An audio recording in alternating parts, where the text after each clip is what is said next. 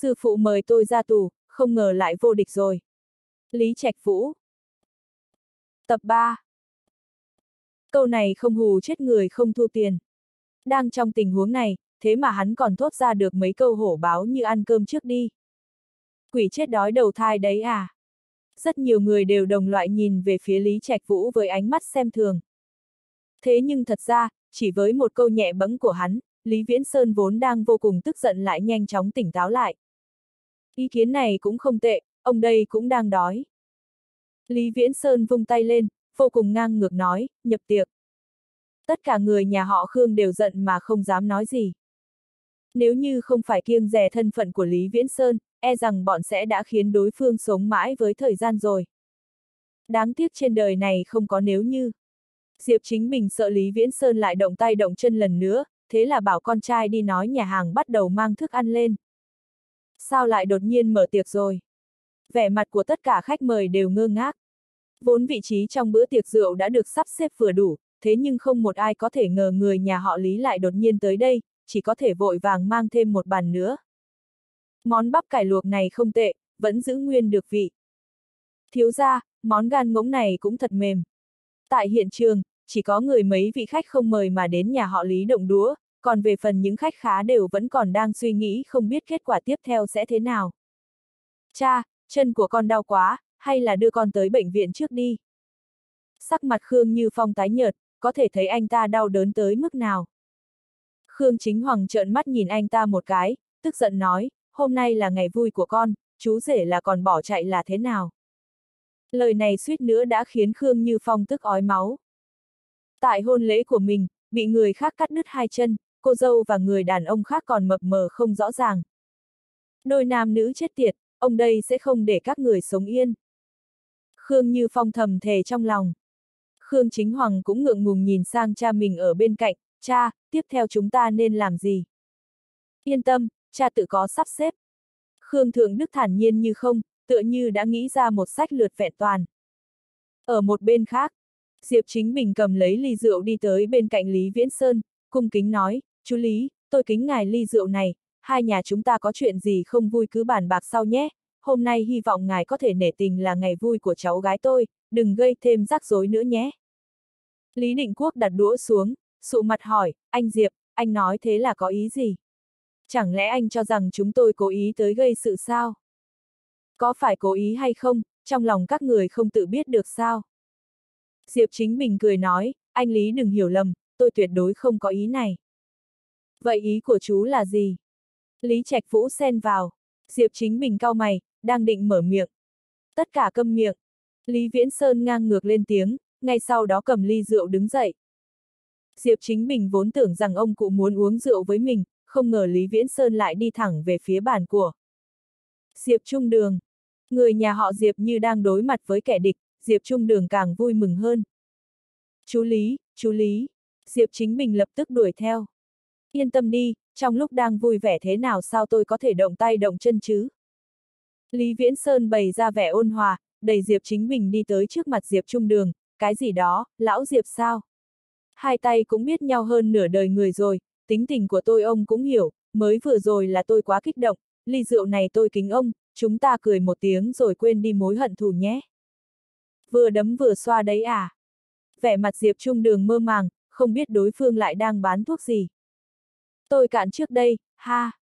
Uống cạn một ly rượu, Lý Viễn Sơn võ vai Diệp An, khiển trách, còn không chịu nhường chỗ cho tôi. a à, được, Diệp An nào dám không nể mặt, vội vàng nhường chó. Nhìn thấy người này đang giả vờ không hiểu, Diệp Trung. Đường âm thầm cảnh giác, ông, rốt cuộc thì ông muốn làm gì? Vừa rồi không phải đã nói rồi sao? Tôi nói xin lỗi ông đấy. Lý Viễn Sơn nói từ tận đáy lòng, nói xin lỗi. Diệp Trung Đường cũng không tin đối phương sẽ tỉnh ngộ thế này, dù sao ông cụ cũng hiểu tính tình của Lý Viễn Sơn. Chúng ta cười một tiếng xóa bỏ hận thù rồi, thế từ nay về sau chúng ta là anh em, được không? Lý Viễn Sơn tiếp tục phô trương kỹ năng của mình. Ông có chuyện gì muốn nói thì cứ nói thẳng, đừng có vòng vo nữa. Ông cứ như vậy tôi sợ lắm. Mấy lời sau cường Diệp Trung Đường không nói thành lời. Được, tôi thích cái tính nhanh nhẹn này của ông. Lý Viễn Sơn nghiêng người vẫy vẫy tay với Lý Trạch Vũ, tên nhóc thối kia, đưa cô nhóc họ Diệp tới đây. Mặc dù Lý Trạch Vũ không biết ông cố của mình đang chơi trò gì, thế nhưng vẫn dẫn Diệp Khuynh Thành ở tới. Các vị, nhìn khách khứa ở khắp nơi một lượt, Lý Viễn Sơn cao giọng hỏi, các vị nhìn thử xem có phải thăng cháu trai của tôi và cô bé nhà họ Diệp là một cặp trai tài gái sắc đúng không, giống như một đôi kim đồng ngọc nữ nhỉ. Cách đó không xa, sắc mặt Khương Như Phong khó coi như ăn phải phân vậy. Hôm nay là hôn lễ của anh ta, nhưng có người nói cô dâu của anh ta và người đàn ông khác là một cặp kim đồng ngọc nữ. Đúng là vả mặt. Hơn nữa còn vả mặt của cả nhà họ Khương. Ông cụ Lý đúng là có con mắt tinh tường, Lý Thiếu và Diệp Tiểu Thư thật sự rất xứng đôi. Không sai, Lý Thiếu tuấn tú lịch sự, Diệp Tiểu Thư lại nghiêng nước nghiêng thành. Không ít khách mời nói ra những lời trong lòng. Dù sao cũng là Lý Viễn Sơn dẫn đầu, nhà họ Khương muốn trách cũng không thể trách bọn họ được. Diệp Khuynh Thành là của tôi, cô ấy là cô dâu của tôi. Khương Như Phong không nhịn được bùng nổ. Khương Thiếu ưu tú như thế, tôi tin chắc anh có thể tìm được người phụ nữ tốt hơn tôi nhiều. Diệp Khuynh Thành bày ra vẻ áy náy lên tiếng, nói xong cũng cảm thấy thoải mái hơn. Con khốn này, ông đây nguyện ý cưới đôi giày rách như cô là phúc cô tích được từ kiếp trước đấy, không phải cô bị cái tên khốn đó chơi đến nghiện rồi chứ. Yên tâm đi, nói về trình chơi phụ nữ, ông đây không kém anh ta là bao, tối nay cô sẽ có thể nhìn thấy. Khương Như Phong tựa như mất hết toàn bộ lý trí, điên cuồng gào thét. Vừa dứt lời, sắc mặt tất cả người nhà họ Diệp đều thay đổi. Mặc dù con gái trong gia đình được xem là công cụ đính ước, thế nhưng cuối cùng thì Diệp Khuynh Thành vẫn là người nhà họ Diệp. Bây giờ con mẹ nó còn chưa gả vào nhà họ Khương thế mà đã bị coi thường như thế, thế sau khi gả vào chẳng phải còn chẳng thể làm người sao. Bốp! Vô liêm sỉ, con đang nói sảng cái gì đấy? Khương Chính Hoàng tát một cái lên mặt con trai mình. Chẳng chút lưu tình. Gò má truyền tới cảm giác đau đớn, Khương Như Phong như vừa tỉnh lại trong giấc mộng, tựa như cũng ý thức được mình vừa lỡ lời. Khương Thượng Đức nhận ra vẻ tức giận trong mắt những người nhà họ Diệp, lập tức trấn an, mọi người bỏ qua cho, cháu trai tôi nói năng vô lễ, xin đừng chấp nhất nó, về nhà tôi tuyệt đối sẽ không tha cho nó. Hôn lễ ngày hôm nay đến đây thôi. Diệp Trung Đường lạnh lùng lên tiếng, một luồng khí lạnh lùng tản ra từ trên người ông cụ. Cha! Ông nội! Sắc mặt của Diệp Chính Bình và Diệp An cũng lập tức thay đổi. Tất cả im miệng cho tôi. Diệp Trung Đường lạnh lùng quát lên, đã nói với các người rồi, bán con cầu vinh tuyệt đối không phải chuyện mà một đại trượng phu sẽ làm, làm người phải dựa vào chính mình. Được, lão Diệp, mấy lời ông nói đã chạm đến trái tim tôi rồi, tôi lại mời ông một ly nữa. Lý Viễn Sơn cười ha hả, tựa mình thay Diệp Trung Đường rót rượu. Trong lòng Diệp Khuynh Thành như chút được gánh nặng, cảm kích liếc nhìn Lý Trạch Vũ đang ở bên cạnh, cảm ơn. Cái này là tôi nợ ông. Nói xong, Lý Trạch Vũ xoay người, vẻ mặt tràn đầy nghiền ngẫm nhìn về phía Khương Như Phong. dáng vẻ kéo dài chút hơi tàn không chịu nhận thua của anh thật sự rất xấu xí. Đám người còn chưa hiểu chuyện gì xảy ra, chỉ thấy Lý Trạch Vũ đã đi tới trước mặt Khương Như Phong. Dừng tay! Khương Chính Hoàng tức giận hét lên, nhưng đáng tiếc là đã quá muộn. Lý Trạch Vũ giơ chân lên đá vào chân thứ ba của Khương Như Phong ở chính giữa. Thái giám duy nhất của nước hạ đã ra đời như thết AI. Tiếng kêu rên đau thấu trời xanh vang vọng khắp nhà hàng, Khương Như Phong đau đến ngất đi. Ngoại trừ khoản ủi heo nái là tôi không bằng anh, còn những phương diện khác thì kẻ tôm tép nhãi nhép như anh cũng xứng để so với tôi. Lý Trạch Vũ ở trên cao nhìn xuống, nói, nhưng mà đáng tiếc, từ nay về sau, ngay cả heo nái, anh cũng không ủi được nữa rồi. Lý Nguyên soái nhà họ Lý các người có ý gì? Khương Thượng Đức cố nén cơn tức giận. Ai nha, sao thằng nhóc thúi nhà cháu lại có thể đánh người như thế hả? Cái đó, mong mọi người bỏ qua cho, đứa cháu trai này của tôi bị chiều hư rồi, lúc quay về tôi tuyệt đối sẽ không bao giờ tha cho nói. Lúc trước, khi Khương Như Phong mở miệng sỉ nhục Diệp Khuynh Thành, Khương Thượng Đức đã đáp lại qua loa như thế. Lúc này, Lý Định Quốc trả lại nguyên vẹn những lời trước đó cho đối phương. Cái mũi Diệp Khuynh Thành đột nhiên chua xót. Lúc cô bị Khương Như Phong nhục mạ, mặc dù người nhà họ Diệp phẫn nộ, nhưng không có một người nào đứng ra ra mặt cho cô. Mà bây giờ, lại là Lý Trạch Vũ và Lý Định Quốc thay cô chút cơn giận này. Cảm động không? Giọng nói mềm mại của Diệp Khinh Nhu vang lên ở bên cạnh. Diệp Khuynh Thành khẽ gật đầu, hốc mắt trở nên càng thêm đỏ hồng. Khinh người quá đáng. Lửa giận trong mắt Khương Thượng Đức như sắp phun ra, ông tức giận nói, bắt lấy thằng nhóc kia, bất kể sống chết. Xoạt xoạt xoạt, mười mấy tên vệ sĩ mặc đồ đen xuất hiện, tất cả đều cầm súng trong tay. Làm càn. Lý Định Quốc tức giận quát lên, dám sử dụng vũ khí ở Hoàng Thành, nhà họ Khương các người muốn tạo phản phải không? Đầu tiên là chụp cái mũ này lên đầu nhà họ Khương, sau đó ông ấy lập tức vung tay lên, bắt hết bọn phản tặc này lại cho tôi. Xoạt xoạt xoạt. Hàng chục binh sĩ súng ống đầy đủ xông tới bao vây mười mấy tên vệ sĩ mặc đồ đen kia. Khương Chính Hoàng biến sắc, nói, cha, nơi này là Hoàng Thành, chúng ta không làm gì được nhà họ Lý, quân tử báo thù 10 năm không muộn. Mặc dù ông ta cũng rất tức giận, nhưng vẫn giữ một chút lý trí như cũ. Lý Định Quốc, ha ha ha. Khương Thượng Đức giận quá thành cười nói, ngày tháng còn dài, các người cứ chờ xem L. Hiện thực bày ở trước mặt, ông không thể không cúi đầu, dứt lời ông vung tay lên, muốn dẫn người nhà rời đi. Trận thông gia hôm nay không thể tiến hành được nữa, ở lại lâu hơn sẽ chỉ khiến bản thân khó xử. Tôi đã cho các người đi chưa? Giọng nói bá đạo của Lý Trạch Vũ vang lên. Thằng nhóc thúi, đủ rồi. Lý Định Quốc nhắc nhở. Cho dù thế nào thì nhà họ Khương vẫn có địa vị vô cùng quan trọng ở nước hạ, coi như muốn vặn ngã đối phương thì cũng không phải chuyện có thể làm được trong chốc lát. Như Giang Thượng Đức đã nói lúc trước, ngày tháng còn dài, cứ chờ xem L.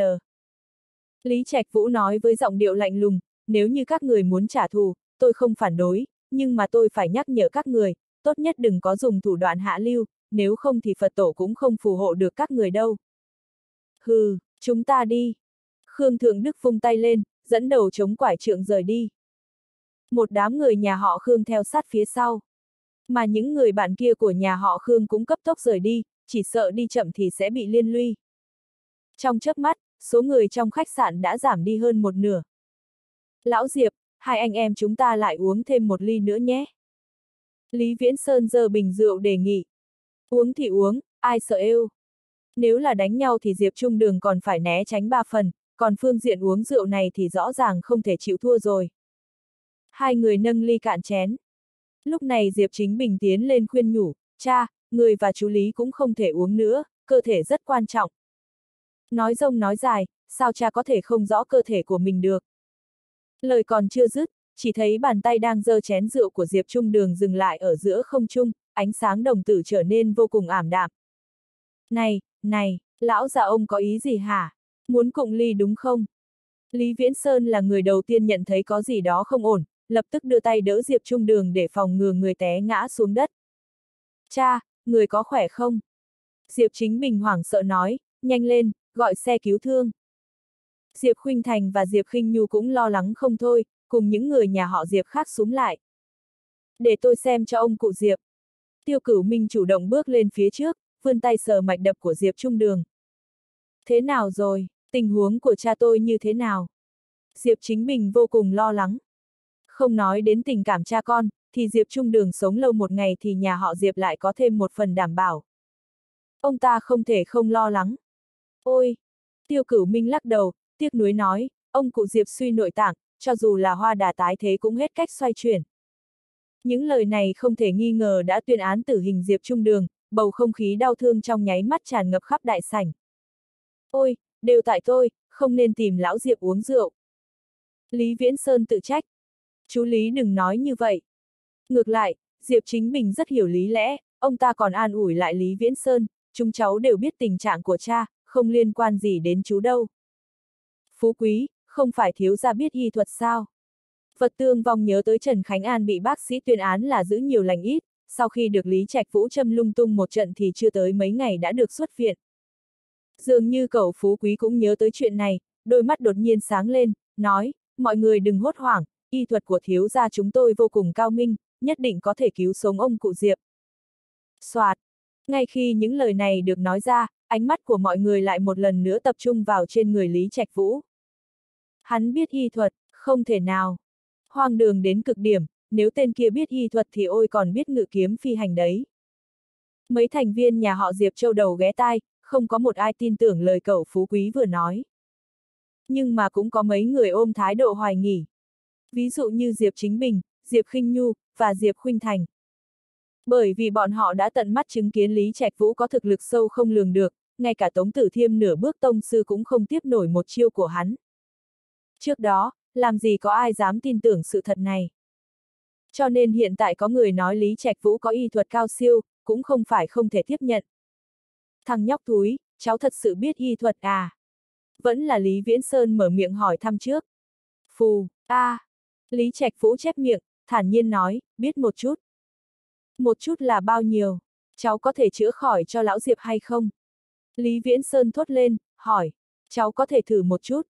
Lý Trạch Vũ ném tàn thuốc xuống đất rồi dãm lên nó, sau đó nhìn về phía một đám người nhà họ Diệp đang đứng, nhưng mà tôi phải cảnh cáo trước, nhỡ đâu chữa chết thì tôi cũng không chịu trách nhiệm đâu. Chữa không khỏi đã đành, còn có thể chữa người ta đến chết sao? Mẹ nó ai mà dám cho hắn chữa nữa? Xe cứu thương còn chưa tới nhanh như vậy, vốn dĩ mấy người Diệp Chính Bình còn muốn để Lý Trạch Vũ thử một chút, nhưng bây giờ nghe hắn nói như thế thì lập tức cắt đứt suy nghĩ này. Cái đó, Tiểu Diệp à, không bằng để cho thằng nhóc thúi nhà tôi thử một chút đi. Thế mà Lý Viễn Sơn lại mở miệng. Khóe miệng Diệp Chính Bình co giật mấy hồi, ông ta rất muốn nói một câu, chú Lý, nếu chú muốn thì để hắn chữa cho chính chú đi, cha cháu thì không được. Lý Định Quốc cũng đi tới, vỗ vai Diệp Chính Bình. Anh Diệp, vừa nãy lão tiêu cũng đã nói rồi, cho dù hoa đà tái thế cũng không xoay chuyển được tình trạng cơ thể của chú Diệp, không bằng lấy ngựa chết làm ngựa sống, để cho cháu trai tôi thử một chút.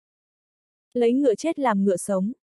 Mấy chữ này khiến mí mắt Diệp Chính Bình nhảy lên điên cuồng, nói thế nào cũng không chịu để Lý Trạch Vũ ra tay.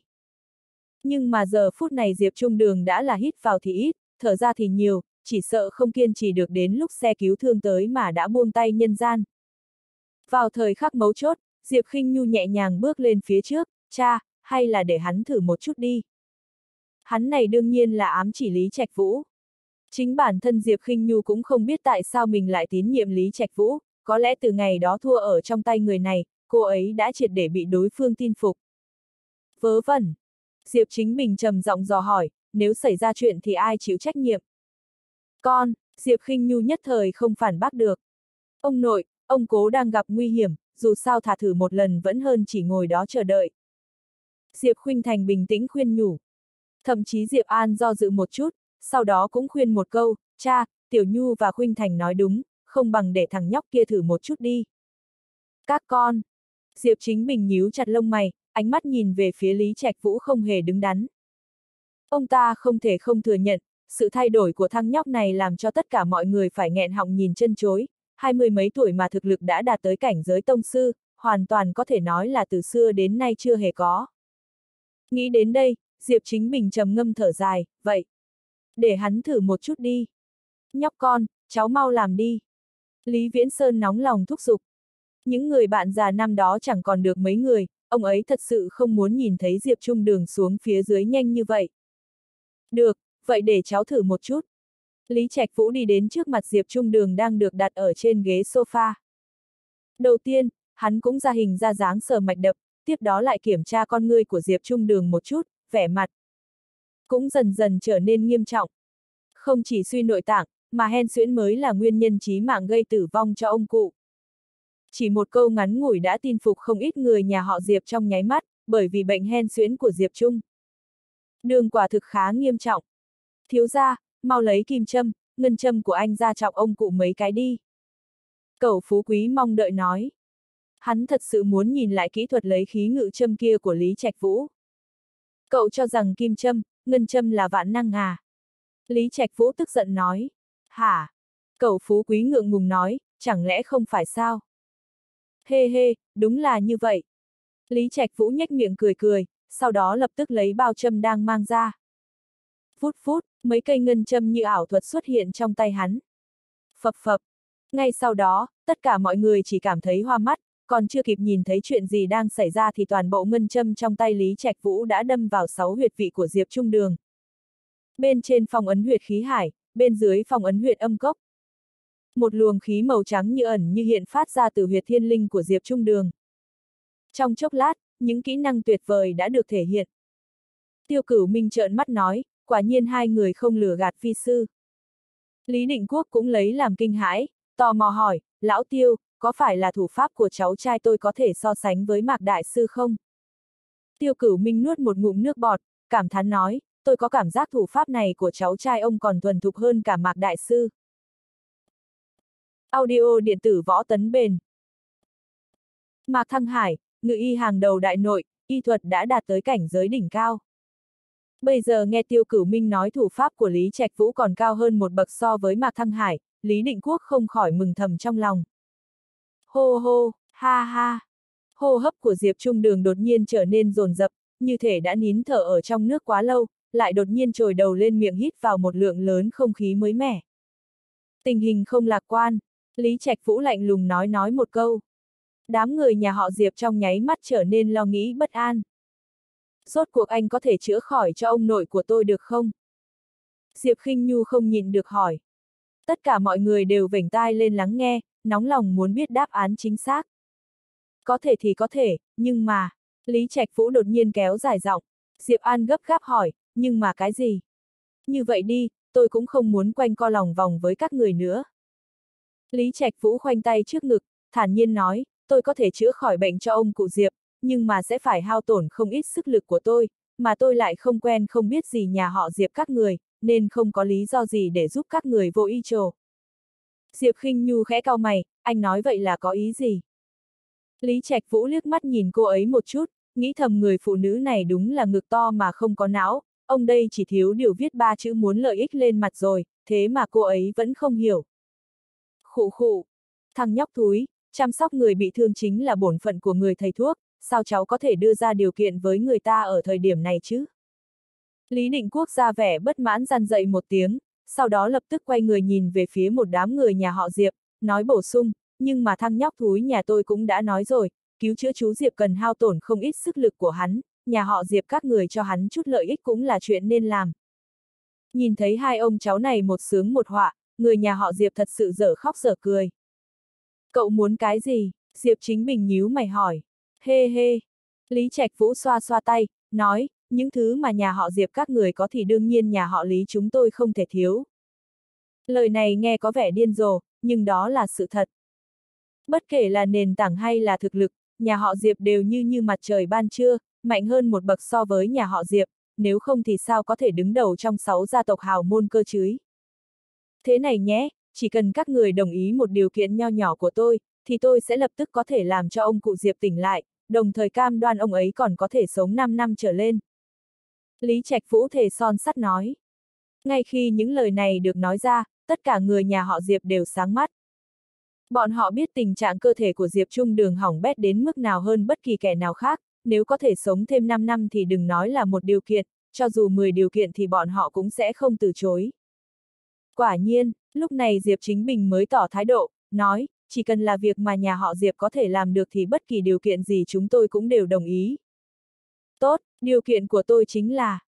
Khi đang nói chuyện, Lý Trạch Vũ đưa tay chỉ sang Diệp Khuynh Thành ở bên cạnh rồi nói, sau này cô ấy muốn gả cho ai, hoặc là đời này không kết hôn, thì bất luận kẻ nào trong nhà họ Diệp cũng không được nhúng tay can thiệp. Wow! Trong chấp nhoáng này, Diệp Khuynh Thành chỉ cảm thấy trong lòng mình hỗn loạn. Bởi vì cô chưa bao giờ nghĩ rằng điều kiện của Lý Trạch Vũ là để đổi lấy sự tự do của mình. Thằng nhóc này được lắm, không vì danh không vì lợi, chỉ vì hồng nhan. Chật chật, rất có phong phạm của lão phu năm đó. Tiêu cửu minh giơ ngón tay cái lên, đồng thời nhìn về phía hai đồ đệ bên cạnh, sau này hai đứa phải học tập thằng nhóc này, nghe rõ không? Người yên tâm đi, thiếu gia vẫn luôn là tấm gương của chúng con ồ. Cả đời này con chỉ đuổi theo bước chân của thiếu gia. Cậu phú quý và vật tương vong lần lượt tỏ thái độ. Tôi đồng ý với cậu, từ nay về sau, bất luận kẻ nào cũng không thể can thiệp vào chuyện lớn trong đời của Khuynh Thành, cậu mau ra tay cứu cha tôi đi. Diệp chính mình gần như bật thốt lên đồng ý. Ok. Lý Trạch Vũ ra hiệu, sau đó lập tức rút ra một cây kim châm rồi đâm vào huyệt trung phủ của Diệp Trung Đường một cách chính xác. Đúng lúc này, Diệp Trung Đường chậm rãi mở mắt ra. Từ sự miệt thị ban đầu đến coi thường, rồi đến khi Lý Trạch Vũ ra một đòn diệt gọn bác Phúc và trực tiếp đối đầu đánh Tống Tử Thiềm Thân là nửa bước tông sư hôn mê, mọi người mới dần dần xem trọng tên công tử bảnh trệ kia. Nhưng, khi Diệp Trung Đường đột ngột phát bệnh, chính mấy cây châm của Lý Trạch Vũ đã cứu ông về từ quỷ môn quan. Không một từ ngữ nào có thể diễn tả sự chấn động sâu trong lòng toàn bộ người nhà họ Diệp. Hoàng Thành, Bệnh viện Vũ Cảnh.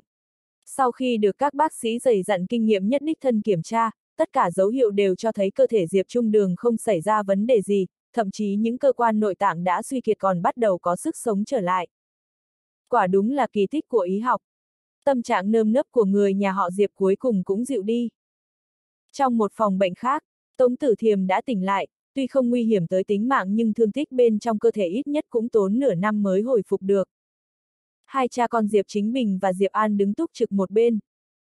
Hắn thật sự rất mạnh, nếu thời khắc cuối cùng hắn không thủ hạ lưu tình thì e rằng tôi nhất định phải chết rồi. Tống Tử Thiêm nói, trong lòng vẫn vô cùng kinh sợ. Diệp An nhíu mày, hỏi, lão Tống, theo ông thì thực lực của thằng nhóc kia mạnh đến nhường nào? Ít nhất là cảnh giới tông sư. Tống Tử Thiêm cũng không dám chắc.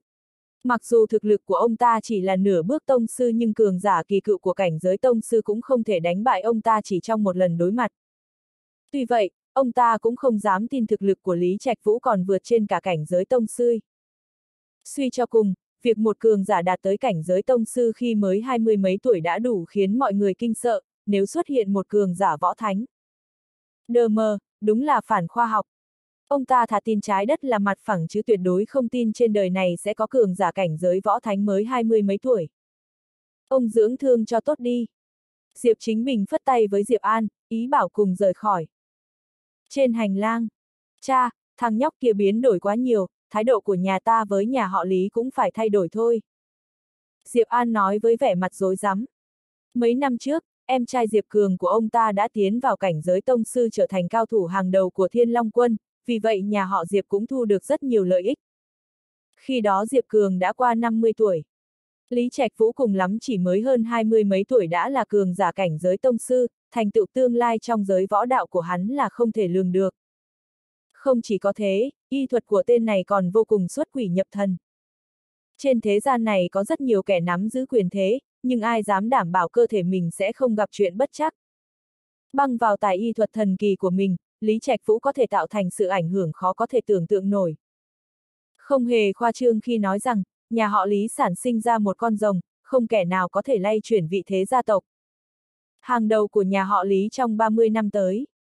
Con nhìn xa trông rộng đấy, xem ra những năm tháng ở Tây Bắc đã khiến con học được rất nhiều kinh nghiệm. Diệp Chính Bình vui mừng ra mặt, tuy rằng Lý Trạch Vũ đã phá hỏng đám cưới giữa hai nhà Diệp Khương nhưng ông ta không hề có ý định trở mặt với đối phương. Và lại, sau khi suy xét, ông ta cảm thấy đó chưa hẳn là một ý hay. Diệp An mỉm cười, nói, lúc trước ở khách sạn, khi tên nhãi kia đứng cạnh Khuynh Thành, hai đứa cứ như một đôi kim đồng ngọc nữ. Đúng nhỉ, cha cũng thấy thế. Diệp Chính Bình cười vang. Cha con hai người nhìn nhau, dường như cùng nghĩ tới một điều. Cùng lúc đó, ở nhà họ Lý. Lý Viễn Sơn và Lý Định Quốc cùng nhìn ai kia bằng ánh mắt xăm soi. Lý Trạch Vũ ở phía đối diện như ngồi trên đống lửa, ngượng ngùng cười hỏi, sao đây, hai người muốn biết gì thì cứ hỏi thẳng đi. Lý Định Quốc nóng lòng hỏi, cháu học đâu ra bản lĩnh kia? Ba năm nay cháu ngồi tù, hai người bảo cháu có thể học ở đâu? Lý Trạch Vũ không đáp mà hỏi vặn lại. Thằng nhãi nhà mi bớt giả bộ ngớ ngẩn để lấp liếm đi, ông hỏi cháu học cùng ai? Lý Định Quốc tò mò hỏi. Chuyện này nói ra rất dài dòng. Lúc mới tới cái chỗ tử ngục quỷ quái kia, cháu gặp được ba vị ẩn sĩ cao nhân đã nhìn thấu hồng trần. Hai người không biết đấy thôi. Ba người kia nói cháu có nền tảng rất đáng kinh ngạc, chính là kỳ tài luyện võ nghìn năm có một, họ cầu xin để được nhận cháu làm đồ đệ. Thật ra ban đầu cháu cũng từ chối, về sau lại không chịu nổi sự bức ép và dụ dỗ của họ. Họ nói miễn là cháu học thành thần công là sẽ có thể nắm giữ quyền lực trong thiên hạ, say xưa ngả trong lòng mỹ nhân. Lý Trạch phú kể lại những trải nghiệm của mình. Nghe xong, cha con Lý Viễn Sơn đều mồm chữ A mắt chữ. Lý Trạch Vũ nhún vai, chuyện là vậy đấy. Cháu ngoan. Lý Định Quốc nuốt nước bọt, tò mò hỏi, hiện giờ thực lực của cháu mạnh đến đâu? Cái này à? Lý Trạch Vũ gãi đầu, đáp, thật ra cháu cũng không biết mạnh tới cỡ nào, dù sao thì ba vị sư phụ của cháu liên thủ cũng không đánh lại cháu. Bọn họ nói cháu là kẻ vô địch trên đời, không biết họ có gạt cháu hay không. Đây là lời nói thật lòng. Kể từ khi hắn luyện ngự long thần công đến đại viên mãn, hắn chưa từng đụng độ kẻ nào có thể khiến hắn phải ra tay toàn lực. Lý Viễn Sơn nhìn Lý Định Quốc với vẻ hưng phấn, nói, cha, con thấy chúng ta nhất định phải đưa tên nhóc này vào trong quân ngũ. Cha cũng nghĩ thế. Lý Định Quốc gật đầu một cách vô cùng ăn ý. Hai người cũng biết con từ bé đến lớn đều quen tự do, không chịu nổi bó buộc mà, vậy nên hãy sớm từ bỏ ý nghĩ này đi. Lý Trạch Vũ nhún vai, tỏ thái độ không nhân nhượng. Nhà chúng ta ba đời nhập ngũ, dành chọn nhiệt huyết để đền đáp quốc gia. Nếu bây giờ cháu đã rèn luyện ra bản lĩnh tài giỏi thì càng nên dốc sức vì nước nhà. Đúng đấy, không thể để truyền thống này bị đứt quãng ở thế hệ của cháu. Lý Viễn Sơn và Lý Định Quốc lần lượt khuyên nhủ. Lý Trạch Vũ vẫn lắc đầu từ chối, nói với thái độ kiên định, đời người ngắn ngủi có mấy năm. Cháu chỉ muốn làm công tử giàu sang vô lo vô nghĩ, không có lý tưởng hoài bão lớn lao như vậy. Tên nhãi này. Lý Định Quốc vừa nói vừa định rút thắt lưng treo trên hông. Lão Lý, cụ Lý cũng đang ở đây, ông dám quất cháu hả? Lý Trạch Vũ chẳng thèm sợ hãi. Xong, trái với suy đoán của hắn, lần này Lý Viễn Sơn không hề bao cho cho hắn mà còn ủng hộ Lý Định Quốc, không nghe lời thì phải đánh, quất đi. Ôi, ôi, hai người đừng có thế chứ. Lý Trạch Vũ bị dọa sợ đến mức đứng bật dậy lùi về sau mấy bước, lùi xong nói tiếp, thế này nhé, nếu có ngày nào đó nước nhà và nhân dân cần tới cháu thì cháu nhất định sẽ không chối từ. Nghe ấy, Lý Định Quốc và Lý Viễn Sơn đưa mắt nhìn nhau, gật đầu. Cháu đã không chịu gia nhập quân đội để lập nghiệp thì lập gia đình sớm chút đi. Lý Viễn Sơn đổi chủ đề, tìm lấy một ngày đẹp, cháu cưới con gái nhà họ Trần về cho ông. Nhà họ Lý là gia tộc giàu có hàng đầu, vinh quang vô tận, khuyết điểm duy nhất là quá ít người. Hơn nữa, nhánh của ông đều là bốn thế hệ độc đỉnh, vì vậy ông mong mỏi thằng chắt trai Lý Trạch Vũ sẽ là ngựa giống khai chi tán diệp cho nhà họ Lý. Nữa hả? Lý Trạch Vũ khóc không ra nước mắt. Dù sao ông cũng chỉ cho cháu hai lựa chọn, một là dấn thân vào quân đội, hai là lập gia đình, cháu muốn làm sao thì làm. Lý Định Quốc có chung suy nghĩ với cha mình. Lý Trạch Vũ gật gù, thở dài, dưa hái xanh không ngọt, vả lại, con gái nhà người ta có ưng cháu đâu. Không ưng cháu. Lý Viễn Sơn ngẩn người. Hai người không biết đấy thôi. Mấy hôm trước cháu đã cố ý tới Tuyên Thành để gặp cô gái kia, hai người đoán thế nào? Nói đến đây, Lý Trạch Vũ ra vẻ bất đắc dĩ. Người ta biết cháu xếp hạng nhất trên bảng xếp hạng cậu ấm cô chiêu nên lấy cái chết ra hù dọa cả nhà họ Trần, nói kiểu gì cũng không chịu kết hôn với cháu. Hắt xì. Tuyên Thành, Trần Thanh Tuyết đang bận làm việc bỗng nhiên hắt hơi một cái. Có người nói xấu chị rồi. Trần Thanh Giao bên cạnh cười hì hì nói, chị, chắc chắn là có người đang nhớ chị. Trần Thanh Tuyết liếc nhìn, tức giận nói, đừng nói hưu nói vượt, tranh thủ thời gian đi làm chuyện của em đi. Chị, chị nói thật cho em biết, rốt cuộc chị có rung động với anh rể không? Nghe vậy, Trần Thanh Tuyết không trả lời. Nhưng mà trong đầu cô không nhìn được hiện ra hình bóng của Lý Trạch Vũ. Cốc cốc cốc, đúng lúc này, có người gõ cửa phòng làm việc. Trần Thanh Tuyết lập tức lấy lại tinh thần, chừng mắt nhìn em gái cảnh cáo cô ấy đứng đắn một chút. Két cửa bị người ta đẩy ra, nữ thư ký mang theo hưu tiến vào. Ngài Mai Hưu Trần Thanh Tuyết lập tức đứng dậy tỏ vẻ tôn kính. Mai Hưu mỉm cười nói, bây giờ Tổng Giám Đốc Trần có tiện không? Tôi muốn giới thiệu cho cô mấy người bạn. Bạn. Rảnh chứ Trần Thanh Tuyết lập tức đáp lại. Người có thể trở thành bạn của Mai Hưu tất nhiên không phải hạng người hời hợt, tài nguyên giao thiệp như vậy tuyệt đối là thương nhân thiết tha mơ ước. Ngừng một lát, Trần Thanh Tuyết lại nói, không biết bạn của ngài Mai Hưu ở đâu.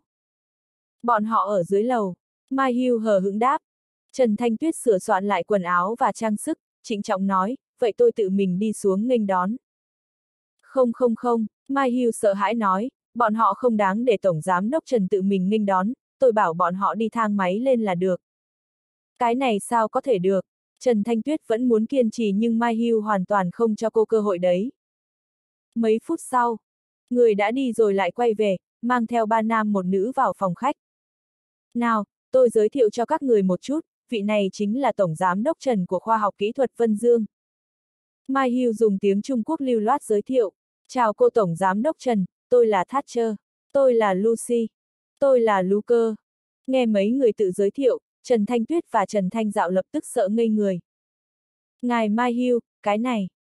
Cho dù Trần Thanh Tuyết gặp qua không ít sự kiện lớn, nhưng giờ phút này vẫn rung động đến mức không nói rõ. Chỉ vì thân phận bốn người trước mắt thật sự hiển hách, tất cả đều là trưởng môn nhân của 10 gia tộc giàu có lớn trên thế giới.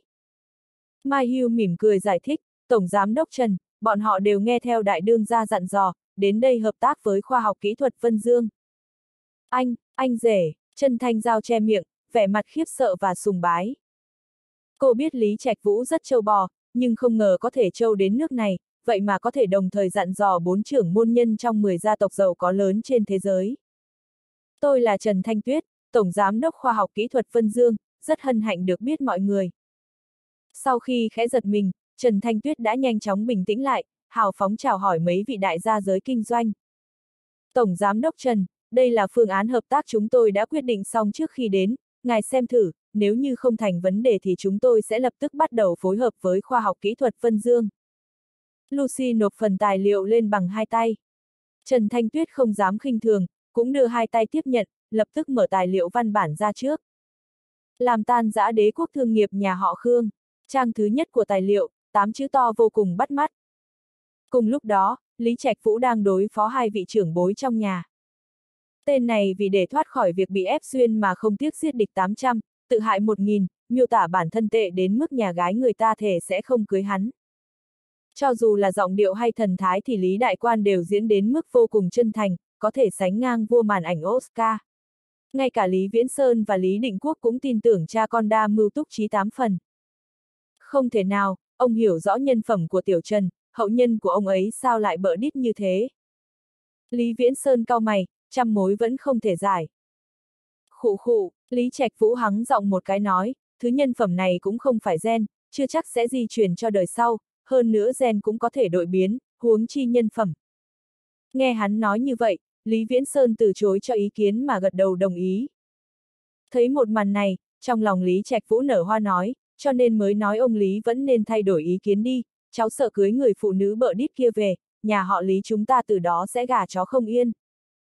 Cha, sau này chúng ta xác minh với Trần Khánh An xem sao, nếu như cháu gái bác ấy thật sự giống như lời Trạch Vũ nói, vậy vụ hôn nhân này chúng ta nên suy nghĩ thêm. Lý Định Quốc đề nghị. Lý Viễn Sơn gật đầu đồng ý, vậy đợi lát nữa con tự mình tới tuyên thành một chuyến, tốt nhất gặp được con bé kia. Đừng, tuyệt đối đừng. Trong lòng Lý Trạch Vũ hoảng hốt. Nếu để cho Lý Định Quốc gặp gỡ Trần Thành Tuyết, vậy mọi diễn xuất lúc trước của hắn đều uổng phí. Công việc của lão Lý bận rộn, vẫn nên đừng quản những chuyện rách này. Đang lúc nói chuyện, trong đầu Lý Trạch Vũ nhanh chóng suy nghĩ nên làm sao giải đề này.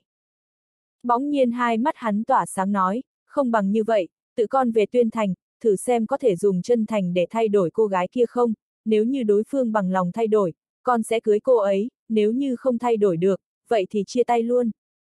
Lý Viễn Sơn và Lý Định Quốc hai mặt nhìn nhau, đều cảm thấy cách này không tệ. Dù sao đã trao đổi ngày sinh tháng đẻ với Trần Khánh An rồi, lúc này nếu đổi ý thực sự có lỗi với người ta. Nhóc con cháu phải kiên nhẫn tí, phải dẫn dắt thật tốt. Lý Viễn Sơn trịnh trọng dặn dò.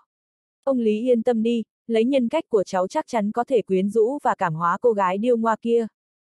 Lý Trạch Vũ thể son thể sắt cam đoan, ái ra một bỗng nhiên Lý Viễn Sơn nặng nề thở dài. Lý Định Quốc không khỏi lo lắng hỏi, cha, ngài có tâm sự. Ái ra, Lý Viễn Sơn lại thở dài nói, hôm nay nhìn thấy con bé của nhà họ Lý, trong lòng cha thật sự rất hài lòng. Trong nháy mắt Lý Định Quốc lập tức hiểu ý của cha, ông ấy nói, việc này dễ thôi, hôm nào con đi cùng lão Diệp hỏi ngọn nguồn, xem thử có thể thúc đẩy vụ hôn nhân này không. Có thể có thể Lý Viễn Sơn cười ha hả nói, ba năm trước vốn chính là thằng nhóc thối có lỗi với người ta, nếu như có thể cưới con bé kia, thì đối với nhà chúng ta hay nhà họ Diệp đều không còn gì tốt hơn. Lý Định Quốc rất tán thành việc này. Nếu có thể thông ra với nhà họ Diệp thì tuyệt đối như hổ thêm cánh với nhà họ Lý. Là hai người già nên hồ đồ hay là lỗ tai con không dùng được nữa.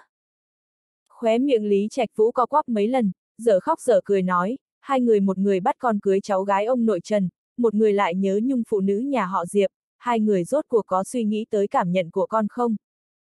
Thằng nhóc con đừng có được lợi còn khoe mẽ. Lý Viễn Sơn sụ mặt trách móc, cho dù là con bé nhà họ Trần hay con bé nhà họ Diệp thì đều là mỹ nhân đương thời hiếm có, thằng nhóc con còn cảm thấy uất ức. Uất ức thì cũng không phải, chỉ là hắn không thích có người sắp đặt hôn nhân của mình mà thôi. Lý Trạch Vũ đang muốn mở miệng kháng nghị. Việc này cứ quyết định như vậy, Lý Viễn Sơn đã kết luận luôn. Tốt nhất cưới luôn cả hai cô cho thằng nhóc thối kia, dù sao chúng ta nhà lớn nghiệp lớn, thêm mấy miệng ăn cũng nuôi nổi. Khương Như Phong trải qua một đêm phẫu thuật rốt cuộc thoát khỏi nguy hiểm tính mạng, nhưng cái chân thứ ba không giữ được.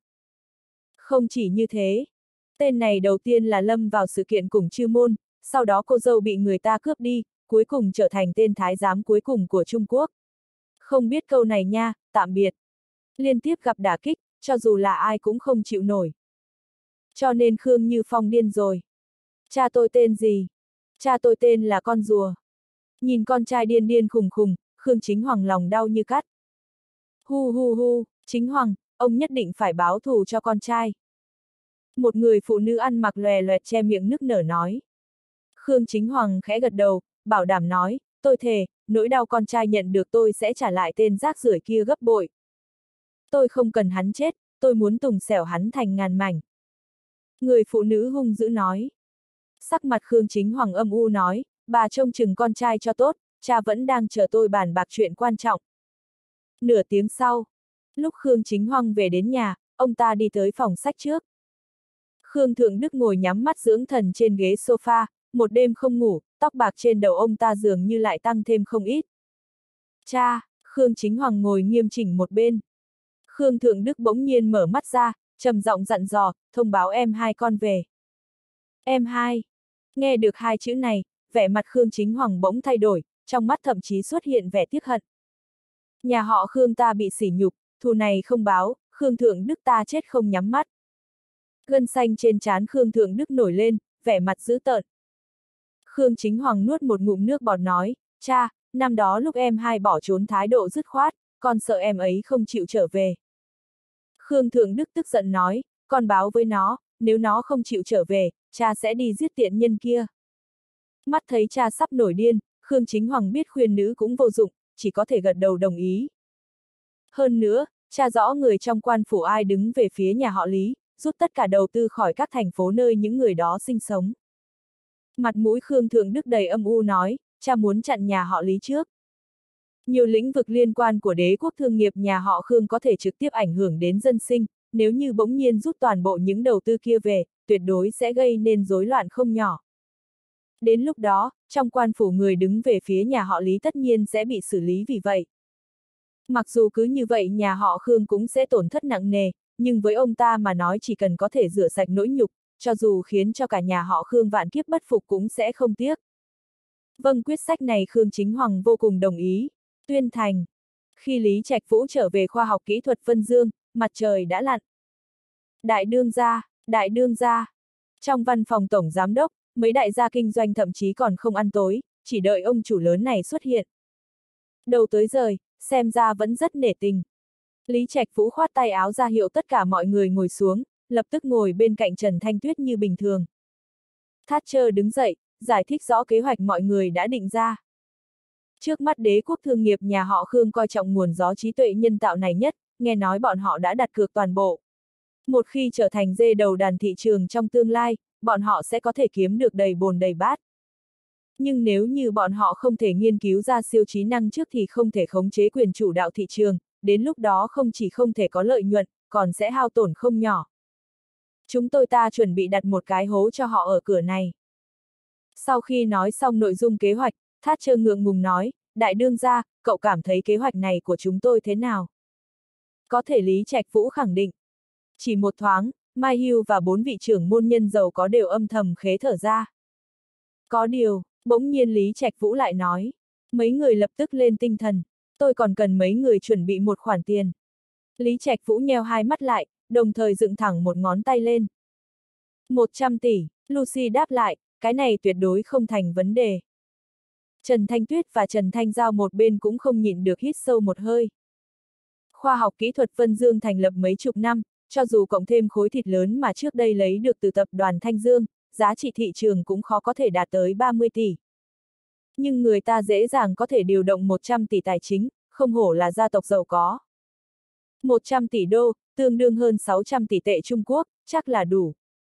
Một câu nhẹ nhàng của Lý Trạch Vũ đã khiến trái tim hai chị em Trần Thanh Tuyết đập nhanh. 100 tỷ đã đáng sợ rồi. Vậy mà còn là đô la.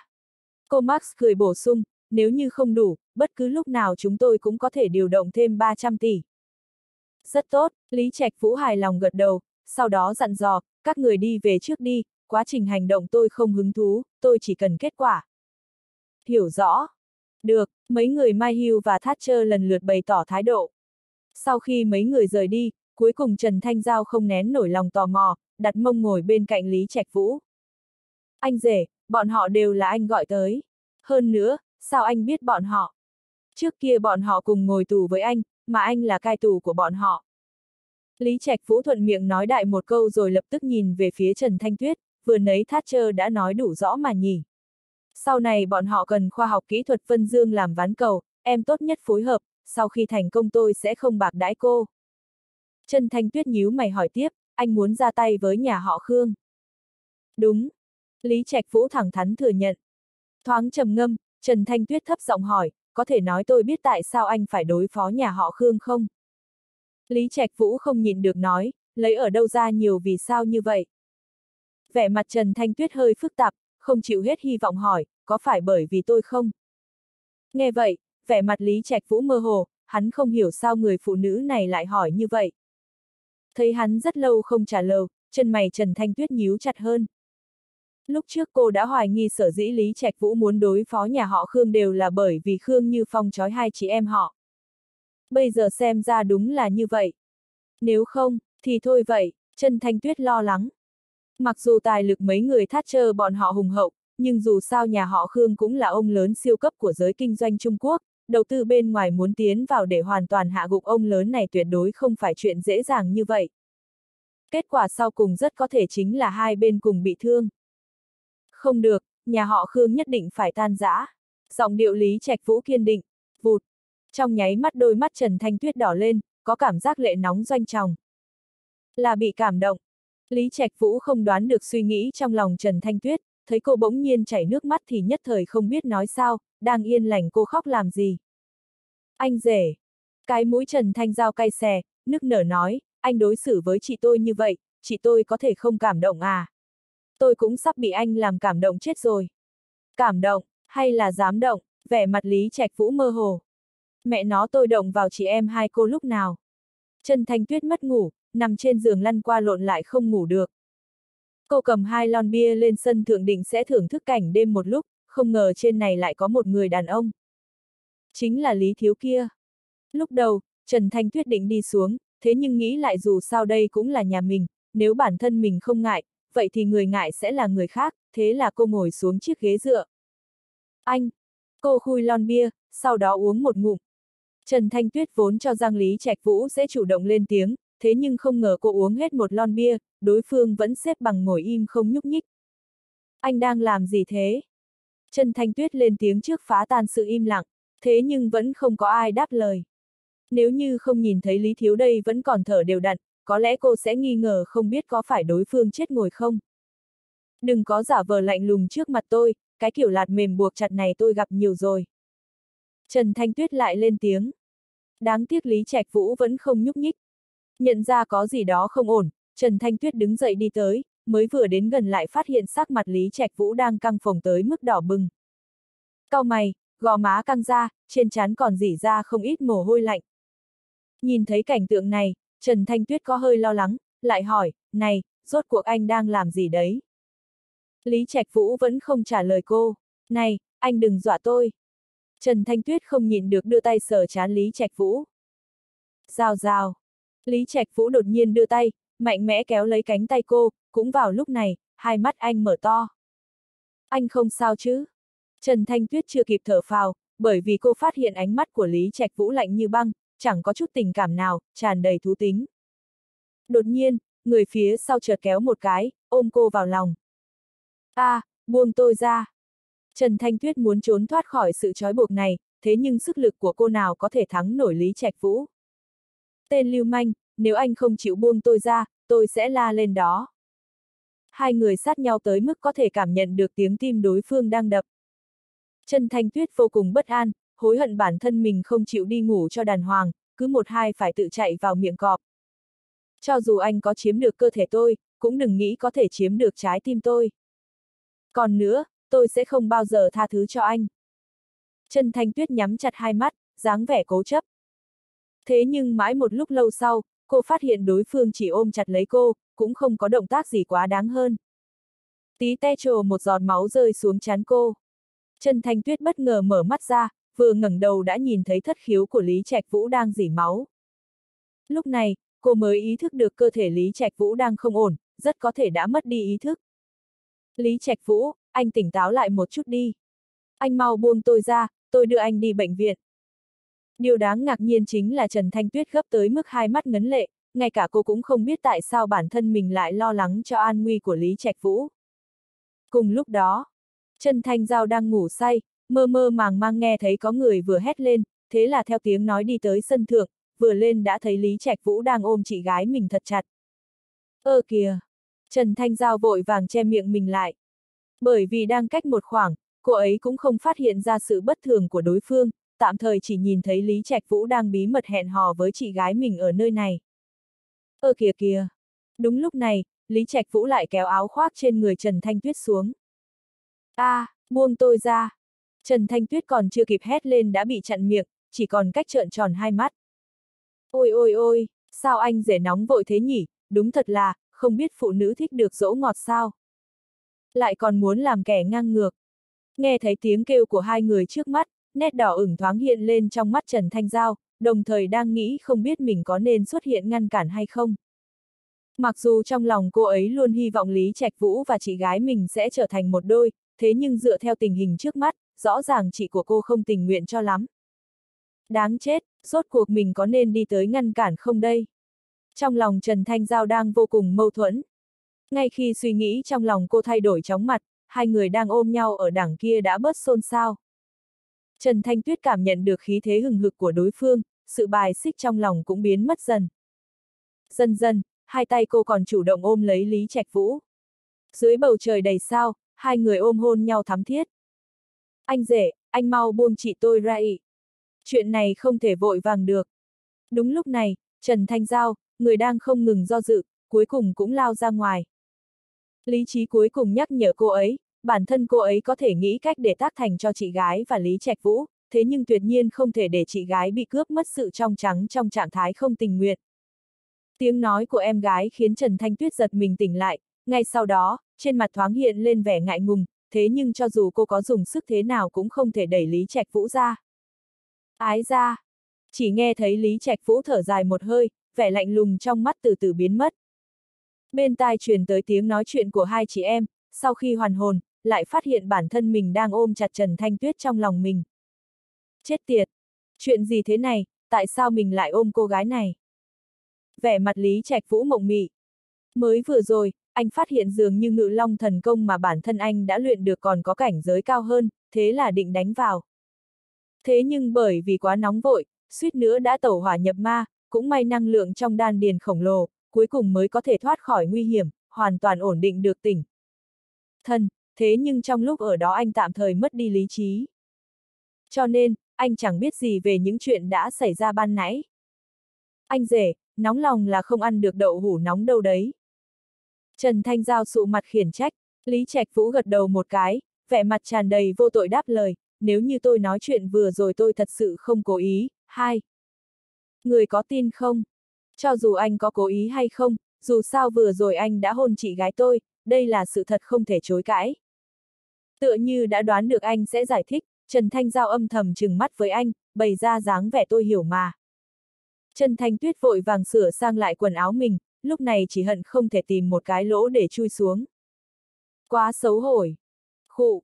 Trần Thanh Giao hắng giọng một cái, nói, anh rể, dù sao ở đây cũng không có người ngoài, anh cũng không cần giả vờ làm gì, nói thẳng đi, anh có thích chị gái tôi hay không? Cái gì?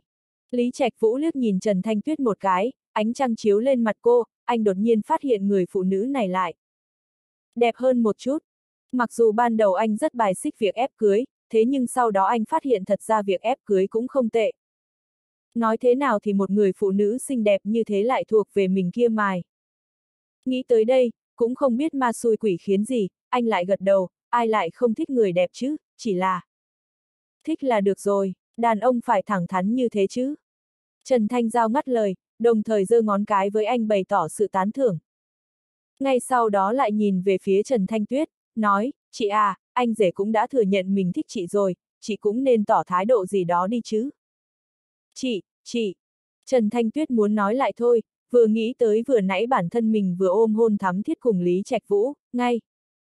Cả nói chuyện cũng không lanh lẹ lắm. Chị, từ nhỏ đến lớn chị luôn là người quả quyết, thoải mái, nói thẳng đi có thích hay không.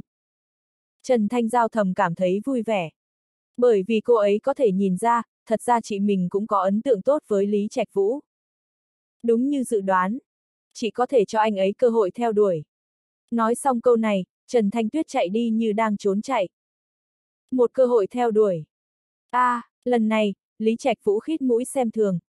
Thích không có nghĩa là anh sẽ theo đuổi, dù sao trên đời này cũng có nhiều người đẹp như thế, nếu như người nào cũng phải theo đuổi, thế chẳng phải sẽ mệt chết sao? Hơn nữa, anh còn có biết bao nhiêu chuyện quan trọng cần làm chứ? Ví dụ như giải quyết nhà họ Khương, Tân Hạo Nhiên. Hay ví dụ như điều tra vu giáo, điều tra nguyên nhân cái chết của cha mẹ anh năm đó. Sáng hôm sau, Lý Trạch Vũ bị tiếng chuông điện thoại đánh thức. Thiếu ra, xảy ra chuyện lớn rồi. Tiếng nói vội vàng của vật tương vong truyền tới. Lý Trạch Vũ dụi mắt, khinh thường lên tiếng, cho dù trời có sập xuống vẫn còn có cao nhân chống đỡ, có thể có chuyện lớn gì xảy ra chứ? Chỉ trong một đêm, toàn bộ 26 lĩnh vực được. Nhà họ Khương đầu tư, cho dù có tiến hành hay không không tiến hành đều bị dỡ bỏ cả rồi. Sao? Nghe thấy tin tức này, Lý Trạch Vũ cũng không bất ngờ lắm, vẫn bình tĩnh như thường, xem ra tôi đã đánh giá lão Khương Thượng Đức kia quá cao rồi. Anh vốn cho rằng nhà họ Khương sẽ ra tay với từng phe. Cánh của nhà họ Lý, như vậy mới có thể giảm bớt tổn thất tối đa. Thế nhưng không ngờ đối phương lại cho dù tiêu tốn một ngàn cũng phải đối phương kẻ địch được 800, không kiên nhãn như thế. Thiếu ra, Khương Như Phong điên rồi. Vật tương vong báo cáo. À, đồ vô dụng, tôi còn đang cố ý suy nghĩ mấy cách để đả kích anh ta, xem ra không cần dùng tới rồi. Lý Trạch Vũ vô cùng khinh bỉ. Ở đầu dây bên kia, vật tương vong không nói nên lời. Khương Như Phong liên tục gặp đả kích như thế, không điên mới là lạ đấy. Ôm hai mắt Lý Trạch Vũ đột nhiên sáng lên, nói, tôi có thể dùng cho tên chó má tần hạo nhiên kia, thế thì sẽ không lãng phí rồi. Thiếu gia sáng suốt. Vật tương vong chẳng có chút thiện cảm nào với tên tân hạo nhiên kia, thế nên vô cùng ủng hộ. Nửa tiếng sau, khi Lý Trạch Vũ đi tới khoa học kỹ thuật Vân Dương, phát hiện trong công ty người nào người nấy đều vô cùng bận rộn. Hệt như đang đánh trận. Chỉ có bảo vệ là rảnh rỗi nhất, trùng hợp thay, Lý Thiếu đây là đội trưởng đội bảo vệ. Thế nên anh lại đánh bài. Cùng lúc đó tại nhà họ Khương. Cha, con đã làm theo lời cha dặn, tất cả phe cánh của nhà họ Lý đều như con kiến ngồi trên chảo nóng. Hơn nữa con còn phái người âm thầm cảnh cáo những người đó, chỉ cần bọn họ thoát khỏi phe cánh của nhà họ Lý, vậy thì chúng ta sẽ để cho mọi thứ khôi phục bình thường. Ha ha, con đoán còn chưa đến ba ngày, nhà họ Lý sẽ hoàn toàn biến mất. Nói đến đây, trên mặt Khương Chính Hoàng nở nụ cười nham hiểm. Ha ha ha! Khương Thượng Đức vô cùng hài lòng với kết quả này, đắc ý nói, từ xưa đến nay thương nhân không tranh giành với quan lại, vậy thì nhà họ Khương chúng ta sẽ mở đường cho. Việc này, cha, chúng ta không thể xem thường tình hình bên phía nhà họ Lý được, chúng ta vẫn nên cẩn thận thì tốt hơn. Từ trước đến giờ, tính cách của Khương Chính Hoàng vẫn luôn cẩn thận, cũng không đắc ý vênh váo. Đối với lần này, Khương Thượng Đức vô cùng hài lòng, lên tiếng trấn an, yên tâm đi, cha đã tìm được người hợp tác rồi, chỉ cần chúng ta đánh tan phe cánh của nhà họ Lý, đến lúc đó đương nhiên sẽ có người giúp chúng ta san băng cây đại thụ kia ổ. Người hợp tác, là ai thế ạ? À? Khương Chính Hoàng vô cùng tò mò. Dù sao ở nước hạ này, người có dũng khí và năng lực để đối đầu với nhà họ Lý cũng đếm trên đầu ngón tay. Tất cả những thứ này cũng phải nhờ có tên nhóc kia ồ. Khương Thượng Đức cười ha hả, cách đây không lâu, Tân Hạo Nhiên, con cháu đời thứ ba của nhà họ Tân vốn có thể lên đảm nhận chức vụ thành chủ của Tuyên Thành, thế nhưng bởi vì tên khốn kiếp kia cản trở, khiến Tân Hạo Nhiên không thể nhậm chức thành công. Nghe thấy thế, khóe miệng Khương Chính hoang thoáng, hiện lên nụ cười lạnh. Có sự hỗ trợ của nhà họ Tần, bọn họ dư sức. Đúng rồi, bên phía thăng hai thế nào? Khương Thượng Đức đột nhiên đổi đề tài. Thăng hai, nó. Khương Chính Hoàng nhíu mày, thở dài nói, nó đã đồng ý trong vòng ba ngày sẽ diệt trừ tên khốn nhà họ Lý kia, thế nhưng, thế nhưng. Nhìn thấy con trai cứ ấp a ấp úng, sắc mặt Khương Thượng Đức trầm xuống, nói thẳng đi. Vâng. Khương Chính hoang trầm giọng, mặc dù tháng 2 đã đồng ý với yêu cầu của cha, thế nhưng cũng tỏ ý rằng lần này ra tay cũng vì báo đáp công ơn nuôi dưỡng của cha, từ nay về sau sẽ không dính dáng gì tới nhà họ Khương nữa. ầm, um, vô liêm sỉ. Khương Thượng Đức đột nhiên đập bàn một cái, tức giận không nhịn được. Cả đời này ông cụ cũng chỉ có hai người con trai, con trai cả Khương Chính Hoàng hoàn hảo thừa kế tài năng kinh doanh thiên phú và chỉ số thông minh của ông cụ, còn con trai thứ Khương Mộ Bạch bẩm sinh đã có tài năng về võ thuật. Một văn một võ, nhà họ Khương Đông Sơn tái khởi chỉ còn là vấn đề thời gian. Chỉ tiếc, Khương Mộ Bạch lại yêu phải một người phụ nữ không nên yêu. Vì để bảo vệ người phụ nữ kia, thậm chí hẳn ta còn chẳng tiếc cãi nhau với người nhà. Mỗi khi Khương Chính Hoàng nghĩ đến điều này, ông ta đều thấy khó nhịn. Cha, cha đừng suy nghĩ nhiều, nói thế nào đi nữa trong người thằng hai cũng đang chảy dòng máu của nhà họ Khương chúng ta, rồi một ngày nào đó nó cũng sẽ nhận ra thôi. Khương Chính Hoàng an ủi cha mình. Khương Thượng Đức cũng bình tĩnh lại một chút, nói sang chuyện khác, tình hình của Như Phong có tốt lên chút nào không? Nhắc tới con trai, trên mặt Khương Chính Hoàng thoáng hiện lên vẻ tức giận, thấp giọng nói, nó gặp phải đả kích quá lớn, bác sĩ nói sẽ rất khó có thể khôi phục lại bình thường, còn định mấy ngày nữa sẽ đưa nó sang Mỹ chữa trị. Thôi đi. Trên mặt Khương Thượng Đức lộ vẻ bất mãn, con còn trẻ, vẫn còn thời gian sinh thêm mấy đứa nữa. Đối với ông cụ, ngay cả chút chuyện như thế mà Khương Như Phong còn không chịu nổi, sau này cũng khó làm được. Chuyện lớn gì, thế chẳng băng sớm sinh đứa khác. Vừa nãy trên đường, Khương Chính Hoàng cũng có suy nghĩ thế này, thế là lên tiếng bảo đảm, cha, cha cứ yên tâm, con sẽ không để nhà họ Khương chúng ta tuyệt tự tuyệt tôn. Ông chủ, ông chủ. Đúng lúc này, quản gia vội vàng đưa một người đàn ông với vẻ mặt nghiêm trọng bước vào. Đó chính là thuộc hạ thân cận của Khương Thượng Đức, Hoàng Dịch Hoa. Ông chủ Khương, xảy ra chuyện lớn rồi. Có chuyện gì? Khương Thượng Đức cảm thấy khó hiểu. Sắc mặt Hoàng Dịch Hoa nặng nề lên tiếng, những dự án kinh doanh mà chúng ta rút lui đều đã có người thay thế hết cả rồi. Cái gì? Nghe thấy tin tức này, sắc mặt của Khương Thượng Đức và cả Khương Chính Hoang đều thay đổi.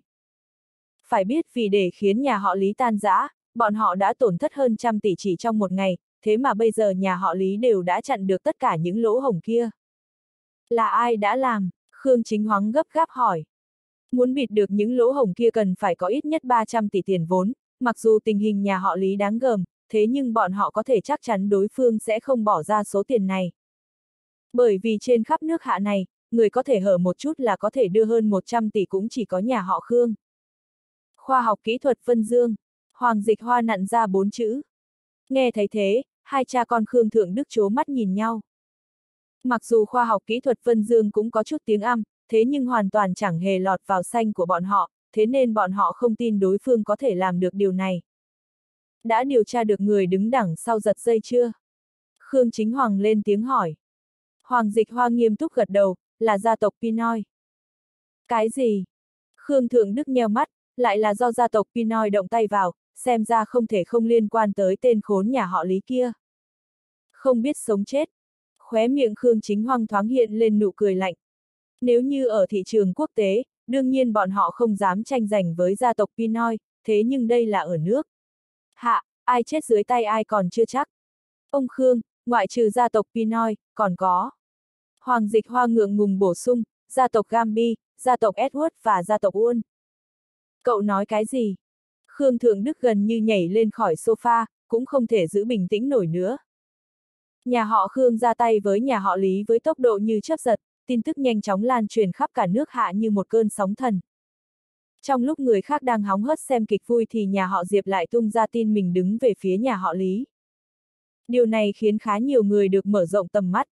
Suy cho cùng, sáu gia tộc lớn đứng đầu Hoàng Thành xưa nay luôn bằng mặt không bằng lòng, một khi nhà họ Lý chịu tổn thất nặng nề thì mấy nhà còn lại sẽ có hy vọng leo lên vị trí đầu tiên.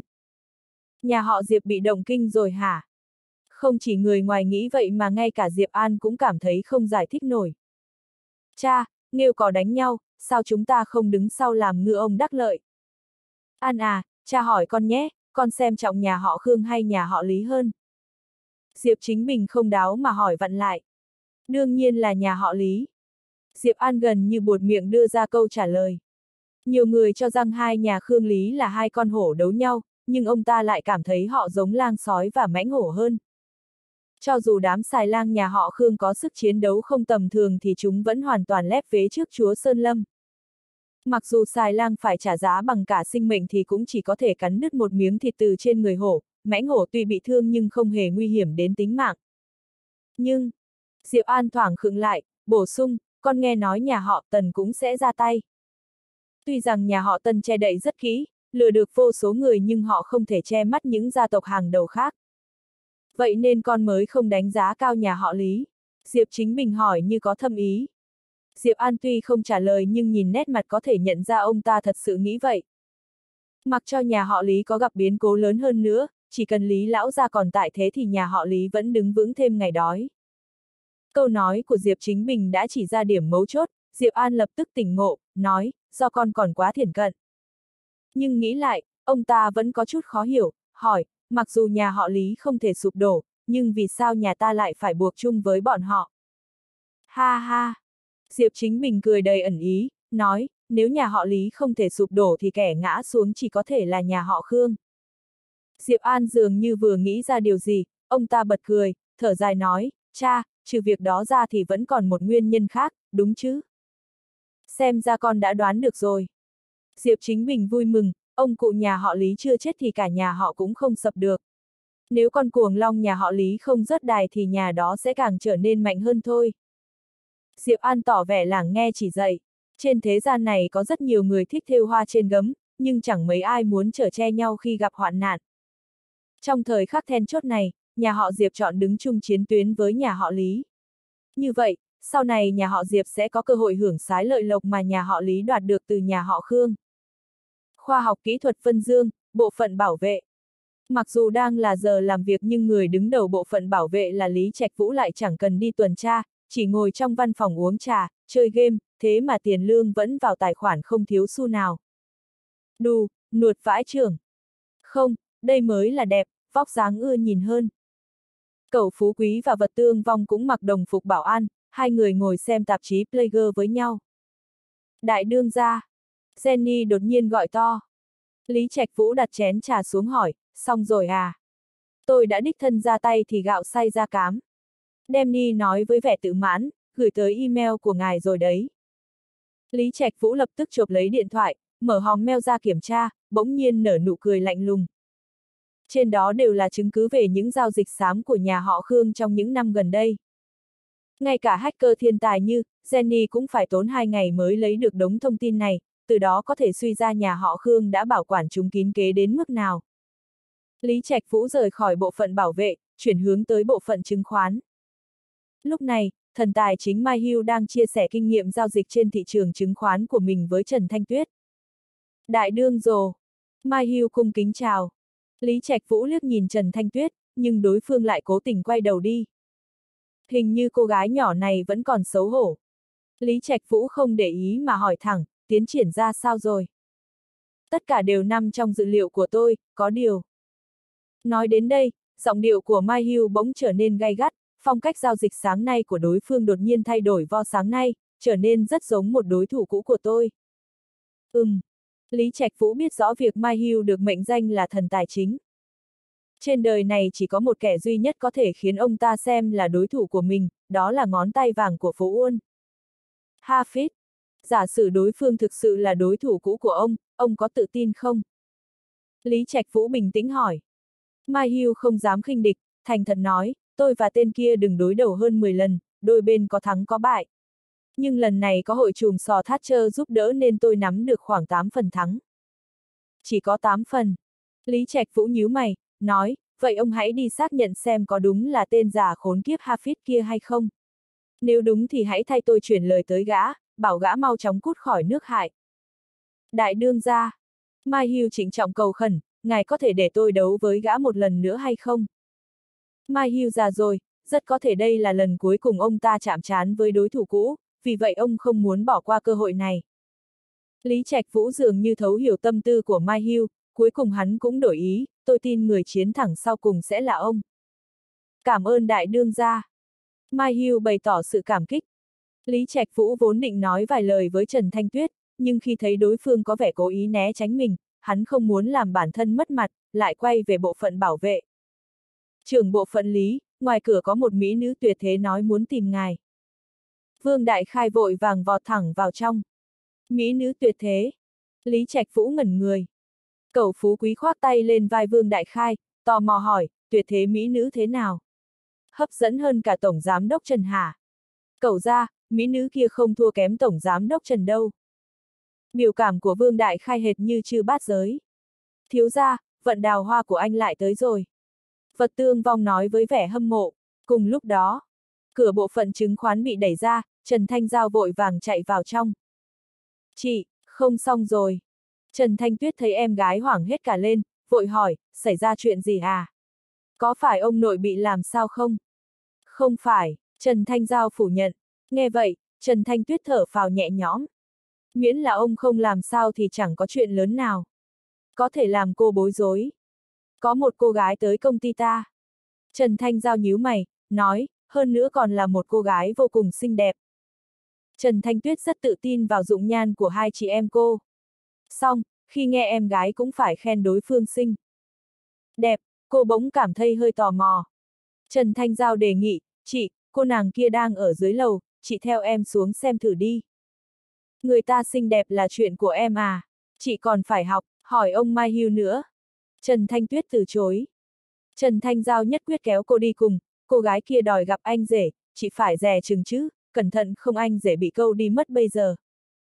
Tìm Lý Trạch Vũ. Vẻ mặt Trần Thanh Tuyết bỗng trở nên rối rắm. Khi cuộc chiến trên thị trường chứng khoán đang bước vào giai đoạn dầu sôi lửa bỏng, một cô gái xinh đẹp hoa nhường nguyệt thẹn bỗng tìm tới khoa học kỹ thuật Vân Dương. Đệ nhất Mỹ nữ Hoàng Thành Diệp Khuynh Thành. Sao cô lại tới đây? Lý Trạch Vũ hoàn toàn không ngờ rằng đối phương sẽ tìm gặp mình. Tôi đến tìm anh, Diệp Khuynh Thành mỉm cười. Tuấn Nam Mỹ nữ, cảnh hai người đứng cạnh nhau lập tức thu hút sự chú ý của rất nhiều người. Cô gái xinh đẹp kia là bạn gái của trưởng bộ phận Lý à? 8, 9 phần là vậy. Ngưỡng mộ trưởng bộ phận Lý quá, bạn gái anh ấy xinh như tiên nữ thế kia. Tôi lại ghen tị với cô gái có người bạn trai đẹp tựa Phan An như trưởng bộ phận Lý. Các nhân viên xôn xao bàn tán. Đinh! Đúng lúc này, cửa thang máy đột ngột mở ra. Anh rể, anh rể. Trần Thanh Giao kéo Trần Thanh Tuyết rảo bước tiến lại, nghiến răng nghiến lợi gọi tiếng anh rể. Anh rể người này kết hôn rồi sao? Nhìn cặp sinh đôi đột nhiên xuất hiện, Diệp Khuynh Thành bỗng cảm thấy bối rối trong lòng. Trần Thanh Giao lại gần Lý Trạch Vũ, cô nàng đánh giá Diệp Khuynh Thành ở phía đối diện, ánh mắt để lộ ý khiêu khích. Xin chào, Diệp Tiểu Thư. Trần Thanh Tuyết chủ động chào hỏi. Hiển nhiên, cô biết đối phương là ai. Xin chào, chắc hẳn cô là Tiểu Thư Thanh Tuyết.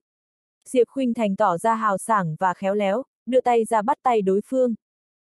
Trước khi tới khoa học kỹ thuật Vân Dương, cô đã nằm lòng tất cả tư liệu về nơi này. Dựa vào thần thái và tính cách, cô có thể lập tức đoán ra tên của hai chị em sinh đôi. Tuy hai cô gái cùng nở nụ cười nhưng Lý Trạch Vũ vẫn có thể cảm nhận rõ cuộc chiến vô hình giữa đôi bên. Đám phụ nữ đúng là thích kèn cựa nhau. Đặc biệt là các cô xinh đẹp, họ không muốn bị so sánh với bất kỳ cô gái nào. Trong cơn mơ hồ, Lý Trạch Vũ thậm chí còn nhận ra Trần Thanh Giao cũng dấn thân vào cuộc đấu này. Danh hiệu Mỹ nữ số một Hoàng Thành tuyệt đối không phải là hư danh, cô xinh đẹp tuyệt trần, khí chất đặc biệt, không hề thua kém bóng hồng đương thời nào. Trần Thanh Tuyết và Trần Thanh Giao cũng chẳng hề kém cạnh, độ giống nhau của hai người đạt đến 90 phần. Trăm, vì vậy tổ hợp này càng trở nên thu hút hơn nữa. Lý Trạch Vũ cảm thấy nếu hẳn được làm trọng tài thì hắn khó mà phân định ai thắng ai thua. Và lại, hắn cũng chẳng thích phải lựa chọn, chỉ trẻ con mới làm thế. Khụ khụ. Lý Trạch Vũ hằng giọng, quay sang nhìn Diệp Khuynh Thành, hỏi, cô tìm tôi có việc gì à? Tôi tới nhờ anh là vì mong anh có thể giúp tôi một việc. Diệp Khuynh Thành bày tỏ mục đích của mình, nghe nói ngài Mai Hưu đang ở khoa học kỹ thuật Vân Dương, tôi muốn học hỏi ông ấy một chút kiến thức về tài chính, anh có thể tiến cử tôi với ông ấy hay không? Ngại quá, ngài Mai Hưu bận lắm. Lý Trạch Phú chưa kịp lên tiếng thì Trần Thanh Giao đứng cạnh đó đã cướp lời trước. Giao giao. Trần Thanh Tuyết có phần không hài lòng trước sự thô lỗ của em gái mình. Trần Thanh Giao bĩu môi, không nói gì nữa. Được. Lý Trạch Vũ đồng ý ngay. Ngoài mối quan hệ khó nói giữa hắn và Diệp Khuynh Thành, việc nhà họ Diệp công khai ủng hộ và đứng về phe nhà họ Lý cũng đủ làm cho hắn khó lòng từ chối thỉnh cầu nho. Nhỏ này. Cảm ơn. Diệp Khuynh Thành cười. Nụ cười nghiêng nước nghiêng thành. Lý Trạch Vũ nhìn đến ngây dại. Anh rể. Trần Thanh Giao giận đến mức chừng mắt nhìn hẳn. Lý Trạch Vũ hoàn hồn, quay sang nhìn Trần Thanh Tuyết. Cô ấy là bạn của tôi, phiền cô giới thiệu cô ấy với Mai Hưu, tôi còn có việc phải đi trước. Anh rể, anh rể. Thấy Lý Trạch Vũ bỏ đi, Trần Thanh Giao quạo đến mức rậm chân, nhưng ngay sau đó lại quay đầu quan sát Diệp Khuynh Thành, nói một cách khiêu khích, Diệp Tiểu Thư phải không? Xin trân trọng giới thiệu cho cô biết, chị gái Trần Thanh Tuyết của tôi là vị hôn thê của Lý Trạch Vũ. Thật ư, chúc mừng. Diệp Khuynh Thành thản nhiên mỉm cười. Ngoài mặt nhìn như không hề dao động hay sửng sốt, nhưng chỉ có cô mới có thể nhận ra trái tim mình nhói đau như bị người ta ngắt véo khi thốt lên hai chữ chúc mừng kia. Vừa đau vừa chua xót. Ở một bên khác, ngay khi trở lại bộ phận bảo vệ, Lý Trạch Vũ đã nhận được tin địa bảng tông sư Khương Mộ Bạch gửi chiến thư cho hắn. Thiếu gia, tay Khương Mộ Bạch kia là con trai thứ hai của Khương Mộ Đức, thực lực rất đáng gờm, ngài có nằm. Chắc phần thắng hay không? Mau tung tin ông đây tiếp nhận lời khiêu chiến của lão tai. Lý Trạch Vũ trực tiếp cắt ngang lời vật tương vong. Cậu Phú Quý lo lắng nói, thiếu gia, tôi từng nghe sư phụ mình nhắc tới tay Khương Mộ Bạch kia. 20 tuổi đạt cảnh giới tiểu thừa, 30 tuổi là cảnh giới đại thừa, chưa đầy 50 tuổi đã đột phá cảnh giới tông sư, thiên phú võ đạo của lão ta chỉ mạnh hơn chứ không thua kém Long Thiên Quân. Vậy thì sao? Lý Trạch Vũ tỏ vẻ khinh thường. Hắn đếch quan tâm đối thủ mạnh thế nào, dù sao hắn chính là kẻ vô địch. Vật tương vong vẫn kiên trì bảo vệ ý kiến của mình, nói, thiếu gia, chúng ta đông người mà, tại sao lại phải đấu tay đôi với lão ta? Tương vong nói đúng. Cậu phú quý hùa theo phụ họa, thiếu gia nghĩ cẩn thận mà xem, chó mèo cũng có thể tùy tiện khiêu chiến với anh à, chẳng phải là hạ thấp giá trị của anh sao? Lý Trạch Vũ cười ha hả, đáp, tôi nghênh đón lời khiêu chiến này, tiện thể xử tên địa bảng tông sư kia để giết gà dọa khồ. Thấy đối phương hừng hực lòng tin, vật tương vong hiếu kỳ hỏi, thì yêu ra, anh có thể tiết lộ cho chúng em biết anh mạnh cỡ nào hay không? Các cậu muốn biết thật à? Lý Trạch Vũ úp úp mở mở. Vâng. Vật tương vong gần như đáp lại ngay lập tức. Cậu phú quý cũng vểnh tai lên hóng. Ha ha, anh mày là vô địch. Lý Trạch Vũ thành thật trả lời. Cậu phú quý và vật tương vong đưa mắt nhìn nhau, rõ ràng họ chỉ coi đây là mấy lời chém gió. Vô địch, anh vô địch cái bíp ấy. Anh có gan thì đi khiêu chiến phương trưởng thiếu lâm tự hay trưởng môn đạo giáo đi. Đặt ra cái danh ba hoa trích tròe này làm gì? Trưởng bộ phận lý, trưởng bộ phận lý. Trong lúc mấy người nói chuyện, phó bộ phận bảo vệ Vương Đại Khai lại hớt hải chạy vào. Tiểu vương này, đã nói với ông bao nhiêu lần rồi, có chuyện gì cũng phải bình tĩnh, sao ông chẳng chịu ghi nhớ gì thế? Cậu phú quý bắt đầu giáo huấn Vương Đại Khai. Vương Đại Khai ngậm bồ hòn làm ngọt trước hai tên này, bực mà không dám hó hé gì, lại còn phải khom lưng cúi đầu nói, anh cậu dậy trí phải, lần sau tôi nhất định sẽ nhớ kỹ. Cậu phú quý làm bộ trẻ con dễ dậy, thản nhiên nói, nói đi, có chuyện gì mà cần tìm thiếu ra bọn tôi. Vương Đại Khai hít sâu vào rồi thở ra, cố gắng chấn an bản thân, có người đòi gặp trưởng bộ phận lý. Lại có người tìm tôi à? Hôm nay là cái ngày gì thế? Lý Trạch Vũ bấm nốt tay, xem bậy xem bạ rồi làm bộ thông suốt, ra vẻ trầm ngâm hỏi, đối phương là gái đẹp à? Vương Đại Khai gật đầu, rồi lại lắc lắc, bốp. Cầu phú quý thưởng cho ông ta một hạt rẻ, nổi sung măng, mau nói rõ ra xem nào. Vương Đại Khai đau đến mức nghiến răng suýt xoa, nói, là nữ, nhưng không phải mỹ nữ, mà là một Nico. Nico, vãi lòng. Khóe miệng Lý Trạch Vũ co giật mấy lần, cười gượng, ông đây xuất chúng đến thế sao? Đến cả Nico mà cũng bị tôi hấp dẫn hả? Thiếu gia, bình tĩnh. Vật tương vong nhắc nhở. Được, bình tĩnh bình tĩnh. Lý Trạch Vũ vung tay áo, nói, đi nói với Nico kia là tôi và cô ta không có duyên, đừng gặp nhau làm gì. Cho cô ta vài trăm tệ bắt taxi về. Trưởng bộ phận lý, Nico kia dữ lắm, người ta nói sau 3 phút mà ngài không ra gặp thì cô ta sẽ phá banh công ty chúng ta. Lý Trạch Vũ là cổ đông lớn của khoa học kỹ thuật Vân Dương, nơi này chính là sân khấu hắn thi triển quyền cước, nhưng mà còn chưa thể hiện quyền cước thì đã có người muốn phá hủy sân khấu này. Sao có thể nhịn? Lúc hắn nổi giận đùng đùng vào tới sân khấu thì lập tức trông thấy Nico giống như hạc giữa bầy gà. Năm 60 tuổi, mặt mũi tàn ác, không hề có vẻ từ bi của người xuất gia, nếu là ở trong phim truyền hình thì chính là trùm phản diện chân chính. Lão Nico, nghe nói bà tìm tôi. Lý Trạch Vũ hoàn toàn không nể mặt đối phương. Nico vinh váo hung hăng nói, cậu chính là Lý Trạch Vũ, con cháu nhà họ Lý. Nói nhảm hai tay Lý Trạch Vũ chắp tay sau lưng, gật đầu hỏi, bà tìm ông đây làm gì? Thằng nhãi danh, chịu chết đi.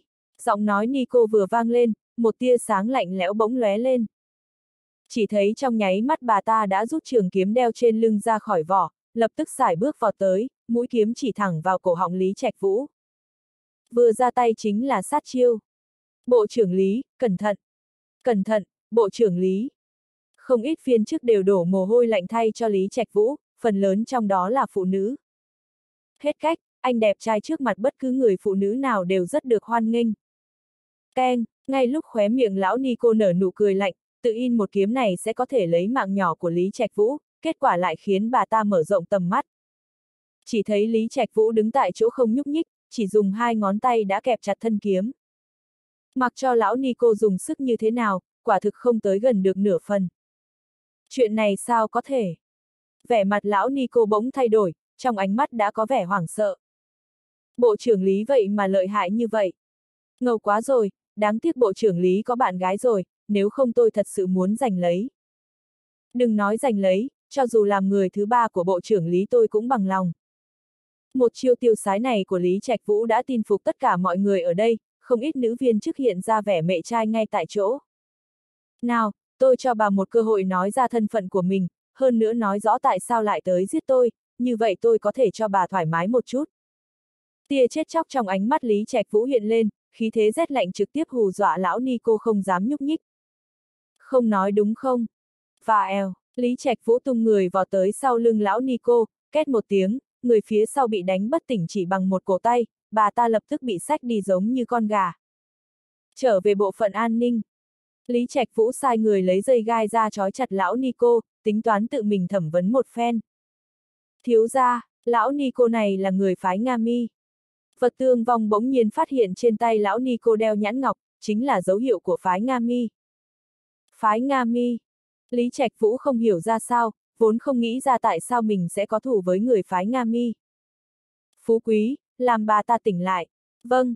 Cậu Phú Quý nhanh chóng tạt một chậu nước, phần phật một tiếng trực tiếp tạt lên người lão Nico. Ây ai lão Nico tỉnh lại từ trong mộng. Lão Nico, tính tình ông đây cũng không tốt lắm. Lý Trạch Vũ quát một tiếng, nói, tại sao lại muốn tới giết tôi? Lão Nico hoàn toàn không e ngại, bà ta ngược lại không sợ hãi nói, Bần Ni chính là trưởng lão phái Nga Mi, có gan thì cậu giết tôi đi. Trưởng lão phái Nga Mi, ồ, bà thật trâu bò. Lý Trạch Vũ lấy ra một cây gậy điện từ trong ngăn kéo, lập tức đi tới trước mặt lão Nico chật chật hai tiếng. Mắt lão Nico trợn trắng, sau đó đã bị điện giật. Làm tỉnh lại. Lý Trạch Vũ dặn dò một tiếng, cậu phú quý lần nữa tạt một chậu nước đánh thức lão Nico. Thằng nhãi danh, có gan thì giết tao đi, nếu không bần ni chắc chắn giết mày. Xì xì, lời hung ác của lão Nico còn chưa nói xong đã bị điện giật lần nữa. Cậu phú quý tiếp tục đánh thức bà ta. Điện giật, dội tỉnh, hù dọa. Cứ vòng đi vòng lại 6-7 lần như vậy, lão Nico cuối cùng sợ hãi. Đừng giật nữa, tôi nói. Lão Nico không hề có dáng vẻ phách lối nữa mà giống như quả cà tím thối. Lý Trạch Vũ ngồi xổm xuống, cười ha ha nói, tôi và phái Nga mi các bà ngày xưa không oán, ngày nay không thù, hôm nay nếu bà không nói thì sau này tôi sẽ san bằng phái Nga mi các bà. Cậu dám, lão ni cô còn muốn làm càn, nhưng nhìn thấy vẻ tàn nhẫn trong mắt Lý Trạch Vũ thì lập tức im lặng. Hết cách, mùi vị bị điện giật thực sự không dễ chịu. Bần Ni chính là trưởng lão tuệ vân của phái Nga Mi, là sư muội tôi mời tôi tới giết cậu. Lão Ni cô nơm nớp lo sợ đáp lại. Lý Trạch Vũ nghe xong rơi vào trong sương mù, tò mò hỏi, sư muội của bà là ai vậy? Sư muội tôi là Tiên Nhi. Tiên Nhi nào, Tê Tiên Nhi. Đúng, lão Ni cô ngượng ngùng gật đầu thừa nhận, trên mặt Lý Trạch Vũ lập tức đầy vẻ khó hiểu. Yêu nữ Tề Tiên Nhi kia không phải người vu giáo à? Tại sao lại là đệ tử phái Nga Mi chứ? Có điều nghĩ lại cũng hiểu, một người có thể đồng thời có được nhiều tầng thân phận. Giống như hắn, ở nước hạ là lão đại quần áo lụa là chính cống, ở tử ngục là đại đương gia trấn áp quần hùng, ở thế giới ngầm phương Tây là quân đế khiến người ta nghe tin đã sợ mất mật. Lý Trạch Vũ hiểu rõ như lòng bàn tay, Tề Tiên Nhi biết rõ thực lực của hắn lớn mạnh còn để kẻ rác rưởi này đi tìm cái chết, nói rõ là muốn mượn đao giết người, hắn không khỏi cười nói, bình thường quan hệ của bà và sư muội bà có phải không tốt lắm không? Tuệ Vân giật mình, nghi ngờ hỏi, sao cậu biết? Bà ta và Tề Tiên Nhi vốn cũng không hợp nhai, lần này sở dĩ bằng lòng tới giết Lý Trạch Vũ là bởi vì bà ta nhận được một số tiền lớn của Tề Tiên Nhi. Tuy rằng người xuất gia tứ đại giai không, nhưng lúc tiền mặt để ở trước mặt. Không nhịn được nữa rồi, thật sự không được nhịn được. Sư muội của bà đâu? Lý Trạch Vũ nói sang chuyện khác. Nico Tuệ Vân lắc đầu nói, sư muội xuống núi lịch luyện rồi, tôi cũng không biết cô ấy ở đâu. Không thành thật, xì xì Lý Trạch Vũ vừa nói vừa nhấn gậy điện mấy lần. Đừng giật, tôi thật sự không biết cô ấy ở đâu, nhưng tôi có thể liên lạc với cô ấy. Nico Tuệ Vân sợ hãi co người lại. Lý Trạch Vũ dùng trường kiếm cắt đứt dây gai cho Tuệ Vân, sau đó lại dùng kiếm nhọn đè lên cổ người phía sau, lập. Tức liên lạc với sư muội bà. Được, Tuệ Vân lấy điện thoại từ trên người ra, đang muốn bấm dãy số đầu tiên. Đợi đã, Lý Trạch Vũ ngắt lời, sau đó khẽ gật đầu với Jenny, người phía sau lập tức ngầm hiểu lấy ra máy tính. Gọi đi. Lúc này Lý Trạch Vũ mới bảo Tuệ Vân gọi điện thoại. Tút tút tút. Không ai nhận, Tuệ Vân khóc không ra nước mắt nói. Âm ầm bỗng nhiên Lý Trạch Vũ ra tay điểm mấy cái trên người Tuệ Vân, sau khi phong bế đan điền, vậy bà cứ ở lại đây, lúc nào điện thoại kết nối, lúc nào tôi thả bà đi. Nói xong hắn nhìn về phía, Jenny, giao cho cậu. Đại đương gia yên tâm. Jenny làm một động tác ok rồi lập tức kéo Tuệ Vân đang khiếp sợ đi. Lý Trạch Vũ sắp xếp sói đen và Gióc ở lại bảo vệ chị em Trần Thanh Tuyết an toàn, bản thân mang theo hai anh em cậu phú quý lái xe rời đi. Thiếu gia, bây giờ chúng ta đi đâu? Vật tương vong hỏi. Lý Trạch Vũ vừa cầm tay lái vừa ngậm điếu thuốc, nặng nề hút vài hơi. Đi làm thịt đại tông sư địa bảng kia, giết gà dọa khi. Thiên bảng, địa bảng. Đây là hai thần bảng lớn của võ đạo nước hạ. Võ giả 50 tuổi trở xuống sẽ vào địa bảng, 50 tuổi trở lên thì vào thiên bảng. Thư võ học này cần thời gian lắng động, bình thường người tuổi càng lớn thì thực lực sẽ càng mạnh, cho nên cường giả thiên bảng thường sẽ mạnh hơn cường giả địa bảng. Khương Mộ Bạch là một ngoại lệ. Mặc dù tên này nổi tiếng trên địa bảng, nhưng lại có thực lực tàn sát cường giả thiên bảng. Cho nên biết được kẻ hung hãn này khiêu chiến lão đại quần áo lụa là khét tiếng thì lập tức được nhiều phe thế lực để mắt. Càng khiến người ta giật mình chính là lão đại quần áo lụa là còn dám ứng chiến. Đây không phải là tìm chết sao, cho dù Lý Trạch Vũ đánh bại Tống Tử Thiềm nửa bước. Cảnh giới tông sư bằng một chiêu ở nhà hàng Hòa Bình, nhưng vẫn không có ai xem trọng hẳn. Bởi vì Khương Mộ Bạch đã từng lấy sức mạnh một người chém giết ba cường giả cảnh giới tông sư liên thủ với nhau. Núi Thương Nam, trời chiều đẹp vô hạn. Một chiếc xe sang trọng rực rỡ dừng lại dưới chân núi, trên núi tụ tập đầy người. Đây là cố ý chạy đến xem cuộc chiến. Ở đỉnh núi, một người đàn ông tuổi trung niên đứng đó, áo trắng trên người và mái tóc dài trên đầu chập trần theo gió, hai tay ôm một thanh trường kiếm. Một màn này trông giống như kiếm khách tiêu sái trong phim võ hiệp. Đẹp trai, ngầu. Có người nói lúc Khương Mộ Bạch còn trẻ chính là người đẹp trai nhất thiên hạ, quả nhiên danh bất hư truyền. Một người đẹp hết thời ánh mắt tham lam, hận không thể tiến lên nghiên cứu đối phương xem thử chữ côn viết như thế nào. Quả phụ liên, cô nuôi những tên mặt trắng kia còn chưa thỏa mãn được bà à. Một người đàn ông chọc đầu mở miệng trêu chọc, Khương Mộ Bạch người ta sao có thể để ý đến người tàn hoa bại liễu như cô. Ánh mắt quả phụ liên lập tức lạnh lế ô, nghiêm nghị quát, cường đầu chọc, anh có gan lặp lại lần nữa. Cường đầu chọc hừ mấy tiếng, dáng vẻ tôi không chấp. Nhặt với bà. U u, đúng lúc này, trên bầu trời truyền đến tiếng cánh quạt. Đám người ngước mắt nhìn lên, chỉ thấy một chiếc máy bay trực thăng lượn vòng bên trên, một thanh niên lập tức lấy một tư thế cực kỳ tiêu sái nhảy xuống. Độ cao khoảng mười mấy mét, anh ta cứ nhảy thẳng xuống như thế. Không sợ ngã chết à? Âm, thanh niên vững vàng rơi xuống đất, giống như chuồn chuồn lướt nước, một màn này quả thực khiến đám người khiếp sợ không thôi.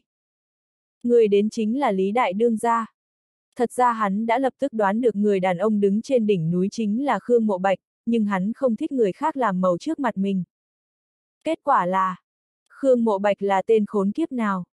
Lý Trạch Vũ hét lớn tiếng, ngang ngược nói, ông đây tới ứng chiến. Tên này chính là đại thiếu gia nhà họ Lý. Chật chật, vậy, mà còn đẹp trai hơn Khương Mộ Bạch. Quả phụ liên liếm đầu lưỡi, sự tham lam trong ánh mắt càng sâu. Cường đầu chọc một bên cười ha ha nói, quả phụ liên, nếu cô đói khát thật thì ông đây không ngại cùng cô vào rừng đại chiến 300 hiệp đâu. Anh có tin bà đây dùng một quyền đánh nát cây tăm ở giữa hai chân anh không? Quả phụ liên đang muốn ra tay. Mở xong mở xong. Tỷ lệ cược của Khương Mộ Bạch là 1,1, 65, tỷ lệ của Lý Trạch Vũ là 1,1, 3. Lúc này hai thanh niên kháu khỉnh bụ bấm đi về phía đám người. Một thanh niên trong đó chắp tay với đám người, làm ăn nhỏ không chấp nhận ghi nợ. Đám người sững sờ một lát mới phản ứng lại, có người muốn cược một ván. Chuyện này cũng không kỳ lạ. Kỳ lạ chính là rốt cuộc là ngọa long phượng sổ đến đâu mới có thể thiết lập ra tỷ lệ đặt cược như vậy. Ngọa long phượng sổ, chỉ ra cát lượng bàng thống trong tam quốc diễn nghĩa. Ý là hai người đều giỏi giang, tài năng như nhau. Trong câu trên thì ý tác giả là hai bệnh này đều là bệnh nặng, không nói được cái nào tốt hay tệ hơn cái nào. Khương Mộ Bạch 1,1, 65. Như vậy quá nhiều tiền, muốn bắt mọi người giúp đỡ người nghèo sao? Nhóc con, hai cậu không nói đùa chứ? Một người đàn ông lưng hùm vai gấu gân cổ hỏi. Cậu phú quý nghiêm túc trả lời, quân vô hí ngôn, chỉ cần mọi người dám cược, chúng tôi sẽ dám tiếp. Nói xong, hắn lấy ra một máy tính bảng, muốn đặt cược thì tranh thủ thời gian. Ha ha ha! Cường đầu chọc cất tiếng cười to, ông đây có tiền, chỉ sợ các người lát nữa không đền nổi. Lời còn chưa dứt, gã ta đã chừng lớn hai mắt. Chỉ thấy trong tay vật tương vong hiện ra một thẻ kim long, tiếng nghỉ ngờ tại hiện trường lập tức biến mất. Chỉ cần các người dám cược, chúng tôi lập tức dám theo. Cậu phú quý nhắc lại. Vù vù vù, lập tức có mười mấy người vây lại. Người anh em, chúng tôi muốn xác nhận lại một tí, tỷ lệ đặt cược thật sự như các người vừa nói. Lúc trước người đàn ông lưng hùm vai gấu đã xác nhận lại một lần, nhưng lần này rõ ràng khách khí hơn. Dù sao người có thể có được thẻ kim long ở nước hạ, người nào sẽ là hạng người hời hợt. Lặp lại lần nữa, tỷ lệ đặt cược của Khương Mộ Bạch 1,1, 65, tỷ lệ đặt cược của Lý Trạch Vũ 1,0, 3, làm ăn nhỏ không chấp nhận ghi nợ. Cậu phú quý gân cổ hét. Tôi đặt 30 triệu Khương Mộ Bạch thẳng. Tôi đặt 80 triệu Khương Mộ Bạch thắng. Khương Mộ Bạch 200 triệu. Trong nháy mắt có mười mấy người đặt cược, số tiền lên đến gần 1 tỷ. Có điều đều đặt cược lên người Khương Mộ Bạch, bởi vậy có thể nhìn ra không ai xem trọng Lý Trạch Vũ. Cách đó không xa, một người phụ nữ đeo mạng che mặt cười ẩn ý, dặn dò người hầu bên cạnh, tiểu mẫn, đi đặt một tỷ Lý Trạch Vũ thắng. Ô tiểu mẫn khẽ nhếch miệng, khó có thể tin hỏi, cô chủ, phần thẳng của Lý Trạch Vũ rất nhỏ, ngài không sợ tiền này đổ xuống sông xuống biển sao? Cô gái khinh thường cười nói, không ai đặt hắn thắng, tôi đặt cho hắn cứu vớt mặt mũi. Vậy cũng không cần đặt nhiều như vậy, đặt đại mấy triệu là đủ rồi tiểu mãn không hiểu lắm. Cô đừng quên, lần này tôi đặc biệt đến vì hắn. Người phụ nữ cười quyến rũ nói, đi thôi, cứ đặt nột tỷ. Tiểu mãn không lay chuyển được, chỉ có thể làm theo. Màn đặc sắc sắp bắt đầu rồi, còn không tranh thủ thời gian đặt cược vật tương vong gân cổ hét, gương mặt cũng sắp vui đến nở hoa. Tôi đặt một tỷ lý trạch vũ thẳng, tiểu mẫn nhẹ như, mây gió đi tới. Trong chốc lát toàn trường yên tĩnh như chết. Vẫn còn người xem trọng Lý Trạch Vũ. Não chết máy rồi à? Cô gái nhỏ, thằng nhóc Lý Trạch Vũ kia không hề có phần thăng, nghe chị khuyên, hoặc đừng đặt, muốn đặt thì đặt. Khương mộ bạch quả phụ liên có lòng tốt nhắc nhở một tiếng. Nhưng mà tiểu mẫn không phản ứng, hơn nữa còn lấy ra một tấm thẻ kim long để trước mặt vật tương vong, một tỷ, Lý Trạch Vũ thắng. Cậu phú quý gãi đầu một cái, khuyên nhỏ, người đẹp, tôi cảm thấy cô tốt nhất vẫn nghe lời khuyên của bà thím kia, đặt Khương Mộ Bạch thắng tốt hơn. Cứ đặt Lý Trạch Vũ thắng, anh nhận hay không? Thái độ tiểu mãn vô cùng kiên quyết. Cậu phú quý và vật tương vong tôi nhìn anh, anh nhìn tôi, cuối cùng chỉ có thể kiên trì nhận tiền đặt cược. Có điều cũng không quan trọng, một tỷ dựa theo tỷ lệ 0.3, chỉ cần bù thêm 300 triệu là được, tính ra vẫn có thể kiếm được rất nhiều tiền. Còn người muốn đặt cược không? Cậu phú quý khép lại máy tính chuẩn bị báo cáo cuối ngào. Nhưng mà đúng lúc này, bần đạo đặt 2 tỷ lý trạch vũ thắng. A-di-đà Phật, lão nạp đặt 2 tỷ thí chủ lý thẳng. Hai giọng nói mạnh mẽ âm vang lần lượt truyền đến. Đám người dương mắt nhìn, chỉ thấy một hòa thượng và một đạo nhân đi tới từ hai hướng khác nhau. Là thiền lâm tự và người của đạo môn. Chuyện thế nào? Sao bọn họ tới đây, hơn nữa còn đặt Lý Trạch Vũ thắng. Đạo sĩ huyền tâm của đạo môn và đại sư giác viễn của thiền lâm tự xuất hiện ở núi Thương Nam đã lập tức gây náo động. Tuy nhiên lúc này đã có người nhận ra danh tính của người phụ nữ đeo mạng che mặt. Thánh nữ của tiêu giao cung, Bạch Tố Y. Người tới từ tam đại thánh địa võ đạo của nước hạ, đột nhiên bầu không khí ở hiện trường trở nên tế nhị hẳn lên. Đại sư giác phiến, thánh nữ Tố Y, không ngờ mọi người lại tới đây. Đạo sĩ huyền tâm nheo mắt lại, A-di-đà Phật. Giác phiến chắp hai trước ngực nói, hôm nay lão nạp tới độ một người có duyên. Người có duyên, nhảm nhí, huyền tâm cười lạnh, ông ấy tới đây chỉ vì hai việc. Thứ nhất là không thể để thiên tài yêu nghiệt như Lý Trạch Vũ bị tổn thương. Thứ hai là muốn thu Lý Trạch Vũ làm đệ tử đạo môn.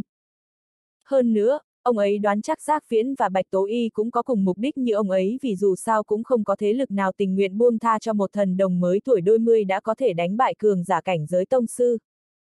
Bạch Tố Y cười nói, bổn thánh nữ vừa hay đi qua nơi này, thấy có náo nhiệt nên cũng muốn tới tham gia cùng với mọi người. Lý do này nghe còn khiên cưỡng hơn. Ba người họ đều có bí mật riêng nhưng họ nhìn thấu nhau mà không nói cho nhau biết. Anh bạn nhỏ, đạo môn ta mua 2 tỷ lý trạch vũ sẽ thắng. Đạo sĩ huyền tâm tùy ý lấy ra một tấm thẻ kim long. Giác phiến cũng không chịu thua kém lấy ra một tấm thẻ kim long từ trong áo choàng ra, A-di-đà Phật, lão nạp cũng mua 2 tỷ lý thí chủ sẽ chiến thẳng. Phật tương vong cầm hai tấm thẻ trong tay, đứng yên một chỗ. Họ là những người duy nhất có mặt tại đây biết rằng Lý Trạch Vũ chắc chắn sẽ giành chiến thẳng trong trận chiến quyết định này. Cho dù vừa rồi Bạch Tố Y mua 1 tỷ vào Lý Trạch Vũ thẳng thì lần đặt cược này vẫn là một khoản lãi chắc chắn. Nhưng nếu bây giờ thu thêm được 4 tỷ vào tay thì cho dù tỷ lệ cược của Lý Trạch Vũ là 0.3 thì cũng vẫn phải trả hơn 1 tỷ. Chuyện gì vậy? Và cùng lúc đó, Lý Trạch Vũ đang đút hai tay vào túi quần, sải bước dài lên đỉnh núi. Đôi mắt sắc bén của Khương Mộ Bạch dán chặt vào hắn, gật đầu tán thưởng, quả nhiên anh hùng suốt thiếu niên, Khương Mộ rất ngưỡng mộ vị tiểu huynh đệ này. Đừng tâng bốc tôi nữa. Lý Trạch Vũ bình tĩnh nói, ra đòn đi, chúng ta tốc chiến tốc thắng, đừng trì hoãn bữa tối của tôi nữa. Khương Mộ Bạch sửng sốt, sau đó có chút tiếc nuối nói, tiểu huynh đệ, hôm nay cậu là thiên tài đệ nhất thiên hạ. Khương Mỗ không muốn tổn thương đến mạng sống của cậu nhưng cha tôi có lệnh nên Khương Mộ Bạch đành phải nghe theo. Nói xong, một tiếng cạch vang lên, trường kiếm trong tay hẳn ta đã được rút ra khỏi vỏ. Thiếu ra! Đột nhiên cậu phú quý ở phía dưới hét lên. Gượm đã! Lý Trạch Vũ xua tay ra hiệu cho đối phương dừng lại trước, quay người lại thì thấy cậu phú quý đang vẫy tay với mình. Hãy để hắn ta sống lâu hơn một chút. Sau khi để lại một câu, Lý Trạch Vũ liền nhảy xuống. Khương Mộ Bạch cầm thanh kiếm trong tay, dở khóc dở cười. Nhìn thấy Lý Trạch Vũ đi tới, cậu phú quý lập tức giới thiệu, thiếu ra, ba người này đều là người của Tam Đại Thánh Địa. Tam Đại Thánh Địa. Lý Trạch Vũ nhìn xung quanh ba người, cuối cùng ánh mắt dừng lại ở chỗ Bạch Tố Y. Người phụ nữ này có vóc người lồi lõm và duyên dáng. Cô ấy mặc một chiếc váy dài màu trắng, ngay cả một hình bóng của cô ấy cũng có thể chiếm được cảm tình của nhiều người đàn ông. Cho dù trên mặt đeo mạng che mặt thì Lý Trạch Vũ vẫn có thể khẳng định đối phương là tuyệt thế mỹ nữ. Lý công tử, đây chính là thánh nữ của tiêu giao cung chúng ta. Tiểu mẫn mỉm cười giới thiệu, bạch tố y khế gật đầu. Lý Thiếu Hiệp, bần đạo là huyền tâm, trưởng lão của đạo môn núi Long Hổ. Huyền tâm cúi đầu chào, tỏ vẻ cực kỳ lịch sự. Hòa thượng giác viễn ở bên cạnh tự giới thiệu, lão nạp là giác viễn của thiền lâm tự. Nhìn thấy người của ba thế lực lớn khách khí với Lý Trạch Vũ như vậy, những người đến xem trận đấu đều rất kinh ngạc. Họ cho rằng người của Tam Đại Thánh Địa đang đặt cược cho Lý Trạch Vũ để giành chiến thẳng rất kỳ quái. Mọi người cảm thấy Lý Trạch Vũ có thể thắng sao? Hoàn toàn không thể. Khương Mộ Bạch thành danh từ lâu nhưng hẳn ta còn có thực lực giết chết người mạnh nhất thiên bảng, làm sao hắn A có thể thua được? Mọi người thì thầm với nhau. Thiếu ra, bọn họ đều muốn mua người thẳng. Sau khi nghe điều này, Lý Trạch Vũ cau mày. Hắn còn muốn nhân cơ hội này kiếm món hời lớn nhưng bây giờ người của Tam Đại Thánh Địa đều đang bỏ ra rất nhiều tiền để mua hẳn giành chiến thắng. Điều này rõ ràng là đang phá hỏng cục diện. Ba người có đang sử dụng não không đấy? Lý Trạch Vũ hỏi thẳng, ai có con mắt sáng suốt đều có thể thấy tôi sẽ thua nhưng các người lại còn muốn mua tôi thẳng. Các người có quá nhiều tiền để tiêu phải không? Thấy tên này phát cáu, ba người huyền tâm đều có chút không hài lòng. Lý công tử, thánh nữ của chúng tôi thấy không ai mua cho anh để giành chiến thắng nên muốn bỏ ra ít tiền để giữ thể diện cho anh. Sao anh lại không biết tốt xấu thế? Tiểu Mẫn nói ra sự thật với vẻ không hài lòng. Vốn tưởng Lý Trạch Vũ sẽ cảm kích nhưng không ngờ tên này lại quay lưng nói, ai cần các người cho tôi thể diện. Các người cũng xứng sao. Hít. Mọi người có mặt đều hít sâu một hơi. Đó là người của Tam Đại Thánh Địa đấy, sao lại dám nói chuyện với bọn họ như vậy, thật sự không biết chữ chết viết như thế nào sao. Ngay cả cậu phú quý và vật tương vong cũng bị sốc. Thiếu gia, xin anh hãy bình tĩnh. Vật tương vong thấp giọng nhắc nhở, ở Tam Đại Thánh Địa có vô số cao thủ, anh đừng chọc vào bọn họ. Lý Trạch Vũ hoàn toàn không để trong lòng những lời này, hẳn vẫn dùng giọng điệu của bề trên mắng kẻ dưới, tôi không cần các người cho mặt mũi, Khương Mộ Bạch cần hơn. Các người mua cho hẳn ta đi. Đạo sĩ huyền tâm giật giật khóe miệng mấy lần. Chưa từng có ai ở Tam Đại Thánh Địa, ở Giang Hồ hay ở thế gian dám từ chối bộ mặt của bọn họ như thế này. Nếu như không phải ông ấy muốn che chở cho Lý Trạch Vũ thì dựa vào lời nói lúc nãy của hắn, ông ấy sẽ không dễ dàng tha thứ cho hắn. Lý công tử, anh thật là ngu ngốc. Bố Pi. Tiểu mẫn còn chưa kịp nói xong thì đã bị ăn một tát của Lý Trạch Vũ. Hắn quát, đừng tưởng tôi không dám đánh phụ nữ. Nói xong, hẳn chỉ vào Bạch Tố Y và cảnh cáo, quản người của cô cho tốt đi, nếu không sau này tôi sẽ đánh cả cô nữa đấy. Mọi người đang xem trận đấu đều cảm thấy ra đầu tê dại, không ngờ Lý Trạch Vũ lại dám ra tay. Có vội đi đầu thai không? Khương Mộ Bạch ở trên đỉnh núi cũng nhìn thấy cảnh tượng này, trong lòng không khỏi khâm phục Lý Trạch Vũ. Tuy rằng hắn ta luôn điên cuồng trong thiên hạ nhưng hắn ta vẫn không dám phạm quá nhiều sai lầm trước mặt tam đại thánh địa. Anh dám đánh người của bổn thánh nữ sao? Mặc dù Bạch Tố Y đeo mạng che mặt nhưng từ giọng điệu lạnh lùng có thể thấy được cô ấy đang rất tức giận. Lý Trạch Vũ gật đầu, cười lạnh, tôi đã nói với cô rồi, nếu như cô không quản tốt thuộc hạ của mình thì tôi cũng sẽ đánh cả cô. Nếu như cô không tin thì cô có thể thử xem L. Anh, anh cái gì mà anh? Lý Trạch Vũ trực tiếp ngắt lời của Bạch Tố Y, quay sang nói với cậu phú quý, đặt tỷ lệ của tôi thành một, không chấm không một nếu như họ muốn mua thì cứ để họ mua ồ. Nói xong, hắn quay người bay trở lại đỉnh núi. Khương Mộ Bạch, tôi muốn ông ra tay trước, nếu không về sau ông sẽ không có cơ hội nữa đâu. Vốn dĩ cô ấy có ý tốt muốn giữ thể diện cho Lý Trạch Vũ nhưng không ngờ lại bị chỉ thẳng vào mũi. Điều này khiến cho Bạch Tố Y tức giận đến mức không còn ý nghĩ muốn cứu Lý Trạch Vũ nữa, cô ấy sẽ để mặc hắn chết dưới tay Khương Mộ Bạch. Tiểu thư, tên khốn này thật đáng ghét. Tiểu Mẫn không quên đổ thêm dầu vào lửa. Thân là thị nữ của Bạch Tố Y, địa vị của cô ta ở trong tiêu giao cung không hề thấp, không đến mức chỉ vì nói ra điều gì đó mà bị ăn tát. Làm sao có thể không tức giận được? Được rồi, tỷ lệ đặt cược của Lý Trạch Vũ là một ăn 0.01 còn tỷ lệ cược của Khương Mộ Bạch là một ăn 1.99. Còn có ai muốn đặt cược nữa không? Lần này, người của Tam Đại Thánh Địa cũng không gây thêm phiền toái. Trên đỉnh núi, các phe đối địch cũng đã sẵn sàng ra tay. Khương Mỗ sẽ không giết người tay không tất sắt, hãy lấy vũ khí của cậu ra. Khương Mộ Bạch không hề tự phụ mà dành cho Lý Trạch Vũ đủ sự tôn trọng. Lý Trạch Vũ giơ tay làm vài động tác, mỉm cười nói, đây là vũ khí của tôi. Có một số người giỏi sử dụng đao, những người khác lại thích sử dụng kiếm và có những người có kỹ năng đặc biệt là cung phu. Nếu như kỹ năng đặc biệt của một võ giả là nắm đấm và đá thì việc buộc anh ta cầm vũ khí là điều không cần thiết và anh ta cũng không thể bộc phát toàn bộ sức mạnh của mình. Thì ra là vậy. Khương Mộ Bạch gật đầu nói, tôi lớn hơn cậu rất nhiều nên gọi cậu là tiểu bối cũng không quá đáng. Như vậy đi, tôi nhường cậu 30 chiêu. Đưa vũ khí ra là thể hiện sự tôn trọng đối thủ, thể hiện tuổi tác rồi chủ động để đối thủ ra 30 chiêu là thước đo nhân tươi. Chỉ với hai điểm này, tư cách đạo đức của Khương Mộ Bạch đã khiến cho nhiều võ giả bí mật theo dõi trận chiến cảm thấy xấu hổ. Khương Mộ Bạch khá tự tin vào thực lực của mình. Một ông già lẩm bẩm và thở dài. Đây không phải là nói thừa sao. Với tuổi tác của con trưởng nhà họ Lý, cho dù tài năng đến đâu cũng không thành vấn đề. Với thực lực của Khương Mộ Bạch, nhưng 30 chiêu cũng không thành vấn đề. Giọng nói của một người đàn ông trung niên vang lên.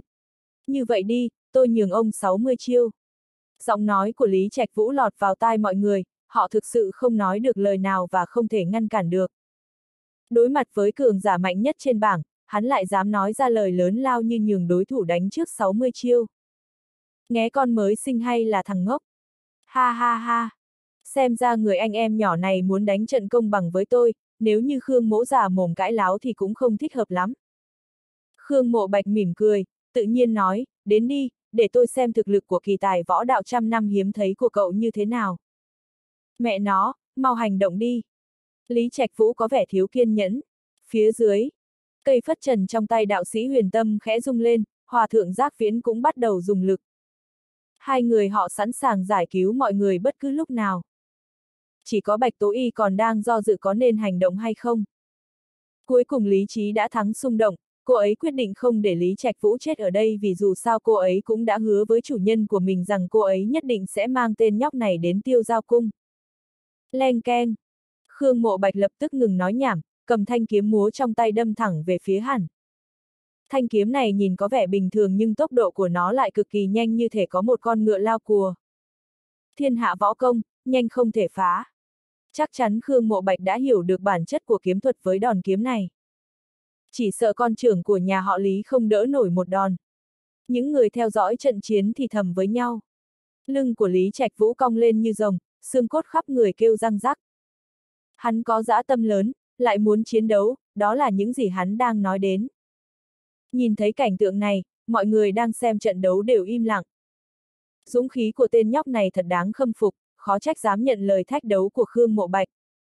Cho dù hắn mạnh đến đâu, vẫn có thể đánh bại Khương Mộ Bạch sao? Mạnh mẽ như ba anh em đồ tể bách lý cuối cùng đều bị Khương Mộ Bạch giết chết. Dù vậy, không một ai lạc quan về Lý Trạch Vũi. Một Khương Mộ Bạch cũng muốn đánh bại thiếu gia của chúng ta. Đừng mơi! Đừng quên lời chế nhạo của mọi người. Hắn ta và cậu phú quý có niềm tin vô tận vào Lý Trạch Vũ. Lúc này, kiếm của Khương Mộ Bạch đã tới gần. Kiếm thẳng tắp nhưng lại cho người ta cảm giác vô cùng linh hoạt. Đối mặt với lực kiếm hung hãn, Lý Trạch Vũ tiến lên và đấm thay vì rút lui. Thằng nhóc đó bị điên à? Cho dù nắm đấm của hắn là thép thì cũng không có cách nào chặn được kiếm của Khương Mộ Bạch. Mọi người đều bị sốc trước hành vi điên cuồng của Lý Trạch Vũ nhưng ngay khi họ cho rằng thanh kiếm trong tay Khương Mộ Bạch sẽ xuyên qua cánh tay của Lý Trạch Vũ thì một cảnh tượng kinh hoàng lại xuất hiện. Lực nắm đấm cuồng bạo giống như cầu vồng, hơi thở trắng nhạt phát ra từ sau năm đấm của Lý Trạch Vũ. Keng! Thanh kiếm dừng lại khi chạm vào bên ngoài nắm đấm, không thể tiến thêm được nữa. Nhìn thấy cảnh này, đôi mắt đẹp của Bạch Tố Y trợn tròn vì kinh ngạc.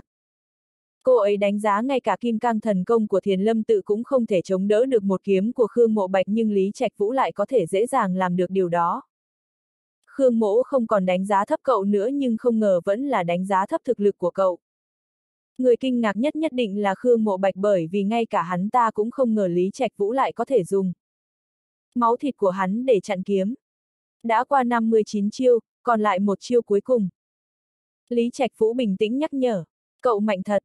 Nếu như tôi có thể thua trong tay cậu thì Khương Mỗ cũng không coi là bị oan. Keng! Vừa nói, Khương Mộ Bạch vừa siết chặt kiếm, tiếp theo đây, Khương Mỗ sẽ sử dụng thanh kiếm mạnh nhất, hy vọng cậu vẫn có thể chống đỡ được. Sao nói nhiều lời thừa thế? Trông Lý Trạch Vũ rất thiếu kiên nhẫn. Trảm thiên! Khương Mộ Bạch lợi dụng mặt đất nhảy lên không trung, thanh kiếm trong tay phát ra tiếng rồng gầm.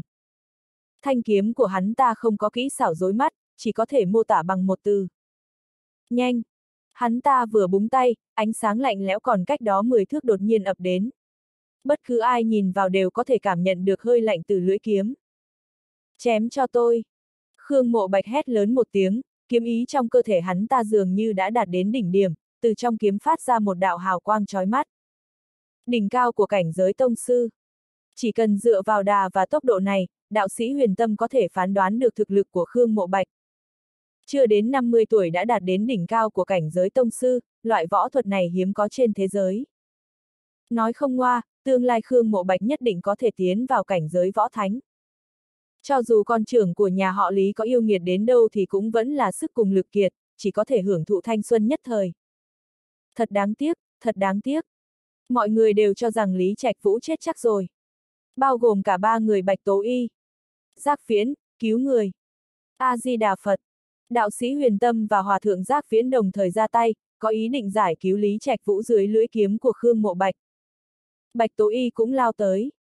Tuy là người nhỏ tuổi nhất nhưng với chiêu thức độc đáo của tiêu giao cung, tốc độ của cô ấy không hề kém hơn huyền tâm và giác viễn. Không phải việc của mấy người, đều cút hết cho ông đây. Lý Trạch Vũ quát to, giọng nói hống hách của hắn khiến đám người huyền tâm sợ hãi phải dừng lại. Sau đó, hắn quay lại và đấm Khương Mộ Bạch. 60 chiêu đã qua, đến lượt tôi. Uy lực của cú đấm này như cầu vồng. Một trận cuồng phong bỗng xuất hiện, Lý Trạch Vũ ra một quyền này giống như muốn hủy thiên diệt địa. Gõ núi chấn hổ, khí thế xuyên cầu vồng. Mọi người đứng xung quanh xem trận chiến đầu ngây ngốc nhìn cảnh này, trên mặt như viết ba chữ, sao có thể. Bởi vì chỉ dựa vào khí thế, Lý Trạch Vũ đã hoàn toàn đè bẹp Khương Mộ Bạch. Dầm dầm. Trong phút chốc, thanh kiếm của Khương Mộ Bạch lung lay, nhất là khi phát hiện có khí thức như ẩn như hiện bao phủ xung quanh người đối phương, trong lòng vô cùng phức tạp. Ấy thế mà thằng nhãi này đã luyện được cương khí bảo vệ cơ thể trong truyền thuyết. Mọi người nín thở, nhìn chằm hai bên đang giao chiến. Keng ke ngồ. Đầu tiên là tiếng kim loại gấy truyền đến, ngay sau đó là đá trên núi văng khắp nơi. Khi cho bụi đầy trời dần tan đi, chỉ còn một người còn đứng, người còn lại thì quỳ dưới mặt đất, kiếm cắm vào một bên đùi. Lý Đại Thiếu, Thăng. Này, con mẹ nó. Sao có thể? Mọi người chố mắt đứng nhìn, dường như không thể tin được kết quả này. Dù sao Khương Mộ Bạch chính là một ngôi sao sáng trong giới võ đạo ở nước hạ những năm gần đây, tương lai có thể đạt đến đỉnh cao võ thuật. Thế nhưng một nhân vật truyền kỳ như vậy, lại thua trong tay một tên công tử quần áo lụa lài. Ai dám tin chuyện này là thật? Cậu thắng. Phụt. Khương Mộ Bạch khó tin ngẩng đầu lên, ánh mắt nhìn Lý Trạch Vũ vừa có kính nể vừa có sự sợ hãi. Đối phương còn trẻ mà thực lực lại khủng bố như vậy, hắn a nghĩ đến, chảm thiên mà mình luôn kiêu ngạo, lại bị đối phương đánh bại chỉ bằng một quyền. Bộp bộp. Lý Trạch Vũ phủi bụi trên người, hắn nói, tự ông ra tay, hay là muốn tôi giúp? Khương Mộ Bạch nghe vậy thì trống rỗng, không phiền các hạ, tôi tự làm là được rồi. Hắn ta vừa nói vừa đứng dậy, kề kiếm vào cổ họng của mình. Dừng tay! Xa xa truyền đến tiếng gầm vang trời, khiến da đầu mọi người run lên. Mọi người ngước mắt lên nhìn, chỉ thấy một bóng người bay vút qua con đường nhỏ trên núi. Long Vương! Lập tức có người nhận ra thân phận của người tới. Chỉ trong chốc lát, Long Thiên Quân bay vút qua đám người, bay thẳng đến đỉnh núi, Khương Mộ Bạch không thể chết. Cái gì? Một câu nhẹ nhàng khiến mọi người biết được mục đích đến đây của Long Thiên Quân. Ông ta phải chết. Lý Trạch Vũ chỉ vào Khương Mộ Bạch, giọng hắn kiên quyết. Mọi người xung quanh nhìn Lý Trạch Vũ đây khâm phục. Không chỉ không nể mặt tam đại thánh địa, thậm chí còn không thèm cho Long Tổ mặt mũi. Dỗi trời dỗi đất. Thằng nhãi này thật sự là một người dữ dội. Khu khụ. Long Thiên Quân đi đến bên cạnh Lý Trạch Vũ, hắn ta nhẹ giọng nói, Long Tổ cần nhân tài như ông ta. Cho tôi mặt mũi. Được không? Cả nước hạ, số người có thể khiến Long Vương ăn nói khép nép như vậy chỉ sợ có thể đếm trên đầu ngón tay. Mà lúc này đạo sĩ huyền tâm cũng bay vút lên, nói, Lý Thiếu Gia, có thể cho đạo môn chúng tôi mặt mũi không, hãy tha cho Khương Mộ Bạch một mạng. A-di-đà Phật. Giác phiến cũng đi lên, ông ấy từ bi nói, trên trời có mắt nhìn, mong rằng Lý Thí Chủ buông bỏ ân oán, tha cho Khương Thí Chủ. Bạch Tố Ý cũng đi lên góp vui. Mọi người thấy Tam Đại Thánh Địa và Long Tổ đầu ra mặt nói giúp Khương Mộ Bạch, bọn họ cho rằng Lý Trạch Vũ sẽ thay đổi chủ ý. Nhưng không ngờ. Tôi nói, ông ta phải chết. Lý Trạch Vũ không hề cho mấy thế lực mặt mũi. Anh! Bạch Tố Y trợn tròn mắt. Lý Trạch Vũ liếc nhìn những người xung quanh, hắn hờ hững nói, hôm nay ông đây xác định sẽ giết Khương Mộ Bạch rồi, nếu cổ mấy người đủ cứng, không ngại có thể thử cứu người khỏi tay tôi. Đây là hoàn toàn không để Tam Đại Thánh Địa và Long Tổ vào mắt. Hai chữ thôi, ngông cuồng. Dù thế nào đi nữa, vẫn có không ít người bội phục sự gan dạ của Lý Trạch Vũ. Dù sao Tam Đại Thánh Địa cũng có địa vị cao quý trong giới giang hồ, ngày thường ai nhìn thấy mà không nể mặt ba phần. Long Tổ thì càng không phải nói, là một tổ chức chính phủ nắm quyền sinh sát, ai nhìn thấy bọn họ cũng tránh đường, chỉ sợ bị nhìn chúng. Đây là lần đầu tiên mọi người nhìn thấy có người dám chống lại mấy thế lực lớn này. Tự ông hành động đi, Lý Trạch Vũ hờ hững nhìn về phía Khương Mộ Bạch. Khương Mộ Bạch đã sớm phân rõ giới hạn với nhà họ Khương, tại sao cậu nhất định muốn giết hắn ta? Long Thiên Quân bất mãn chất vấn. Đạo sĩ huyền tâm cũng chắp tay hành lễ, ông ấy nói, Lý Thiếu Hiệp, Khương Mộ Bạch chính là kỳ tài võ đạo ngàn năm mới có một, nếu hắn chết, tuyệt đối là tổn thất đối với nền võ đạo nước hạ chúng tai. Giác Viễn chắp tay trước ngực, ông ấy nói, hy vọng Lý Thí Chủ không cần khăng khăng cố chấp, hãy bỏ qua cho Khương Thí Chủ. Lý Trạch Vũ. Bạch Tố Y sắc bén nói, chỉ cần tôi ở đây, anh không thể giết Khương Mộ Bạch được. Ha ha ha. Lý Trạch Vũ thấy mấy thế lực cùng khuyên can cùng uy hiếp, hắn cười to. Cười vô cùng khinh thường. Mặc dù trình độ văn hóa của ông đây không cao, nhưng cũng hiểu được một đạo lý. Người không đụng ta, ta không đụng người, nếu người đụng ta, tuyệt đối không thổ. Lý Trạch Vũ vừa nói vừa chỉ vào Khương Mộ Bạch, hắn gắn từng tiếng với Long Thiên Quân, tôi không có chút ân oán nào với ông ta, tại sao hôm nay ông ta lại muốn giết tôi? Không phải đại biểu cho nhà họ Khương sao, vậy mà anh nói ông ta đã hoàn toàn phân rõ giới hạn với nhà họ Khương. Cái này, Long Thiên Quân tạm thời nghẹn họng, ngay sau đó, Lý Trạch Vũ liếc ba người Bạch Tố Y. Rõ ràng là ông ta muốn giết tôi trước, bây giờ kỹ năng ông A không bằng nên thua dưới tay tôi, tôi giết ông ta là sai, con mẹ nó đây là đạo lý gì? Đừng tưởng ông đây không biết trong lòng mấy người suy tính cái gì, không phải là nhìn chúng thân thủ của Khương Mộ Bạch, muốn dùng vì bản thân sao. Tôi nói cho mấy người biết, hôm nay Khương Mộ Bạch không thể không chết, đến thần tiên cũng không cứu được ông tai. Dứt lời, Lý Trạch Phú chỉ để lại cái bóng, nửa giây sau hắn đã vọt đến trước mặt Khương Mộ Bạch, nếu ông có nguyện vọng có thể nói gì, chỉ cần tôi có thể làm được, tôi sẽ đồng ý với ông. Khương Mộ Bạch thấy Lý Trạch Vũ quyết tâm muốn giết mình, hắn ta không hề thấy bất mãn. Vào giang hồ thì sâu như biển. Đời này hắn ta từng giết vô số người, có khi là người đáng chết, nhưng cũng có không ít người bị hắn ta giết nhầm. Kẻ giết người, sẽ bị người khác giết. Khương Mộ Bạch suy nghĩ, hắn ta cười nhạt, ở thành phố Kim Lăng có một người phụ nữ tên Tiêu Thiến Thu, Khương Mỗ. Chỉ có vướng bận duy nhất là bà ấy. Tôi cam đoan với ông, quãng đời còn lại của bà ấy sẽ cơm no áo ấm, vô ưu vô lo. Lý Trạch Vũ đồng ý nói. Như vậy, Khương Mỗ cảm ơn. Khương Mộ Bạch nghiêm túc hành lễ, sau đó lập tức kề kiếm ở cổ họng. Xẹt. Một tia sáng lóe lên. Mọi người trơ mắt nhìn, Khương Mộ Bạch mỉm cười ngã xuống đất. Huyền Tâm và Giác Viễn đều thở dài, nhìn qua vô cùng tiếc nuối. Long Thiên Quân thì nhíu chặt mày, vẻ mặt vô cùng phức tạp. Chỉ có vẻ mặt Bạch Tố Y lạnh như băng, cô ấy cực kỳ bất mãn nhìn Lý Trạch Vũ. Nhưng mà Lý Trạch Vũ không thèm liếc bọn họ một cái, hắn lập tức đi xuống chân núi. Đứng lại, Bạch Tế Ý lớn tiếng hét. Lý Trạch Vũ dừng bước, hắn cũng không quay đầu lại, chỉ mở miệng nói. Tôi biết mục đích tam đại thánh địa mấy người đến đây, nhưng tôi khuyên mấy người đừng hy vọng hão huyền. Nếu chọc giận ông đây, có tin ông đây san bằng mấy người. Thị trường chứng khoán hai ngày nay của nước hạ đầy mùi thuốc súng, gần như không ngừng chém giết một giây nào. Không ai có thể ngờ được, khoa học kỹ thuật phân dương bình thường vốn im lặng, thế nhưng lại đối địch với đế quốc kinh doanh nhà họ Khương, chuyện này khiến giới kinh doanh vô cùng ngạc nhiên. Thế nhưng cũng có một số người đoán được, chắc chắn khoa học kỹ thuật phân dương nhận được sự ủng hộ của nhà họ Lý. Dù sao nhà họ Lý và nhà họ Khương cũng đã hoàn toàn xé rách mặt nhô. Nhưng chuyện kỳ lạ không chỉ có vậy.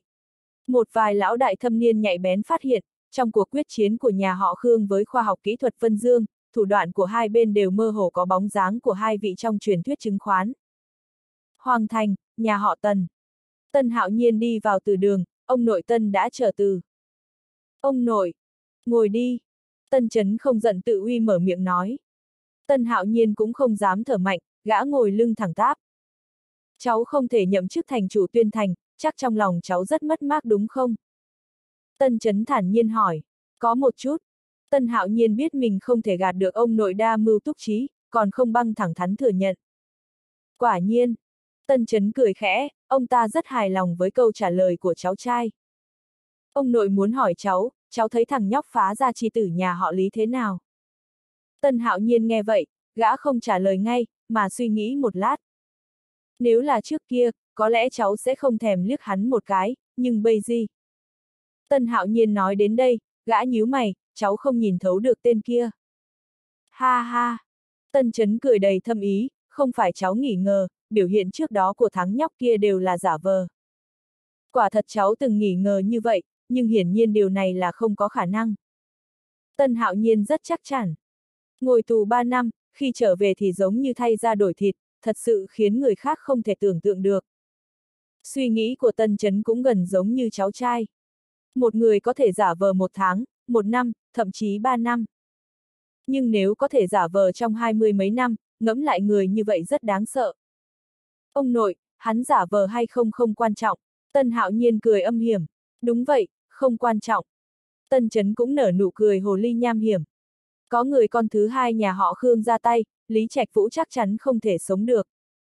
Một người sắp chết hoàn toàn không đáng để bọn họ tốn tâm tư suy nghĩ. Ông nội, lần này nhà họ Khương mời bàn tay vàng, khoa học kỹ thuật Vân Dương sẽ nhanh chóng bị nuốt chửng, đến lúc đó nhà họ Lý cũng bị loại trừ, chúng ta. Tân Hạo Nhiên nói xong, gã khoa tay múa chân. Tân chấn nheo hai mắt lại, ông ta cười mưu mô nói, căn một miếng thịt lớn trên người nhà họ Lý thì không thành vấn đề, nhưng muốn bọn họ sụp đổ thì không dễ dàng như vậy. Lão thái gia nhà họ Lý bất tử, nhà họ Lý không sụp đổ được. Đương nhiên ông ta biết điều này, thế nhưng chỉ cần cần một miếng thịt nhà họ Lý như vậy là đủ rồi, đến lúc đó bọn họ có thể dùng thứ này để giành lấy vị trí gia tộc giàu có nhất. Vù! Đúng lúc này, có một lão già bỗng xuất hiện trong từ đường. Lão ngụy Tân hạo nhiên lập tức đứng dậy, gã cung kính hành lễ với ông già. Lão ngụy cũng không quan tâm đến gã, vẻ mặt lão nghiêm túc, nói, con trai thứ hai của nhà họ Khương, đã chết. Cái gì? Tân chấn nghe thấy tin tức này, ông ta đứng bật dậy. Chuyện này sao có thể? Cùng lúc đó, thành phố Tân, nhà họ Khương. Khương Thượng Đức tự mình tiếp đãi một vị khách vô cùng quan trọng. Bàn tay vàng phố uôn, ông thần chứng khoán Hafid. Hafid tiên sinh, cực kỳ cảm ơn ngài giúp đỡ, tôi kính ngài chén rượu này. Khương Thượng Đức nói lời cảm ơn từ đáy lòng. Tứ đại gia tộc liên thủ khiến ông cực kỳ sợ hãi, nhưng ông cụ không thể ngờ được ông thần chứng khoán Hafid ở sang ngàn. Giảm, lại đích thân đến nước hạ giúp đỡ ông. Hơn nữa tính thời gian, chắc hẳn bây giờ con trai thứ hai của mình đã chém chết thằng xúc sinh lý trạch vũ kia. Mọi thứ đều thuận buồm xuôi gió, cuộc quyết đấu này với nhà họ Lý, thăng lợi nghiêng về phía nhà họ Khương bọn họ. Hai người cùng cùng ly, quá ba tuần rượu, Khương Thượng Đức không kìm nén được sự tò mò, ông ngượng ngùng hỏi, Hafiz tiên sinh, tôi mạo muội hỏi ngài một câu, tại sao ngài lại chủ động giúp nhà họ Khương chúng tôi? Bởi vì một đối thủ cũ. Hafiz cười giải thích, chỉ số thông minh của Khương Thượng Đức rất cao, chỉ dựa vào hai chữ đối thủ đã giải quyết được sự khó hiểu của mình. Bàn tay vàng Hafiz, thần tài chính Mai Hưu, giữa hai người này luôn dương cung bạt kiếm. Không ai phục đối phương, ai cũng muốn đánh bại đối phương. Giống như Chu Du và Gia Cát Lượng quyết chiến trong việc bày mưu lập kế trên chiến trường cổ, mà Hafid và Mai Hưu thì quyết đấu trong giới tài chính. Mười mấy năm trước Hafid tiên sinh có thể đánh bại Mai Hưu, tôi tin lần này người chiến thắng cũng sẽ là ngài. Ha ha ha, tôi cũng nghĩ vậy. Khương Thượng Đức và Hafid nhìn nhau cười. Cha, cha. Đúng lúc này, Khương Chính Hoàng đột nhiên vọt vào. Khương Thượng Đức nhướng mày, ông bất mãn quá to, không thấy cha đang dùng bữa tối với Hafid tiên sinh sao? Hafid tiên sinh, thật sự xin lỗi vì làm mất nhã hứng của ngài.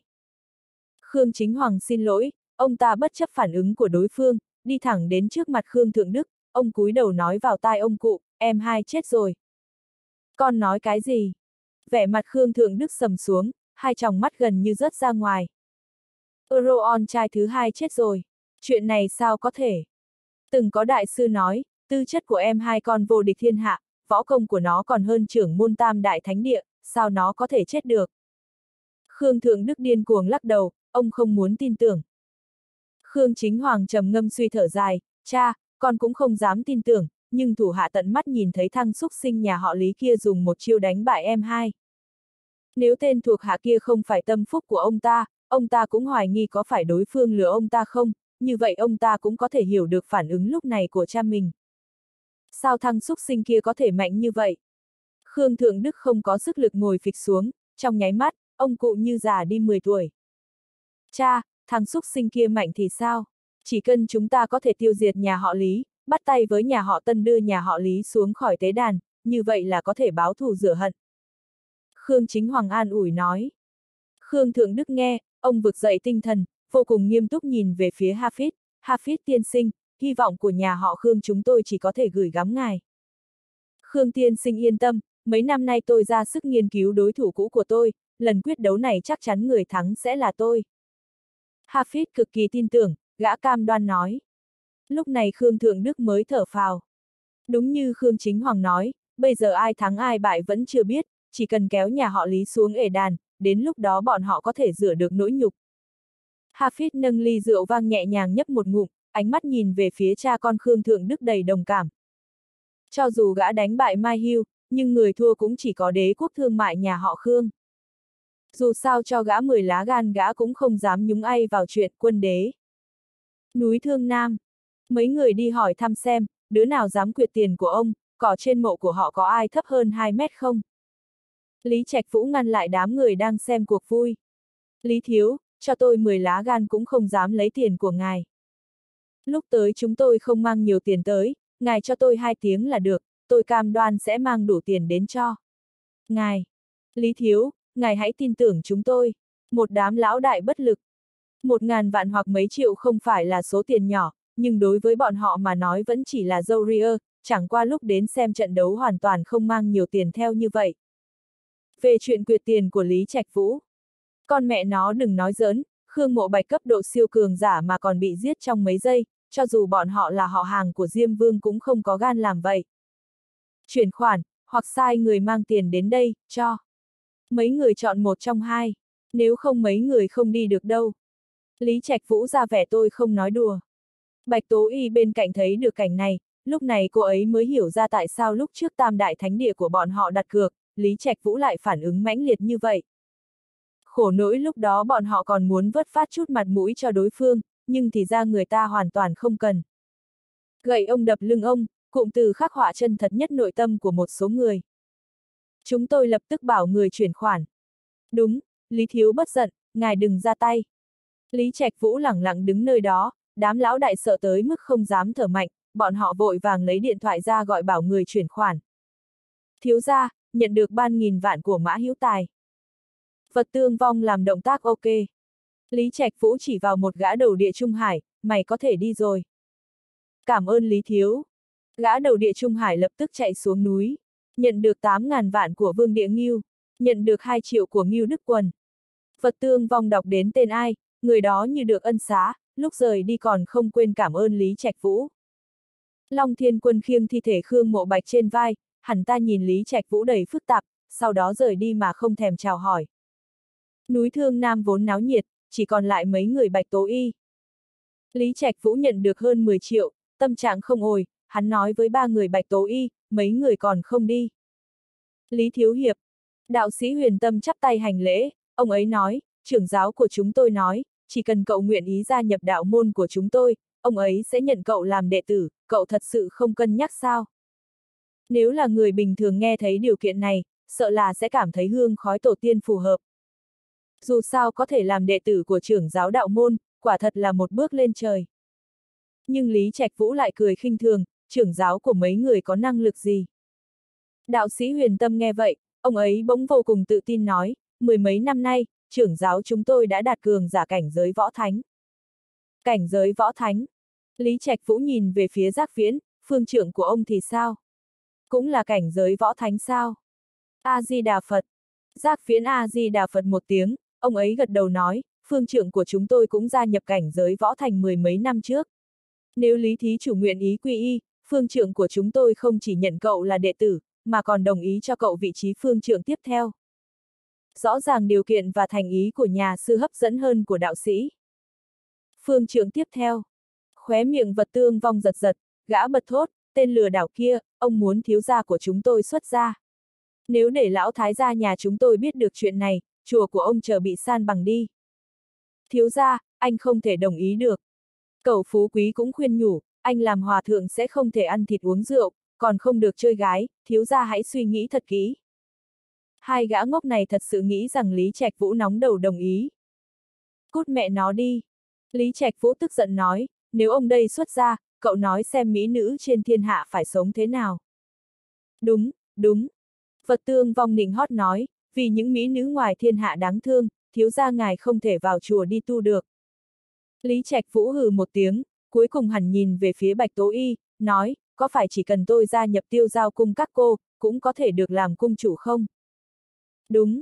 Mắt bạch tố y sáng lên, cô ấy nói, làm người xuất gia có nhiều trói buộc, gia nhập tiêu giao cung của chúng tôi không giống vậy, hơn nữa.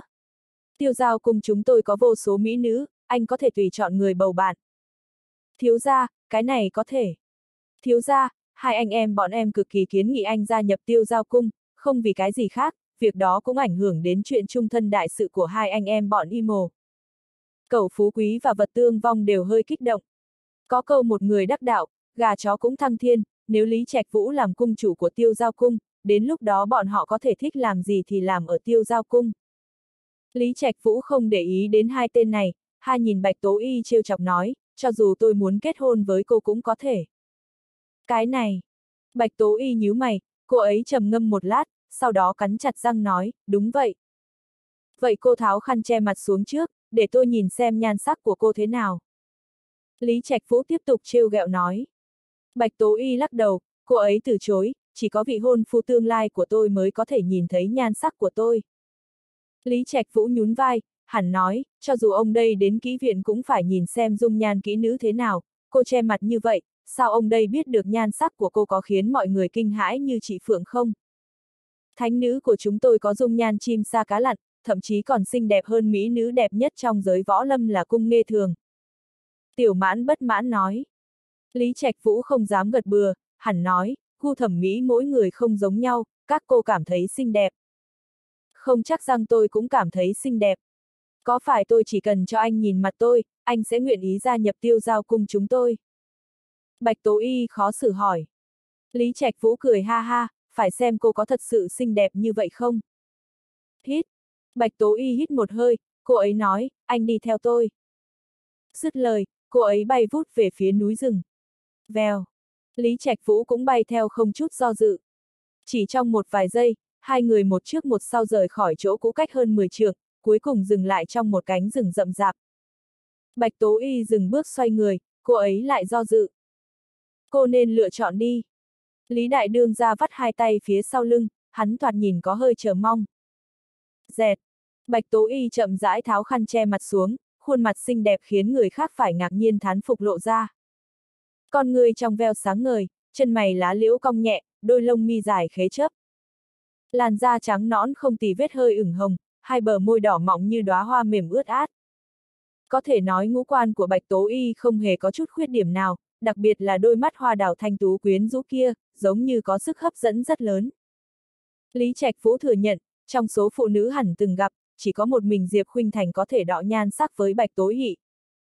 Thế nhưng rõ ràng hai người không phải một kiểu người. Nếu nói Diệp Khuynh Thành là một đóa hoa mai kiêu ngạo, thì Bạch Tố Y là một đóa bạch liên trong trắng. Mỗi người mỗi vẻ. Bây giờ anh nguyện ý gia nhập tiêu giao cung chúng tôi rồi chứ? Bạch Tố Y vừa nói, vừa đeo khăn che mặt lên. Rõ ràng cô ấy rất tự tin với nhan sắc của mình, chắc chắn Lý Trạch Vũ sẽ không từ chối cô ấy. Nhưng mà Lý Đại Đương ra lại khẽ lắc đầu. Mặc dù cô thật sự rất xinh đẹp, nhưng đáng tiếc tôi không có hứng thú với tiêu giao cung các cô. Bạch Tố Y nghe được quyết định của Lý Trạch Vũ, đầu tiên cô ấy ngẩn ra, sau đó trong mắt tràn đầy giận dữ. Lý Trạch Vũ, anh không thể không giữ lời. Anh đã nhìn thấy dung nhan của tôi, vậy anh nhất định phải chịu trách nhiệm với tôi. Buồn cười. Lý Trạch Vũ bĩu môi cười nói, nhìn cô thì phải chịu trách nhiệm. Đây là đạo lý gì vậy? Anh, Bạch Tố Y tức không có chỗ chút. Tiêu giao cung có quy định, chỉ có thể cho người đồng hành nhìn khuôn mặt của thánh nữ. Nói cách khác, Lý Trạch Vũ đã nhìn thấy khuôn mặt cô ấy, vậy đời này cô ấy chỉ có thể gả cho Lý Trạch Vũ. Nhưng nhìn Lý Trạch Vũ như vậy, rõ ràng là đang trêu đùa cô ấy. Tôi liều mạng với anh. Bạch Tố Y nhào về phía Lý Trạch Vũ. Vèo. Cơ thể Lý Trạch Vũ dễ dàng tránh được, hẳn có ý tốt nhắc nhở, tôi khuyên cô tốt nhất nên bình tĩnh lại, bởi vì cô hoàn toàn không phải đối thủ của tôi, ngộ nhỡ chọc giận tôi, tôi cũng không biết thương hoa tiếc ngọc là gì đâu. Lời này khiến Bạch Tố Y hoàn toàn tỉnh táo lại. Trong lòng Bạch Tố Y rất rõ ràng, đến cả Khương Mộ Bạch cũng không phải là đối thủ của Lý Trạch Vũ, bản thân cô ấy sao có thể đánh bại được đối phương. Nhưng cứ để bị trêu chọc như vậy, trong lòng cô ấy cực kỳ bất mãn. Lý Trạch Vũ, nếu hôm nay anh không chịu đồng ý, vậy từ nay về sau anh chính là kẻ thù của tiêu giao cung chúng tôi. Lời nói của Bạch Tố Y tràn đầy sự uy hiếp. Không sao, nhiều người muốn giết ông đây lắm, cũng không ngại nhiều thêm tiêu giao cung mấy người, thế nhưng... Lý Trạch Vũ nói, tôi khuyên mấy người tốt nhất không nên dây vào lửa, nếu không tôi cũng không ngại biến tam đại thánh địa thành hai đại thánh địa. Thái độ này của hắn quả là ngông cuồng không có giới hạn. Tam đại thánh địa tồn tại hàng ngàn năm, sao có thể dễ dàng bị người khác loại bỏ như vậy? Bạch Tố Y cũng không cam lòng yếu thế, cô ấy nói, anh cho rằng chỉ một đại gia tộc thế tục là rất tài giỏi sao? Ở trong mắt tiêu giao cung chúng tôi, bọn tôi có thể khiến nhà họ Lý các anh biến mất khỏi thế giới này. Cái gì? Khiến nhà họ Lý biến mất? Mặt Lý Trạch Vũ sầm xuống, hẳn u ám nói, vậy mấy người cứ thử xem L. Bạch Tố Y còn muốn nói gì đó, cô ấy bỗng cảm nhận được sát ý dày đặc toát ra từ người Lý Trạch Vũ, cô ấy thấy sởn tóc gáy. Trong lòng có một giọng nói nhắc nhở Bạch Tố Y, tốt nhất không nên chọc giận người đàn ông trước mặt này, nếu không đối phương sẽ thật sự giết cô ấy. Lý Thiếu Hiệp, đạo môn chúng tôi cũng có không ít nữ đệ tử xinh đẹp, chỉ cần cậu nguyện ý. Giọng đạo sĩ huyền tâm ở xa xa truyền đến. Lý Trạch Vũ liếc Bạch Tố Y, hắn lập tức xoay người bay vút về đỉnh núi. Phú Quý, Tương Vong, chúng ta đi. Lý Thiếu Hiệp, Lý Thí Chủ, Huyền Tâm và Giác Viễn còn muốn nói gì đó. Lý Trạch Vũ xua tay ngắt lời, ông đây thích tự do, sẽ không gia nhập thế lực nào hết, mấy người sớm từ bỏ suy nghĩ này đi. Giác Viễn và Huyền Tâm thấy thái độ hẳn kiên quyết như vậy, bọn họ rơi vào thế khó xử. Nếu như đối phương là người bình thường, e là bọn họ đã sớm dùng sức mạnh, đáng tiếc thực lực Lý Đại Đương ra không tầm thường, đến cả Khương Mộ Bạch cũng bị hắn xử lý bằng một chiêu, bọn họ thật sự không dám hành động. Cứ như vậy, mấy người nhìn theo ba người Lý Trạch Vũ nghênh ngang xuống núi. Thằng nhóc này quá kiêu ngạo, khó thu phục. Đạo sĩ huyền tâm thở dài, cơ thể chợt lóe rồi biến mất. A-di-đà Phật. Giác viễn niệm Phật, ông ấy mang theo bất lực rời đi. Tiểu mẫn đứng tại chỗ chờ một lát, thì nhìn thấy bạch tố y bay về. Thánh nữ. Người kia đâu? Bạch tố y nhìn xung quanh, cô ấy không thấy bóng dáng Lý Trạch Vũ đâu. Tiểu mẫn xấu hổ nói, hắn đi rồi. Hắn đi đâu? Gia nhập đạo môn hay chùa? Bạch tố y lo lắng hỏi. Hắn không gia nhập thánh điện nào. Tiểu mẫn nói lại lời của Lý Trạch Vũ trước khi đi. Vẻ mặt bạch tố y trở nên vô cùng phức tạp. Thánh nữ, hắn có nhìn thấy. Tiểu mẫn muốn nói lại thôi. Bạch tố y ngầm hiểu, cô ấy cố ý nói sang chuyện khác, tôi nhất định sẽ khiến hắn thay đổi quyết định. Giọng cô ấy cực kỳ kiên định. Khoa học kỹ thuật phân dương, bộ phận chứng khoán. Khoa học kỹ thuật Trung Phát mua 1.000 vạn cổ phiếu. Công ty áo Thái bán 400 vạn cổ phiếu. Hai mắt Mai Hưu đỏ au, ông ta nhìn chằm chằm chỉ số trên màn hình. Mai Hưu tiên sinh, dựa theo chỉ số thì nên bán cổ phiếu khoa học kỹ thuật Trung Phát, ngài xác định muốn mua vào sao? Trần Thanh Tuyết nghiêm túc hỏi lại một lần. Người khác sợ hãi tôi tham lam, người khác tham lam tôi sợ hãi, đây là phong cách từ trước đến giờ của bàn tay vàng. Diệp Khuynh Thành ngắt lời nói, đây là Mai Hưu tiên sinh dự đoán được quyết định của đối thủ. Diệp Tiểu Thư phân tích không tồi. Ánh mắt Mai Hưu nhìn Diệp Khuynh Thành mang theo sự tán thưởng, trong những người trong giới tôi từng gặp, thiên phú của cô là xuất sắc nhất. Trần Thanh Tuyết ở bên cạnh khế nhíu mày, trong lòng không khỏi uể oải. Thích so sánh là bản tính trời sinh của phụ nữ. Mà không chỉ so sánh về nhan sắc, mà còn những phương diện khác. Ví dụ như năng lực. Diệp Khuynh Thành là mỹ nữ đẹp số một hoàng thành, đồng thời cũng là một thương nhân cực kỳ tinh anh.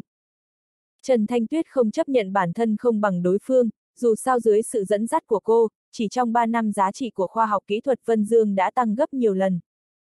Mai Hưu tiên sinh quá khen.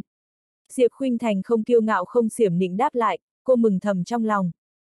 Đến cả bản thân cô cũng không rõ, tại sao chính mình lại có suy nghĩ so đo cao thấp với Trần Thanh Tuyết. Chẳng lẽ là bởi vì người kia sao? Hơn nửa tiếng sau, kết quả giống như Mai Hưu dự đoán, cổ phiếu của khoa học kỹ thuật Trung Phát bắt đầu tăng mạnh. Bán 1.000 vạn cổ phiếu khoa học kỹ thuật Trung Phát. Mai Hưu bỗng nói. Diệp Khuynh Thành khó hiểu hỏi, Mai Hưu tiên sinh, cổ phiếu của khoa học kỹ thuật Trung Phát có xu thế tăng rất rõ ràng, tại sao bây giờ lại phải bán tống? Bởi vì Mai Hưu tiên sinh không muốn đánh cược. Bởi vì ít nhất bây giờ bán, chúng ta có thể kiếm được 10 triệu, nếu không bán, rất có thể sẽ rơi vào bẫy đối phương đã răng sẵn. Trần Thanh Tuyết phân tích rõ ràng. Mai Hưu cười đồng ý, giám đốc Trần nói rất chính xác, năm đó ở châu U tôi đã rơi vào bẫy của thăng khốn đó, nên mới thất bại. Trần Thanh Tuyết nhận được lời khen, khóe miệng cô không khỏi cong lên. Mà trùng hợp lúc này Diệp Khuynh Thành nhìn về phía cô. Hai người phụ nữ nhìn nhau như vậy, tỏ vẻ không ai chịu thua ai.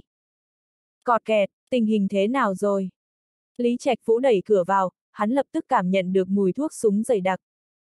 Diệp Khuynh Thành và Trần Thanh Tuyết đồng thời thu hồi tầm mắt, bọn họ nhìn về phía Lý Trạch Vũ. Anh tới làm gì? Anh tới làm gì? Hai người phụ nữ đồng thời nói. Buồn cười. Lý Trạch Vũ giật mình, hắn chỉ vào mũi mình hỏi ngược.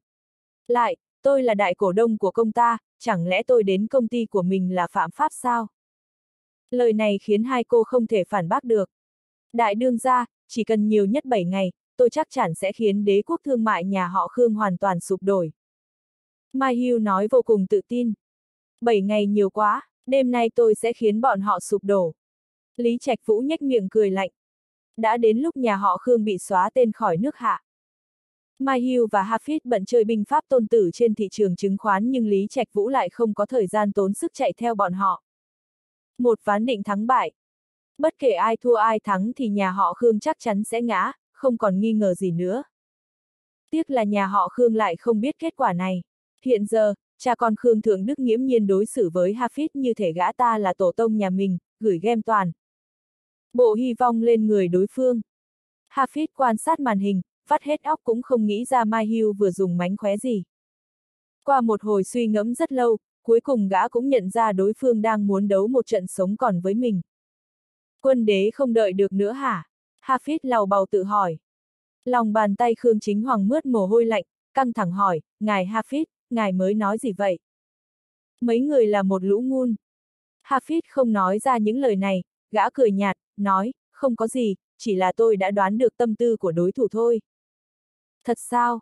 Khương Chính Hoàng không hiểu rõ nhưng vẫn gật gù ra chiều đắc chí. Bình thường khi các cao thủ đối đầu với nhau, chỉ cần một chi tiết đã đủ quyết định kẻ thắng người thua. Đoán được suy nghĩ của đối thủ chắc chắn chính là nhân tố quan trọng hàng đầu. Hafid hỏi, nhà họ Khương các người có thể huy động thêm bao nhiêu tiền? Trong trường hợp không làm ảnh hưởng đến sự vận hành của công ty thì bọn tôi có thể huy động khoảng 350 tỷ tệ. Khương Chính Hoàng thật thà đáp. Quá it. Hafid lách đầu, nói, nếu muốn khoa học phân dương sụp đổ không ngóc đầu lên được thì ít nhất cũng phải có 600 tỷ tệ. Nghe thấy con số này, mặt mũi Khương Chính Hoàng lập. Tức biến sắc. Nếu nhà họ Khương dốc hết những gì đang có thì họ vẫn có thể miễn cưỡng huy động số tiền kia. Nhưng nếu không may xảy ra sơ suất, bên không ngóc đầu lên nổi sẽ không phải khoa học kỹ thuật vân dương mà chính là đế chế thương nghiệp của nhà họ Khương. Hafid đùng đỉnh đáp, càng kéo dài thời gian thì các ông càng ở thế bất lợi. Xét cho cùng thì số vốn mà bốn gia tộc lớn. Kia tập hợp được cũng lớn hơn các ông nhiều. Kỳ thực Khương Chính Hoang cũng đồng tình với nhận định này. Nhưng, bất cứ ai cũng sẽ cảm thấy bứt rứt khi nghĩ tới việc phải dốc ra hết vốn liếng của mình. Tôi đi bàn bạc với cha một chút, Khương Chính Hoang lui ra ngoài. Ngay khi cánh cửa khép lại, gương mặt Hafid để lộ vẻ thích thú. Dám đối chọi với quân đế, chẳng biết đám ngu sỉ kia suy nghĩ kiểu gì nữa. Khoa học kỹ thuật Vân Dương Dựa theo mệnh lệnh của Lý Trạch Vũ, Mai Hưu quyết định quyết chiến sinh tử với đại kình địch Hafid. Hai cô nàng Diệp Khuynh Thành và Trần Thanh Tuyết đầu sốc lại tinh thần, quyết tâm không bỏ sót bất kỳ chi tiết nào. Hai cô tin rằng thông qua cuộc đối đầu giữa ngón tay vàng và thần tài chính, mình có thể học được những điều có ích cho cả đời này. Tôi đói rồi. Trần Thanh Tuyết bỗng lên tiếng. Lý Trạch Vũ gầy tàn thuốc, tỏ vẻ khó hiểu, hỏi, cô đói thì đi ăn đi, nói với tôi làm gì. Bây giờ tôi không đi được. Trần Thanh Tuyết nhíu mày, nói, anh là vị hôn phu của tôi, anh không thể gói một ít đồ ăn mang qua đây cho tôi được à. Nghe câu này, biểu cảm của Diệp Khuynh Thành đang ở bên cạnh bỗng trở nên phức tạp. Lý Trạch Vũ vẫn cứ nở ra. Hình như đây là lần đầu tiên Trần Thanh Tuyết lôi cái danh vị hôn thê kia ra để nói trước mặt người khác. Rốt cuộc anh có đi hay không? Thấy Lý Trạch Vũ vẫn lần trần, Trần Thanh Tuyết nghiêm mặt hỏi. Được rồi, Lý Trạch Vũ nhận lời. Nghe vậy, Trần Thanh Tuyết lập tức mỉm cười vui vẻ, đồng thời đưa mắt nhìn Diệp Khuynh Thành một cách sâu xa. Chẳng cần nói cũng biết là đang khiêu khích. Đôi mắt xinh đẹp của Diệp Khuynh Thành hơi khựng lại, nhưng cô không lên tiếng, chỉ dõi mắt nhìn theo bóng lưng Lý Trạch Vũ rời đi, tim cô thắt lại như bị ai bóp nghẹt. Đêm đó, thị trường chứng khoán xảy ra biến động khổng. Lồ, khoa học kỹ thuật Vân Dương và nhà họ Khương đầu tư, hàng trăm tỷ tiền vốn, con số khủng khiếp đến mức người theo dõi cảm thấy choáng váng. Giống như câu nói châu bò đánh nhau, rồi mũi chết, hai nhân vật truyền kỳ của giới tài chính là Mai Hưu và Hafid Bat. Đầu điên cuồng tấn công và hạ nhau. Một số doanh nghiệp nhỏ trở thành con cừu đợi bị làm thịt trong mắt hai người. Đêm nay chắc chắn là một đêm không ngủ. Những người theo dõi không chỉ là cá mập của giới kinh doanh mà còn có cả rất nhiều thế lực trên các lĩnh vực khác. Cũng tập trung chú ý. Tất cả mọi người đều muốn biết, một nhà họ Khương dốc toàn lực liệu có thể lật đổ nhà họ Lý đang như mặt trời ban trưa xuống khỏi ngai vàng hay không. 3 giờ 15 phút sáng. Nhà họ Khương. Không thể nào. Làm sao tôi có thể bị lừa gạt bởi lớp nguy trang này chứ? Mai Hưu không thể nào thắng được tôi. Hafiz nhìn chăm chặp vào dữ liệu trên màn hình, đôi mắt đỏ ngầu một cách đáng sợ. Khương Thượng Đức nhìn kết quả trên màn hình, lảo đảo. Ngã ngồi lên ghế sofa. Cha! Khương Chính Hoàng lật đật chạy qua đỡ. Sao lại thế? Ánh mắt Khương Thượng Đức trở nên mơ màng, người run bần bật. Không, vẫn còn cơ hội. Hafid đột nhiên hô lớn. Cha con Khương Thượng Đức và Khương Chính Hoàng đồng thời nhìn gã. Hafid còn cách đối phó nào không? Ngài là ngón tay vàng, nhất định sẽ có cách xoay chuyển tình thế. Khương Thượng Đức nhìn đối phương, lòng đầy niềm tin hy vọng. Hafid nặng nề gật đầu, nói, đúng, chỉ cần các người rót cho tôi thêm 300 tỷ, tôi sẽ giành lại những tổn thất trước đó ngay lập tức. Hơn nữa tôi cũng đã tìm ra quỷ kế của Mai Hưu, ông ta chắc chắn sẽ thua ổ. Lại đòi 300 tỷ nữa. Khóe miệng Khương Thượng Đức co giật mấy cái. Gom đủ 600 tỷ đã là cực hạn của nhà họ Khương. Nếu mất đi khoản tiền khổng lồ này, ít nhất một nửa số doanh nghiệp của họ sẽ phá sản. Nhưng dù vậy, đế chế thương nghiệp của nhà họ Khương cũng vẫn sẽ không sụp đổ. Vậy mà lúc này Hafid còn đòi họ xuất thêm 300 tỷ. Nói không ngoa, Hafid mà thua thì cả nhà họ Khương đều sẽ phải lên sân thượng hết. Cha, cược một lần đi. Khương Chính Hoàng siết chặt nắm đấm, khuyên cha. Khóe miệng Khương Thượng Đức giật lên hai cái, cơ mà, ngộ nhỡ thua thì sao? Khương Chính Hoãng trầm ngâm, nếu bây giờ dừng lại, ta sẽ không thể cứu vấn những tổn thất trước đó. Địa vị của nhà họ Khương ta ở nước hạ chắc chắn cũng sẽ tuột dốc không phanh, chỉ bằng dứt khoát liều thêm một phen đi. Nghe vậy, Khương Thượng Đức do dự. Vất vả biết bao mới gầy dựng nên đế chế thương nghiệp, thế mà lại sụp đổ quá nửa chỉ trong một đêm. Nhà họ Khương từ gia tộc hạng nhất biến thành hạng hai, cho dù là ai cũng không chấp nhận nổi. Không thua được đâu. Hafiz nói như đỉnh đóng cột, chỉ cần có thêm 300 tỷ, tôi chắc chắn có thể lật ngược ván cờ. Nhìn cảnh này kiểu gì cũng thấy giống sói gian ác lừa gạt cô bé quàng khăn đỏ. Ánh mắt Khương Thượng Đức dần sáng lên. Bởi vì ông ta cũng nhận ra Hafid thất bại là vì chưa đủ tài chính. Được, cược một lần. Khương Thượng Đức cuối cùng cũng ra quyết định, kết quả nhà họ Khương bắt đầu gom tiền suốt đêm, dùng đủ cách, gán nợ, thế chấp, vay nặng lãi. Khi trời dần hưởng sáng cũng là lúc 300 tỷ được gửi vào tài khoản. Ngài Hafid, sau khi thành công, nhà họ Khương tôi sẽ không bạc đái ông đâu. Khương Thượng Đức hứa hẹn cảm tạ hậu hĩnh. Ngài Khương cứ yên tâm. Hafid cam đoan hết nước hết cái, rồi lập tức tiến hành giao dịch. Nhưng ngay sau đó, Hafid trực tiếp đổ 300 tỷ cuối cùng bọn họ huy động được để mua vào một mã cổ phiếu đã tăng chạm trần, ngay lập tức cổ phiếu đó xuống giá ầm ầm. Ngài Hafid, ông làm gì vậy? Khương Chính Hoàng đờ đẫn, hoàn toàn không hiểu đối phương làm vậy làm gì. Đế chế thương nghiệp nhà họ Khương chính thức sụp đổi. Các tạp chí lớn thi nhau đăng tải tin tức dũng động như nổ bom nguyên tử này, chỉ sau nửa tiếng ngắn ngủi đã lan truyền khắp nước hạ. Không ai dám tin gia tộc siêu cường này lại sụp đổ chớp nhoáng như thế. Hoàng Thành, Phủ Long Chủ. Một ông già tóc bạc nửa đầu, đeo kính lão đang ngồi trên bàn làm việc xét duyệt văn kiện. Người này không được đẹp lắm, trông giống một ông già bình thường, nhưng trên người lão lại tỏa ra khí chất của kẻ bề trên. Tô Cẩn Hoa, đương kim long chủ. Người ngồi trước mặt lão là Lý Định Quốc nguyên soái quân đoàn hổ khiếu. Ít ai biết rằng giữa hai người này không chỉ là quan hệ cấp. Trên cấp dưới đơn thuần mà họ còn là một đôi huynh đệ kết nghĩa lâu năm. Lão Lý này, tên nhóc nhà ông ẩn mình kín kẽ thật đấy. Tô Cẩn Hoa đặt cây bút trên tay xuống, ra vẻ bất mãn, ông cũng hay ho lắm, giấu giếm tôi kỹ thật. Lão Tô, ông đừng đùa tôi nữa. Lý Định Quốc cười khổ, nói thật với ông, chính tôi cũng không nhìn thấu thắng cháu kia, chẳng biết ngày trước nó có giả vờ giả Việt hay không. Mới chỉ không gặp ba năm ngắn ngủi mà Lý Trạch Vũ đã thay đổi nghiêng trời lệch đất. Hắn không chỉ sở hữu sức mạnh cao thâm khó lường mà còn có thể điều khiển thần tài chính, khiến bốn trong 10 gia tộc hàng đầu phải tuân theo mệnh lệnh của mình. Ông thật sự không dám tin thằng cháu phá ra chỉ tử của mình lại có năng lực khủng khiếp đến vậy. Ông cứ vờ việc tiếp đi. Tô Cẩn Hoa hiển nhiên không tin. Lý Định Quốc nhún vai, không tin thì thôi. Được rồi, giữa hai chúng ta đừng có nói nhảm nhiều lời. Tô Cẩn Hoa hằng giọng, đổi chủ đề, đế chế thương nghiệp nhà họ Khương sụp đổ rồi, kéo theo những ảnh hưởng khó lường. Đó là họa do thằng cháu nhà ông gây ra, mau chùi đít giúp nó cho sạch vào. Nghe vậy, Lý Định Quốc có chút khó chịu. Tại nhà họ Khương chủ động chọc tới nhà họ Lý mà, sao lại bắt nhà ông phải chùi đít hộ. Xong, Tô Cẩn Hoa không cho đối phương cơ hội bày tỏ sự bất mãn, ông bổ sung, sản nghiệp khoa học kỹ thuật Vân Dương nhà ông chắc cũng kiếm được đầy túi rồi, tranh thủ lần này mở rộng lĩnh vực phát triển đi. Ừm. Mắt Lý Định Quốc bừng sáng.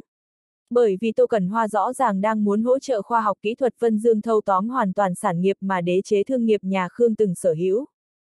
Đúng là một món hời trời trôn. Lão Tô, ông nhìn xa trông rộng quái.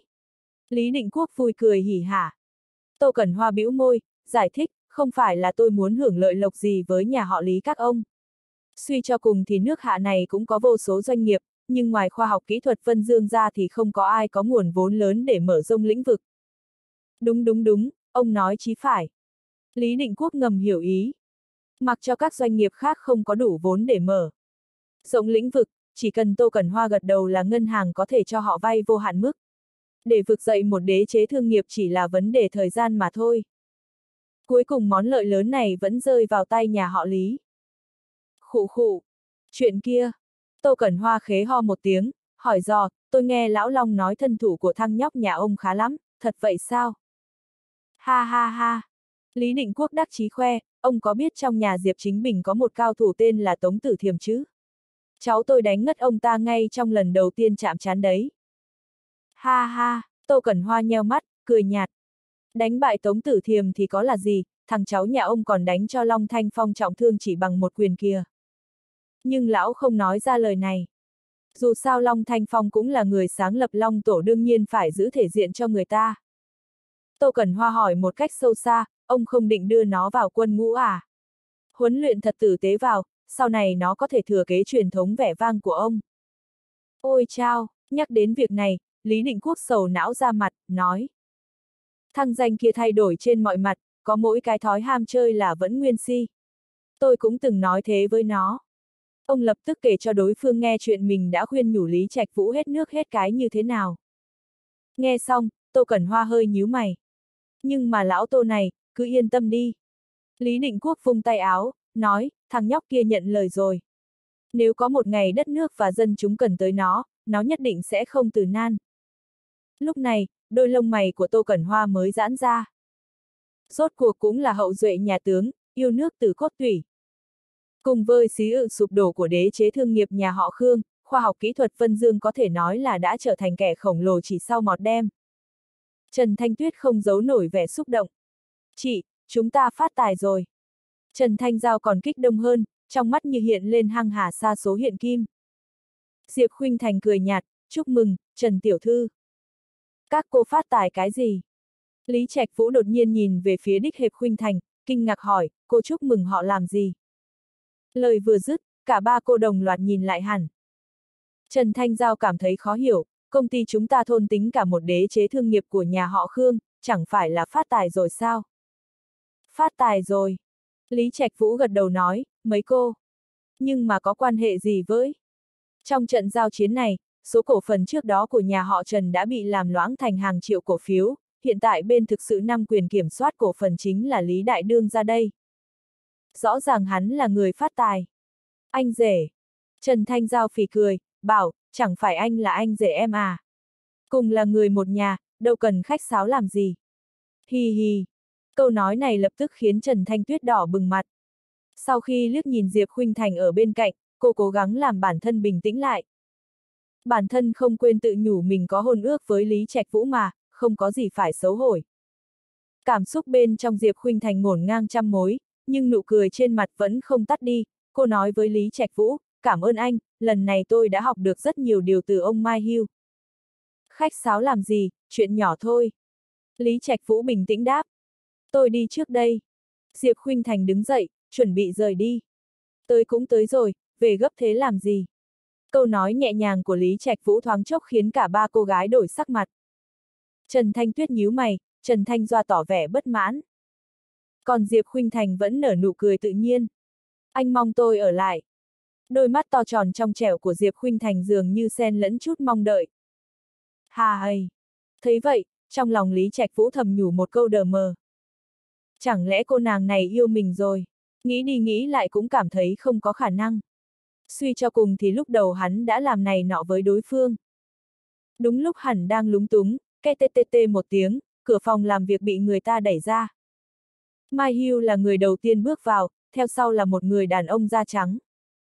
Không phải ai khác mà chính là Hafid từng được nhà họ Khương tôn sùng là thượng khách. Quân đế, đã lâu không gặp, Hafid khế khom lưng, thái độ hết sức cung kính. Cảnh tượng này không làm Trần Thanh Tuyết và hai cô nàng kia ngạc nhiên lắm. Dù sao thì thần tài chính cũng chỉ như người hầu khi đứng trước Lý Trạch Vũ, việc ngón tay vàng tỏ thái độ cung kính với hắn không phải là điều đáng kinh ngạc. Nhưng cách Hafiz gọi Lý Trạch Vũ lại khiến họ thật sự tò mò. Quân đế. Thật ra, ngay từ lúc Mai Hưu bày thế cờ khiến nhà họ Khương thâm hụt 6 chám tỷ thì cuộc chiến giữa hai đối thủ truyền kiếp đã phân định được thắng bại rồi. Tuy lúc đó nhà họ Khương rót xuống hố sâu nhưng bọn họ vẫn có chỗ đặt chân. Ấy thế mà Hai Yu lại bịa đặt rằng mình chỉ cần thêm 300 tỷ là có thể chuyển bại thành thẳng, dễ dàng lùa cha con họ Khương vốn đang dối như tơ vò vào bẫy. Cuối cùng, khoản thua lỗ 900 tỷ đã khiến đế chế thương nghiệp nhà họ Khương sụp đổ hoàn toàn. Vĩnh viễn không có cơ hội trở mình. Sự xuất hiện của Hai Yu làm cho Trần Thanh Tuyết và Diệp Khuynh Thành hiểu rằng cái kết của nhà họ Khương đã được định sẵn ngay từ khoảnh khắc bọn họ chọc tới Lý Trạch Vũ. Diệp Khuynh Thành nhìn Lý Trạch Vũ, biết bao cảm xúc rối ren trong lòng. Nếu không được tận mật chứng kiến tất cả mọi việc, cô có nằm mơ cũng không tin rằng tẽn cóng tử bột ham ăn chơi của ba năm trước lại cũng chính là con người không gì không làm được đang đứng trước mặt cô. Mai Hưu, chúc mừng chiến thắng của ông. Lần trước tỏi dính bẩy của ông, lần này ỏng ngã vào bầy, hai ta hòa nhau. Hai ít và Mai Hưu ôm nhau, thoải mái nở nụ cười chút bỏ mọi ân oán trước đó. Quán đế, nếu không còn chuyện gì khác thì tòi xin rời đi trước. Hai ít cẩn thận dò hỏi. Lý Trạch Vũ gật đau, đồng ý, vất vả cho ông rồi, nếu có dịp tới đất nước xinh đẹp kia, chúng ta sẽ liên lạc lại với nhau. Xin chờ quân đế hạ cố đến chơi, đến khi ấy tôi nghĩ thủ đô Hoa Lệ sẽ càng trở nên náo nhiệt hơn nữa. Hai ít nói ra những lời xuất phát từ tận đáy lòng. Gã thật sự hoan nghênh Lý Trạch Vũ, nhưng gã hiếu đối phương là nhân vật không thích hiên phận, dù đến bất cứ đâu thì nơi ấy cũng sẽ không yên tĩnh nối. Lý Trạch Vũ tỏ vẻ bất mãn, tôi nghi ngờ ông định bày trò chơi xấu tỏi. Không dám. Hai ít khẽ khom lưng. Lý Trạch Vũ vỗ vai gã, nói, tôi còn chuyện khác cần xử lý, không thể đi tiến ông, chúc ông lén đường thuận buồm xuôi gió. Đa tạ quân đế. Hai ít lúc này mới thở phào nhẹ nhõm.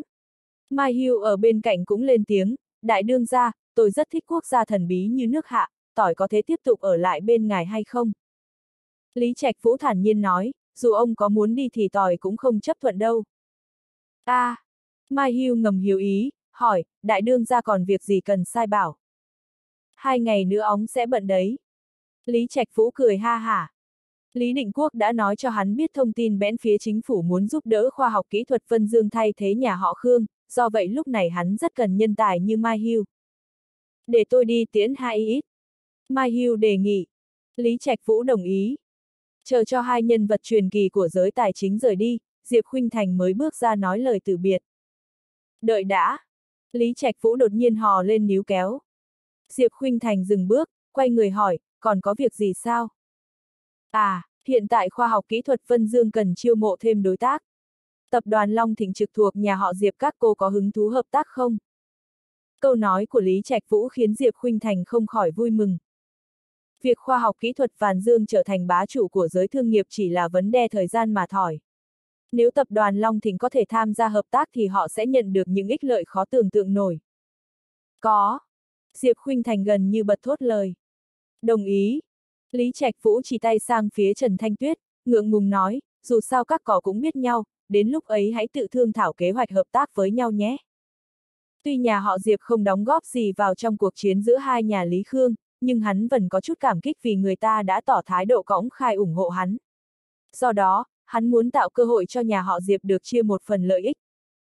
Diệp Khuynh Thành định nói gì đó nhưng lại bị Lý Trạch Vũ ngắt lời, không cần cảm ơn, chẳng phải cỏ cần về Hoàng Thành à.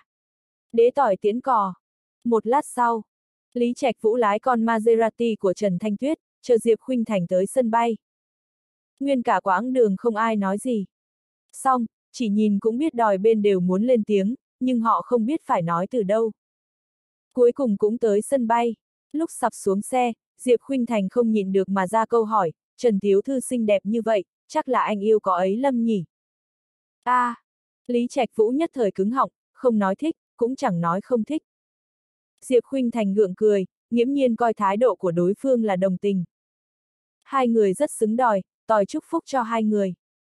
Dứt lời, cô mở cửa, xuống xe một mình. Nhưng, trong khoảnh khắc có quay đi, Lý Trạch Vũ có năng lực quan sát hơn người rõ ràng đã nhìn thấy một giọt nước mất vừa rơi xuống. Đột nhiên, hắn muốn đuổi rồi ôm lấy đối. Phương từ phía sau. Đáng tiếc, mãi đến khi Diệp Khuynh Thành vào sân bay, hắn cũng không xuống xe. Cùng lúc đó, ở nhà họ Khương. Khương Thương Đức ỉu xìu ngồi trên sofa, đầu tóc bù xù, ánh mắt rượu dã, thoạt nhìn rất giống một con ma. Cha, ta đi thôi. Khương Chính Hoàng kéo một chiếc vali, tiến lại gần. Hiện giờ nhà họ Khương đã hoàn toàn xong đời rồi, chẳng mấy chốc sẽ có võ số người tới cửa đòi nợ. Bọn họ không thế ở lại nước hạ nữa, chỉ có thể tấu thoát ra nước ngoài thỏi. Cha già rồi, các con đi thòi. Khương Thượng Đức khẽ lật đầu. Cha, cha đừng vậy mà. Trước kia con đã chuyển khá nhiều tài sản ra nước ngoài, đủ để người nhà ta không phải lo cơm áo. Mặc dù không cam lòng nhưng Khương Chính Hoàng thật sự không còn cách nào. Nếu thời gian có thế đảo ngược lại, ông ta có chết cũng không chọc tới nhà họ Lý. Tiếc là không có nếu như. Mọi người đi đi, cha không đi cùng đâu. Thái độ của Khương Thương Đức Võ cùng kiên quyết. Bịch, cha, con van cha đấy. Khương Chính Hoàng trực tiếp quỳ xuống, khấn cầu, không đi thì chúng ta sẽ không còn thời gian. Cha không đi. Khương Thương Đức thở dài. Người ta thường nói lá dụng về cội, bởi vậy dù có chết thì ông ta cũng không muốn chết nơi tha hương. Cha! Không muốn đi thì đừng đi nữa. Khương Chính Hoàng chưa kịp nói dứt lời thì một giọng nói lạnh lùng đã truyền vào trong. Trong phút chốc, Khương Thượng Đức và Khương Chính Hoàng đều biến sắc. Bởi vì họ đã nhận ra chủ nhân của giọng nói kia. Dầm! Cửa lớn biệt thự bị đá văng bâng một cước. Lý Trạch Vũ chập hai tay sau lưng, bước từng bước lại gần. Mỗi khi hắn bước một bước, Khương Chính Hoàng lại cầm thấy áp lực tăng lên gấp bội, cuối cùng sắc mặt trở nên tái nhợt. Lý Trạch Vũ, mày, mày muốn làm gì? Khương Chính Hoàng khiếp đảm tột độ. Trái lại, Khương Thượng Đức vẫn làm bộ hung dữ, ánh mắt không hề che giấu nổi oán hận, tén xúc sinh, mày đến để cười lão phụ ư. Cười cái đám kiến hòi như các người thì được gì? Lý Trạch Vũ khinh bỉ ra mặt. Vậy mày tới đây làm gì? Khương Chính Hoàng nuốt nước bọt, nghiễm nhiên dán hai chữ căng thẳng lên mặt. Lý Trạch Vũ nhún vai, đáp, đương nhiên là tới đưa các người lên đường. Nghe thế, Khương Chính Hoàng lập tức trở nên cảnh giác, nổi sợ trong lòng càng tãng lên vò số lần. Mày muốn đuổi cùng giết tận sao? Ha ha ha, mày đừng quên nơi đây là nước hạ, nhà họ Lý chúng mày không thể một tay che trời đầu. Khương Thượng Đức cười ầm lên như kẻ tâm thần. Nhưng, ngay sau đó, Lý Trạch Vũ đủng đỉnh lấy ra một tập hồ sơ từ trong người. Trong đây ghi lại tất cả những việc ác nhà họ Khương bọn ông từng làm. Nếu còng dồn đống tội danh này lại, dù Chu Di cửu tộc nhà ông Cúc khóc đủ đền tôi. Khương Thượng Đức có nằm mơ cũng không ngờ Lý Trạch Vũ lại có thể tìm ra được bí mật sâu nhất mà óng che giấu. Kể từ khoảnh khắc đó, tới cả hy vọng sống sót ông cụ cũng không còn. Đúng là ác độc, Khương Thượng Đức mặt xám mày cho hét lớn. Một tiếng bộp, vang lén, Khương Chính Hoàng bất ngờ quỳ dạp xuống đất, nói giọng như van lơn, Lý Đại Thiếu, bọn tỏi sai rồi, cầu xin cậu hãy tha cho chúng tỏi một đường sống. Khốn nạn, mày đứng dậy cho tao. Nó là kẻ thù không đội trời chung của nhà họ Khương chúng ta cơ mà, sao mày lại cầu xin nó?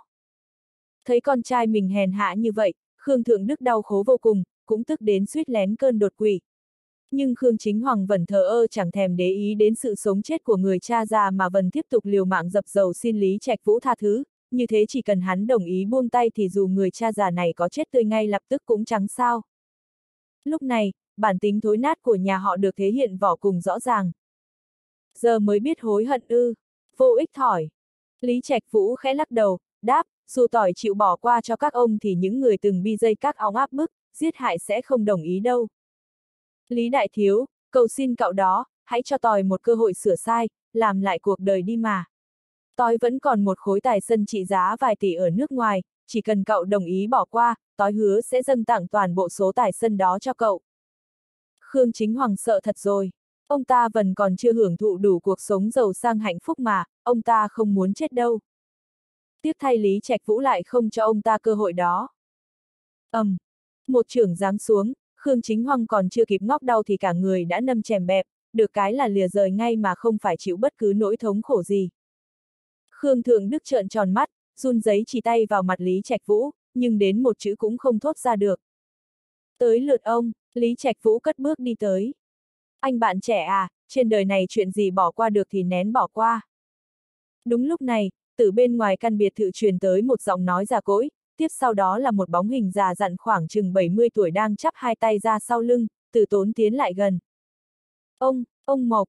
Khi thấy người đến là ai, trong mắt Khương Thượng Đức lập tức lóe lén tia sáng lấp lánh. Ông cụ phất tay ra hiệu cho ỏng bình tĩnh, không cần vội vàng như vậy, sau đó hướng đòi mắt sắc bén về phía Lý Trạch Vũ, Phật từng viết, ông trời có đức hiếu sinh, anh bạn hãy còn trẻ mà sát khí đã nặng tới vậy, xem ra sát nghiệp trên người không hề nhỏ chút nào. Mắc mớ gì tới ông? Lý Trạch Vũ lườm ông ta, tỏ vẻ khinh thường hỏi, ông muốn làm chim đầu đàn hả? Ông Mộc, chính thằng nhãi chết tiệt này đã giết chết mộ bạch, ông nhất định phải báo thù cho nó. Khương Thượng Đức bày ra dáng vẻ đau khổ, tức giận hét lớn. Nhưng ông cụ lại chỉ gục gạc thở dài, Phật từng nói, nhàn quả trên đời đều do ổng trời định sẵn, cái chết của mộ bạch cũng vậy. Dứt lời, ổng cụ nhìn sang Lý Trạch Vũ, đối giọng khuyên ngăn, anh bạn trẻ, oan oan. Tương báo khi nào mới dứt, chi bãng, mẹ kiếp. Ông ta còn chưa nói hết câu, Lý Trạch Vũ đã bất ngờ tung một đấm mạnh mẽ tới. Bốp! Phân ứng của ông cụ xem như nhanh nhạy, trong tình huống ngàn cân treo sợi tóc đã kịp tung trưởng tiếp chiêu. Quyền trưởng va chạm, tạo thành luồng sóng khí cực mạnh tỏa ra khắp bốn phía, khiến bàn trà bị ép vỡ nát. ầm, um. Ngay sau đó, dưới ánh mắt bàng hoàng của Khương Thượng Đức, ông cụ bay thẳng ra ngoài, đập mạnh lên trụ chống trời. Khụ!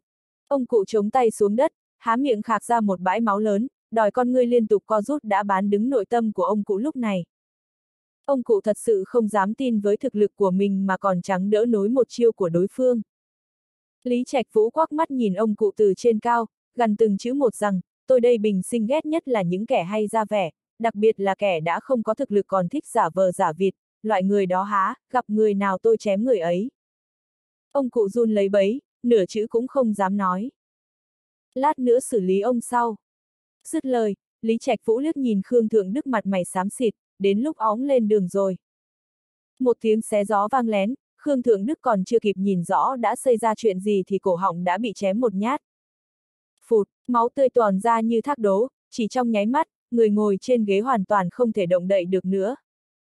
Trước cảnh tượng đó, ông cụ chỉ biết nhắm chặt hai mắt, miệng lấm bấm lặp đi lặp lại gì đó, hình như là đang siêu độ cho hai cha con Khương Thượng Đức.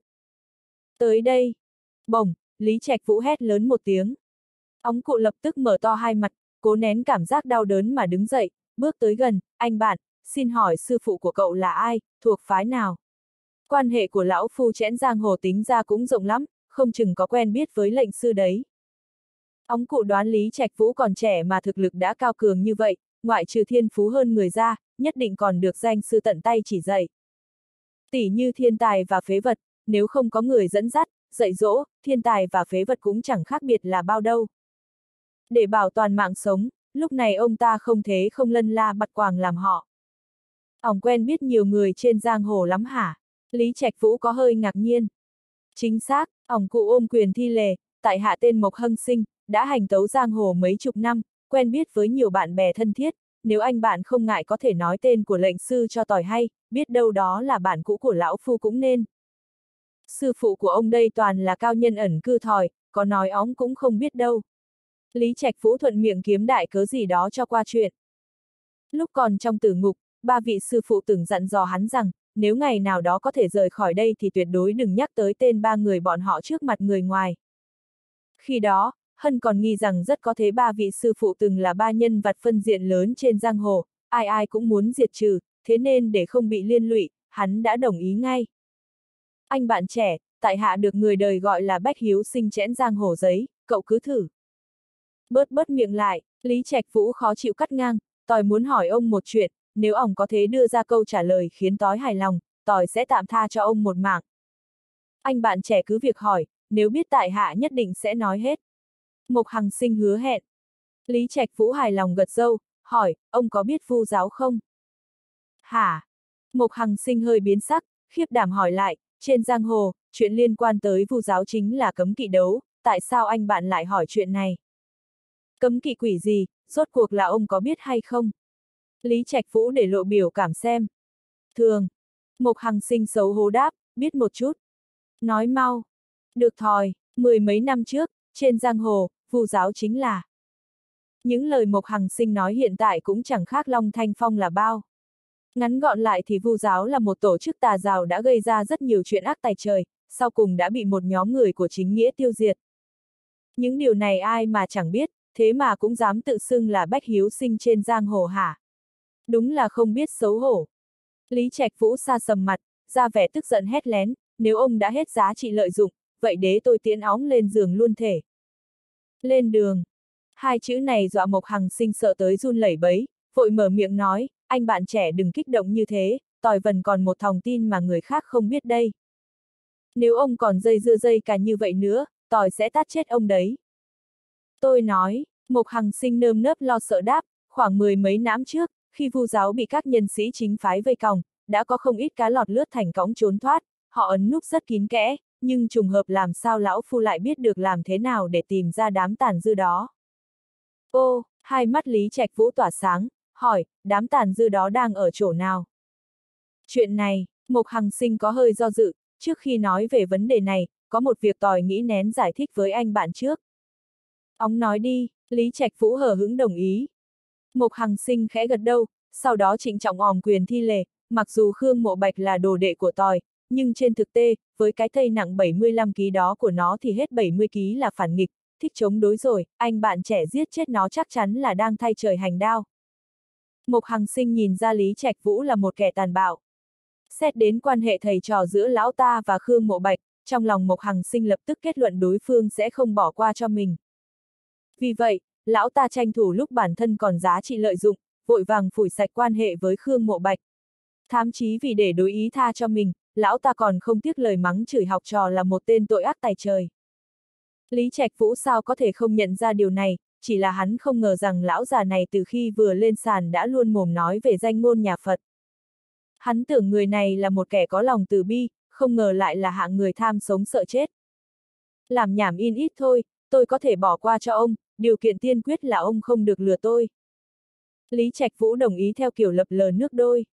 Nghe xong, Mộc Hằng sinh cán răng thề thốt, nếu tôi dối gạt cậu thì ông trời sẽ phạt tôi sinh con ra không có lỗ đít. Mẹ kiếp, sao ông lại dày già hơn cả đường tăng thế kia, nếu không nói thì đừng nói nữa.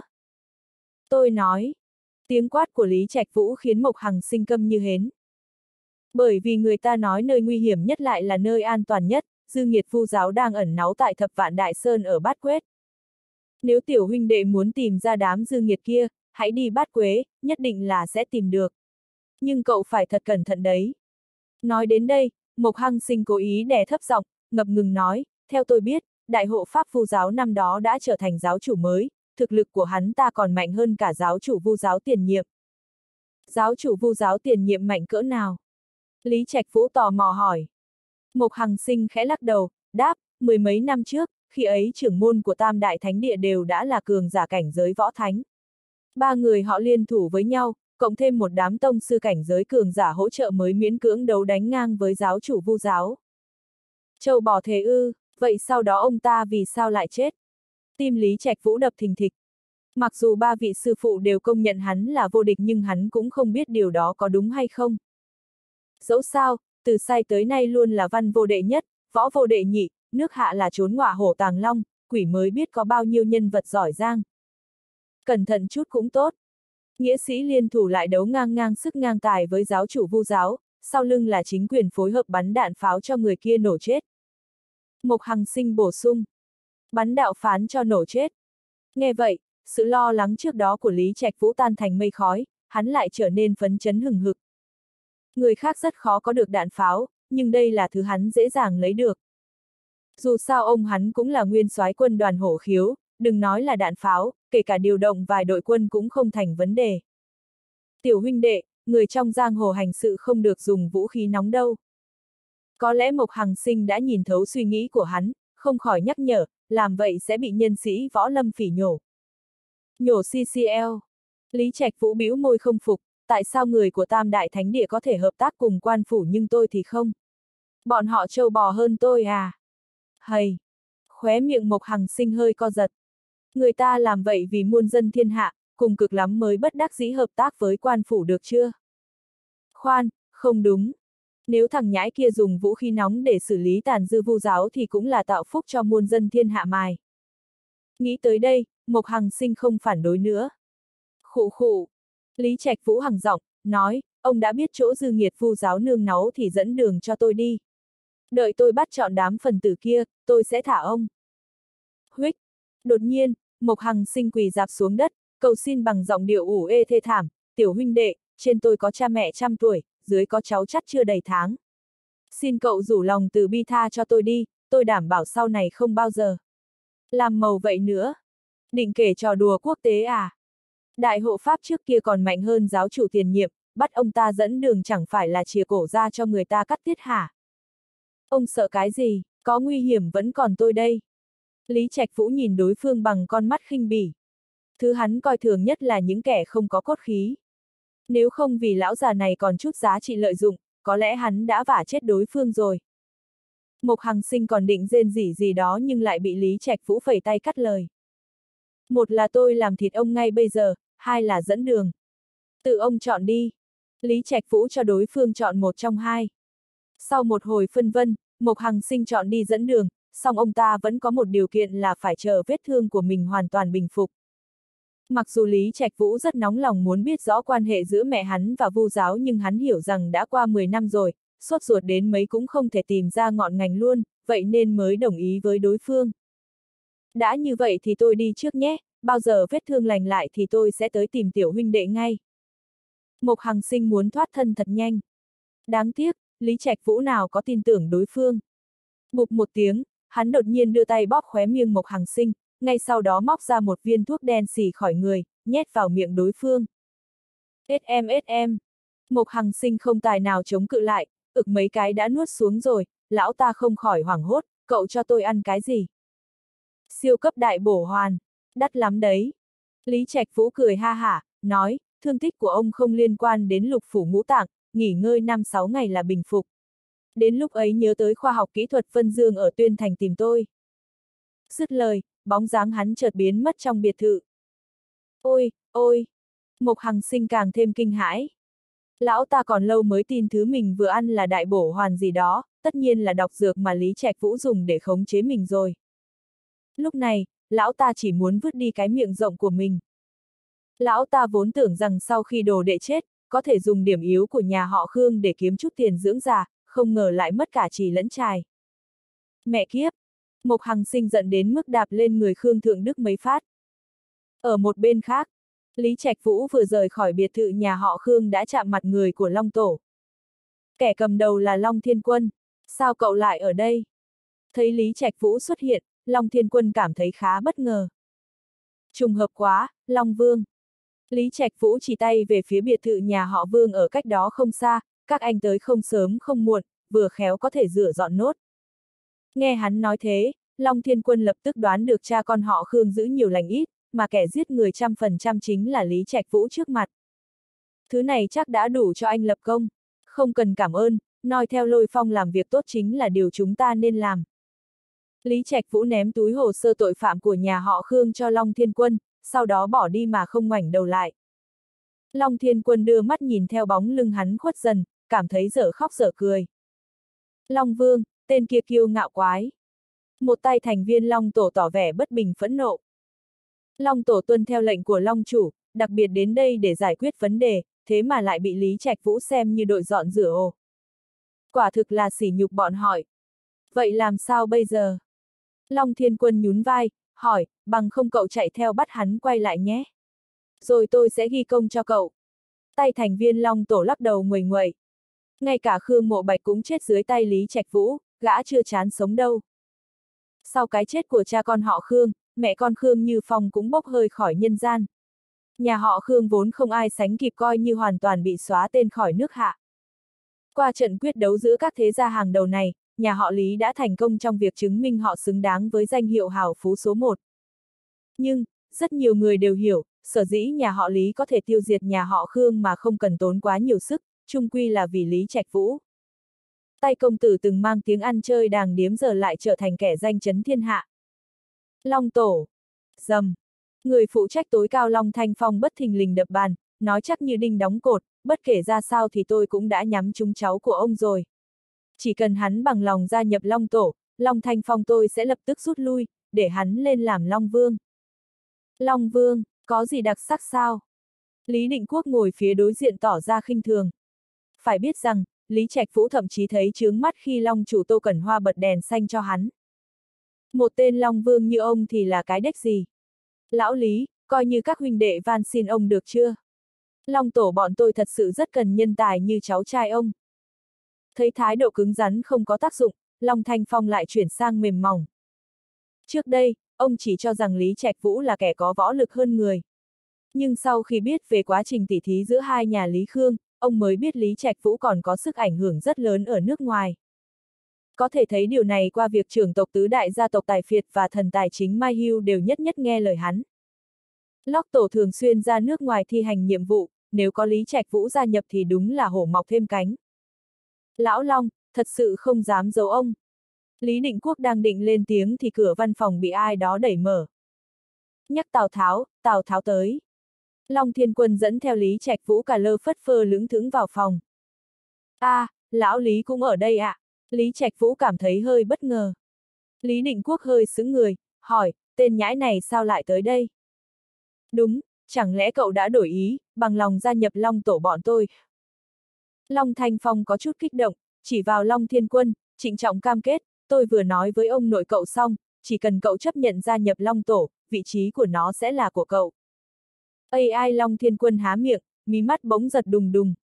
Phải biết rằng hắn ta đã phải nỗ lực đến mức cửu tử nhất sinh mới giành được danh hiệu Long Vương đầy vinh dự này, thế mà nói lột là lột luôn sao? Võ về tên nhãi này trước đã. Long Thanh Phong cảm nhận được cảm xúc dối bời của đồ đệ, vội cúi xuống dỗ dành, đợi vài năm nữa vi sư chết rồi, vị trí của vi sư sẽ là của con. Lúc này, đôi lông mày nhíu chặt của Long Thiên Quân mới hơi thả lỏng. Ua, hơi sai sai. Sư phụ còn rất cường tráng, chẳng phải mấy chục năm nữa ông ấy mới chết à. Long Thiên Quân hoàn toàn điếng người. Lão già, trước mắt đừng lôi kéo tôi nữa.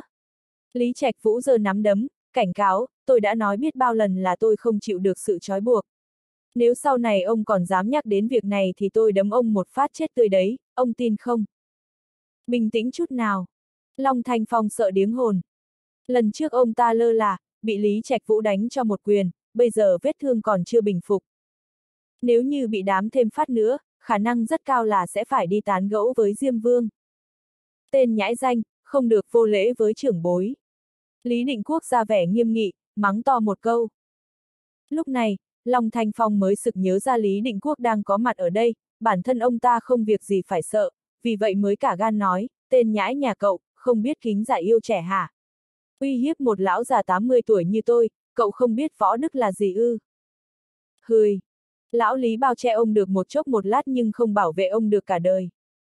Lý Trạch Vũ nheo mắt cười nhắc nhở. Nụ cười của hắn lọt vào mắt Long Thanh Phong, ông ta lập tức dùng mình, lòng thầm kêu một tiếng thằng này giỏi. Trên đời này, có lẽ Lý Trạch Vũ là kẻ duy nhất dám quang minh chính đại tới Long Tổ và uy hiếp ông tan. Thôi được rồi, chúng ta bàn chính sự nào.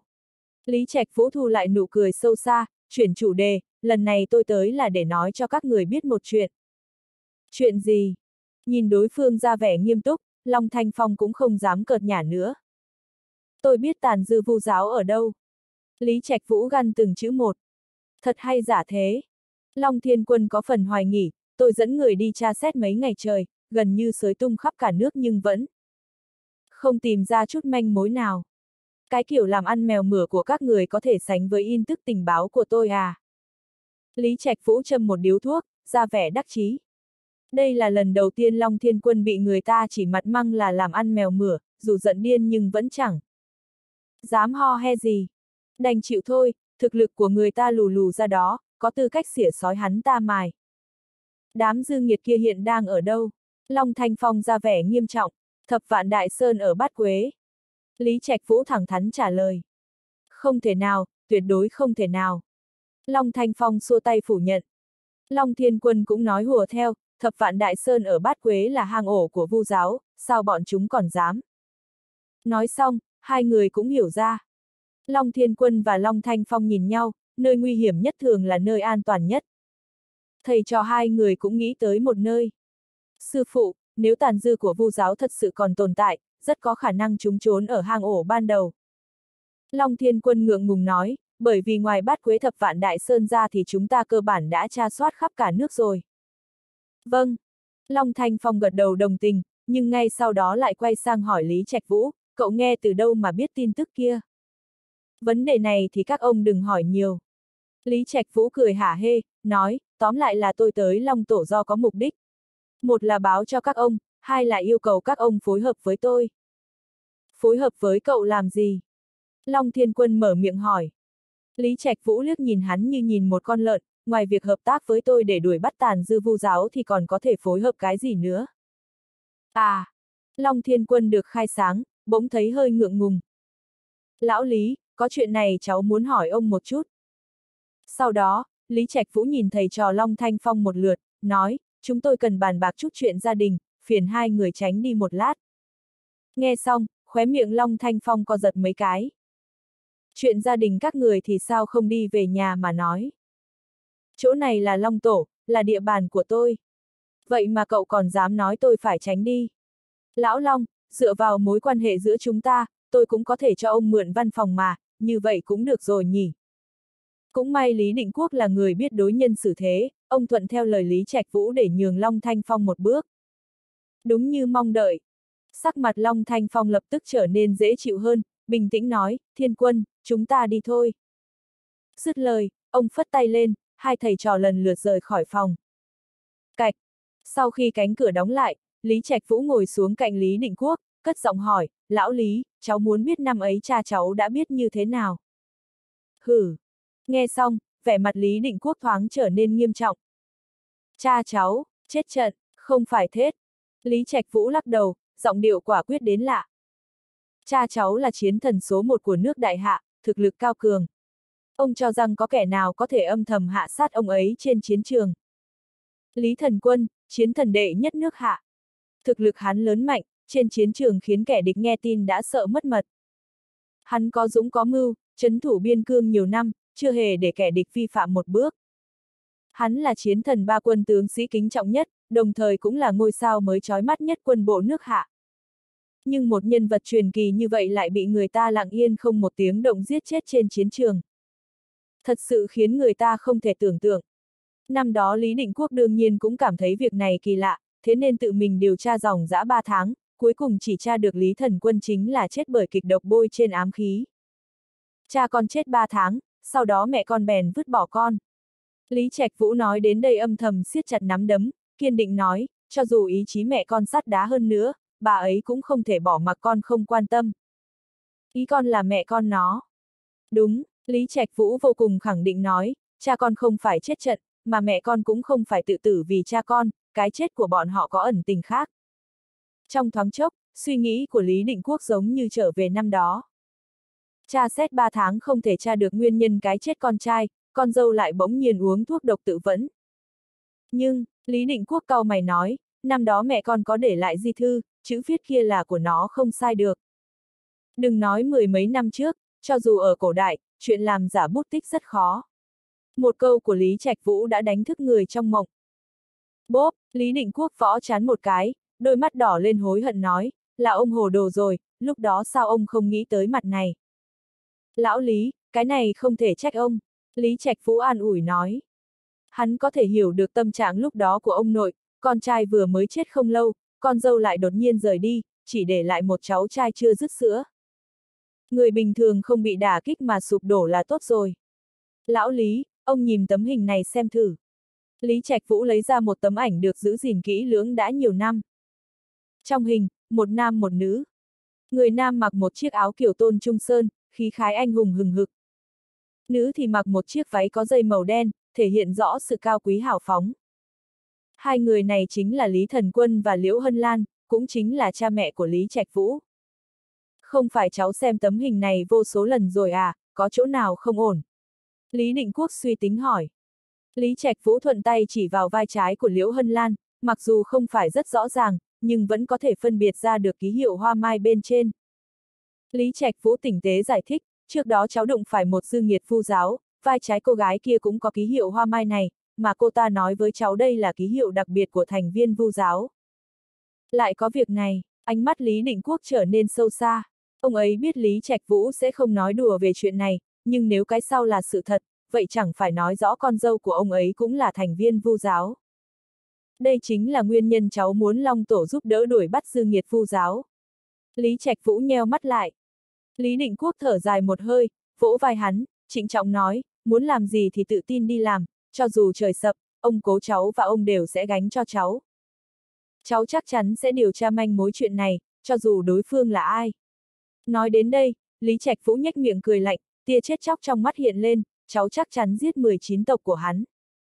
Tiểu tu di sơn, tiêu giao cung. Cốc cốc cốc. Bạch Tố Y đang tính tu, bỗng nhiên có người gõ cửa phòng. Vào đi. Két, tiểu mẫn đẩy cửa vào nói, thánh nữ, cung chủ xuất quan rồi, bảo ngài tới tiêu giao cung gặp bà ấy.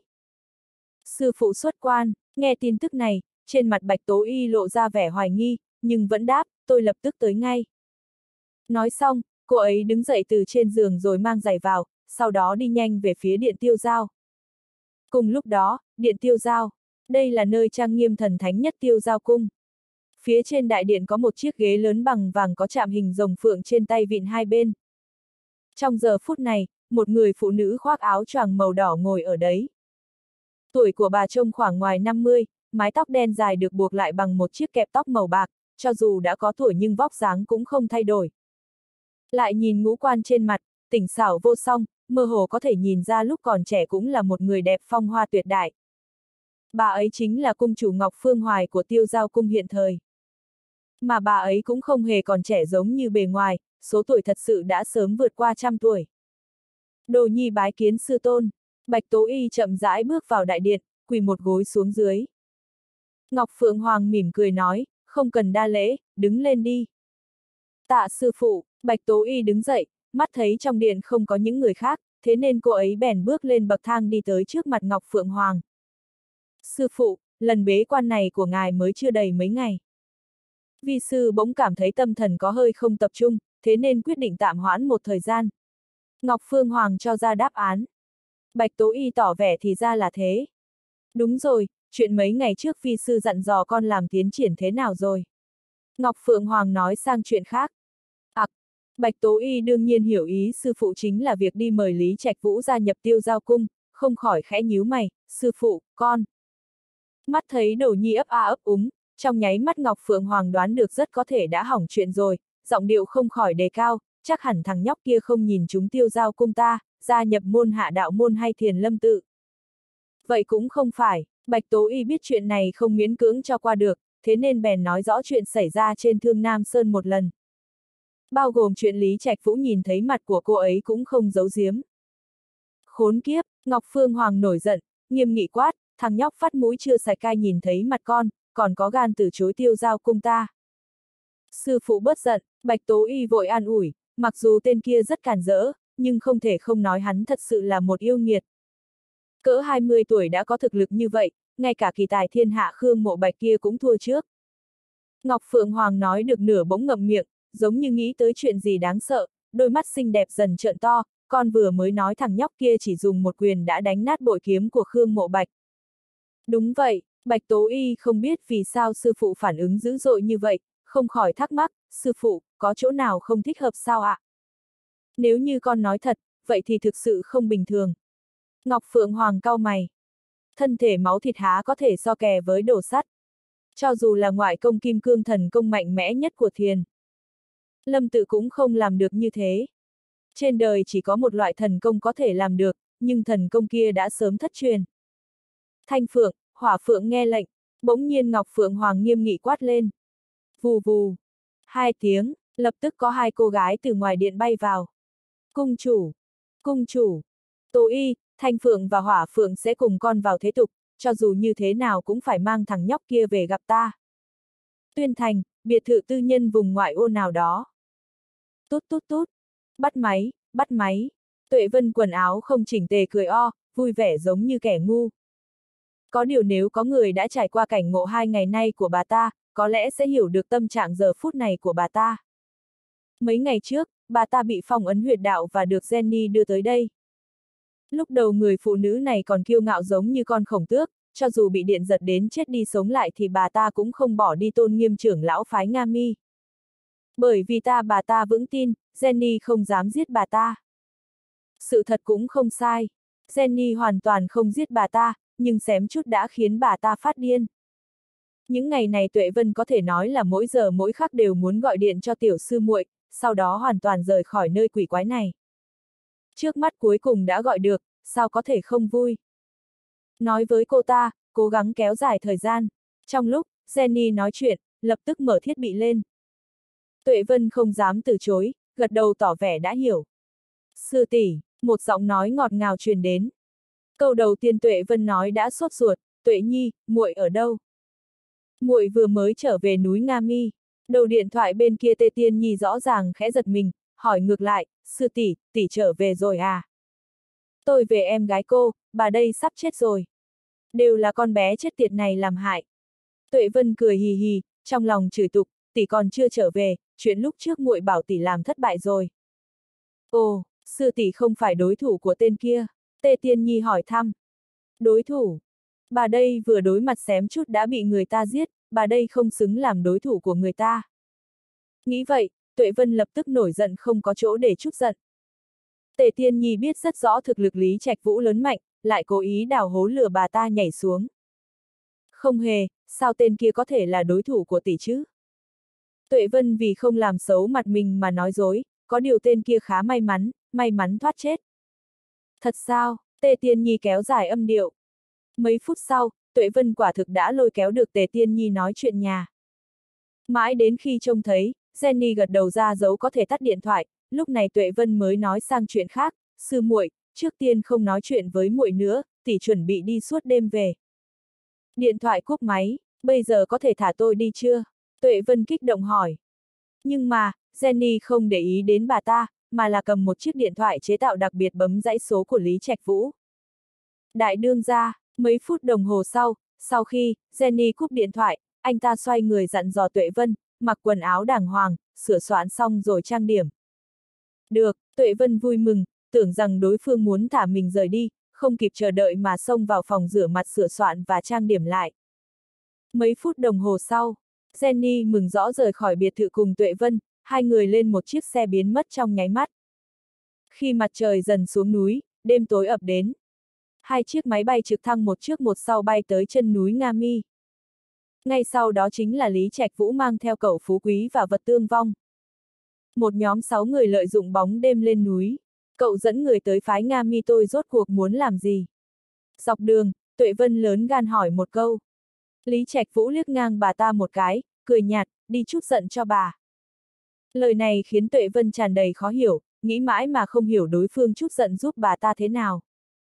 Thấy vẻ mặt bà ta mơ hồ, Lý Trạch Vũ cười ghẹo, bà suy nghĩ thử xem, sư muội bà có phải hố bà không? Bây giờ tôi bắt cô ta lại tra tấn một phen, có xem như chút giận thay bà không? Cao thủ phái Nga mi tôi nhiều như vậy, chỉ dựa vào các cậu cũng muốn tới bắt người. Vẻ mặt tuệ vân đầy hoảng sợ. Audio điện tử võ tấn bền. Hết tập 3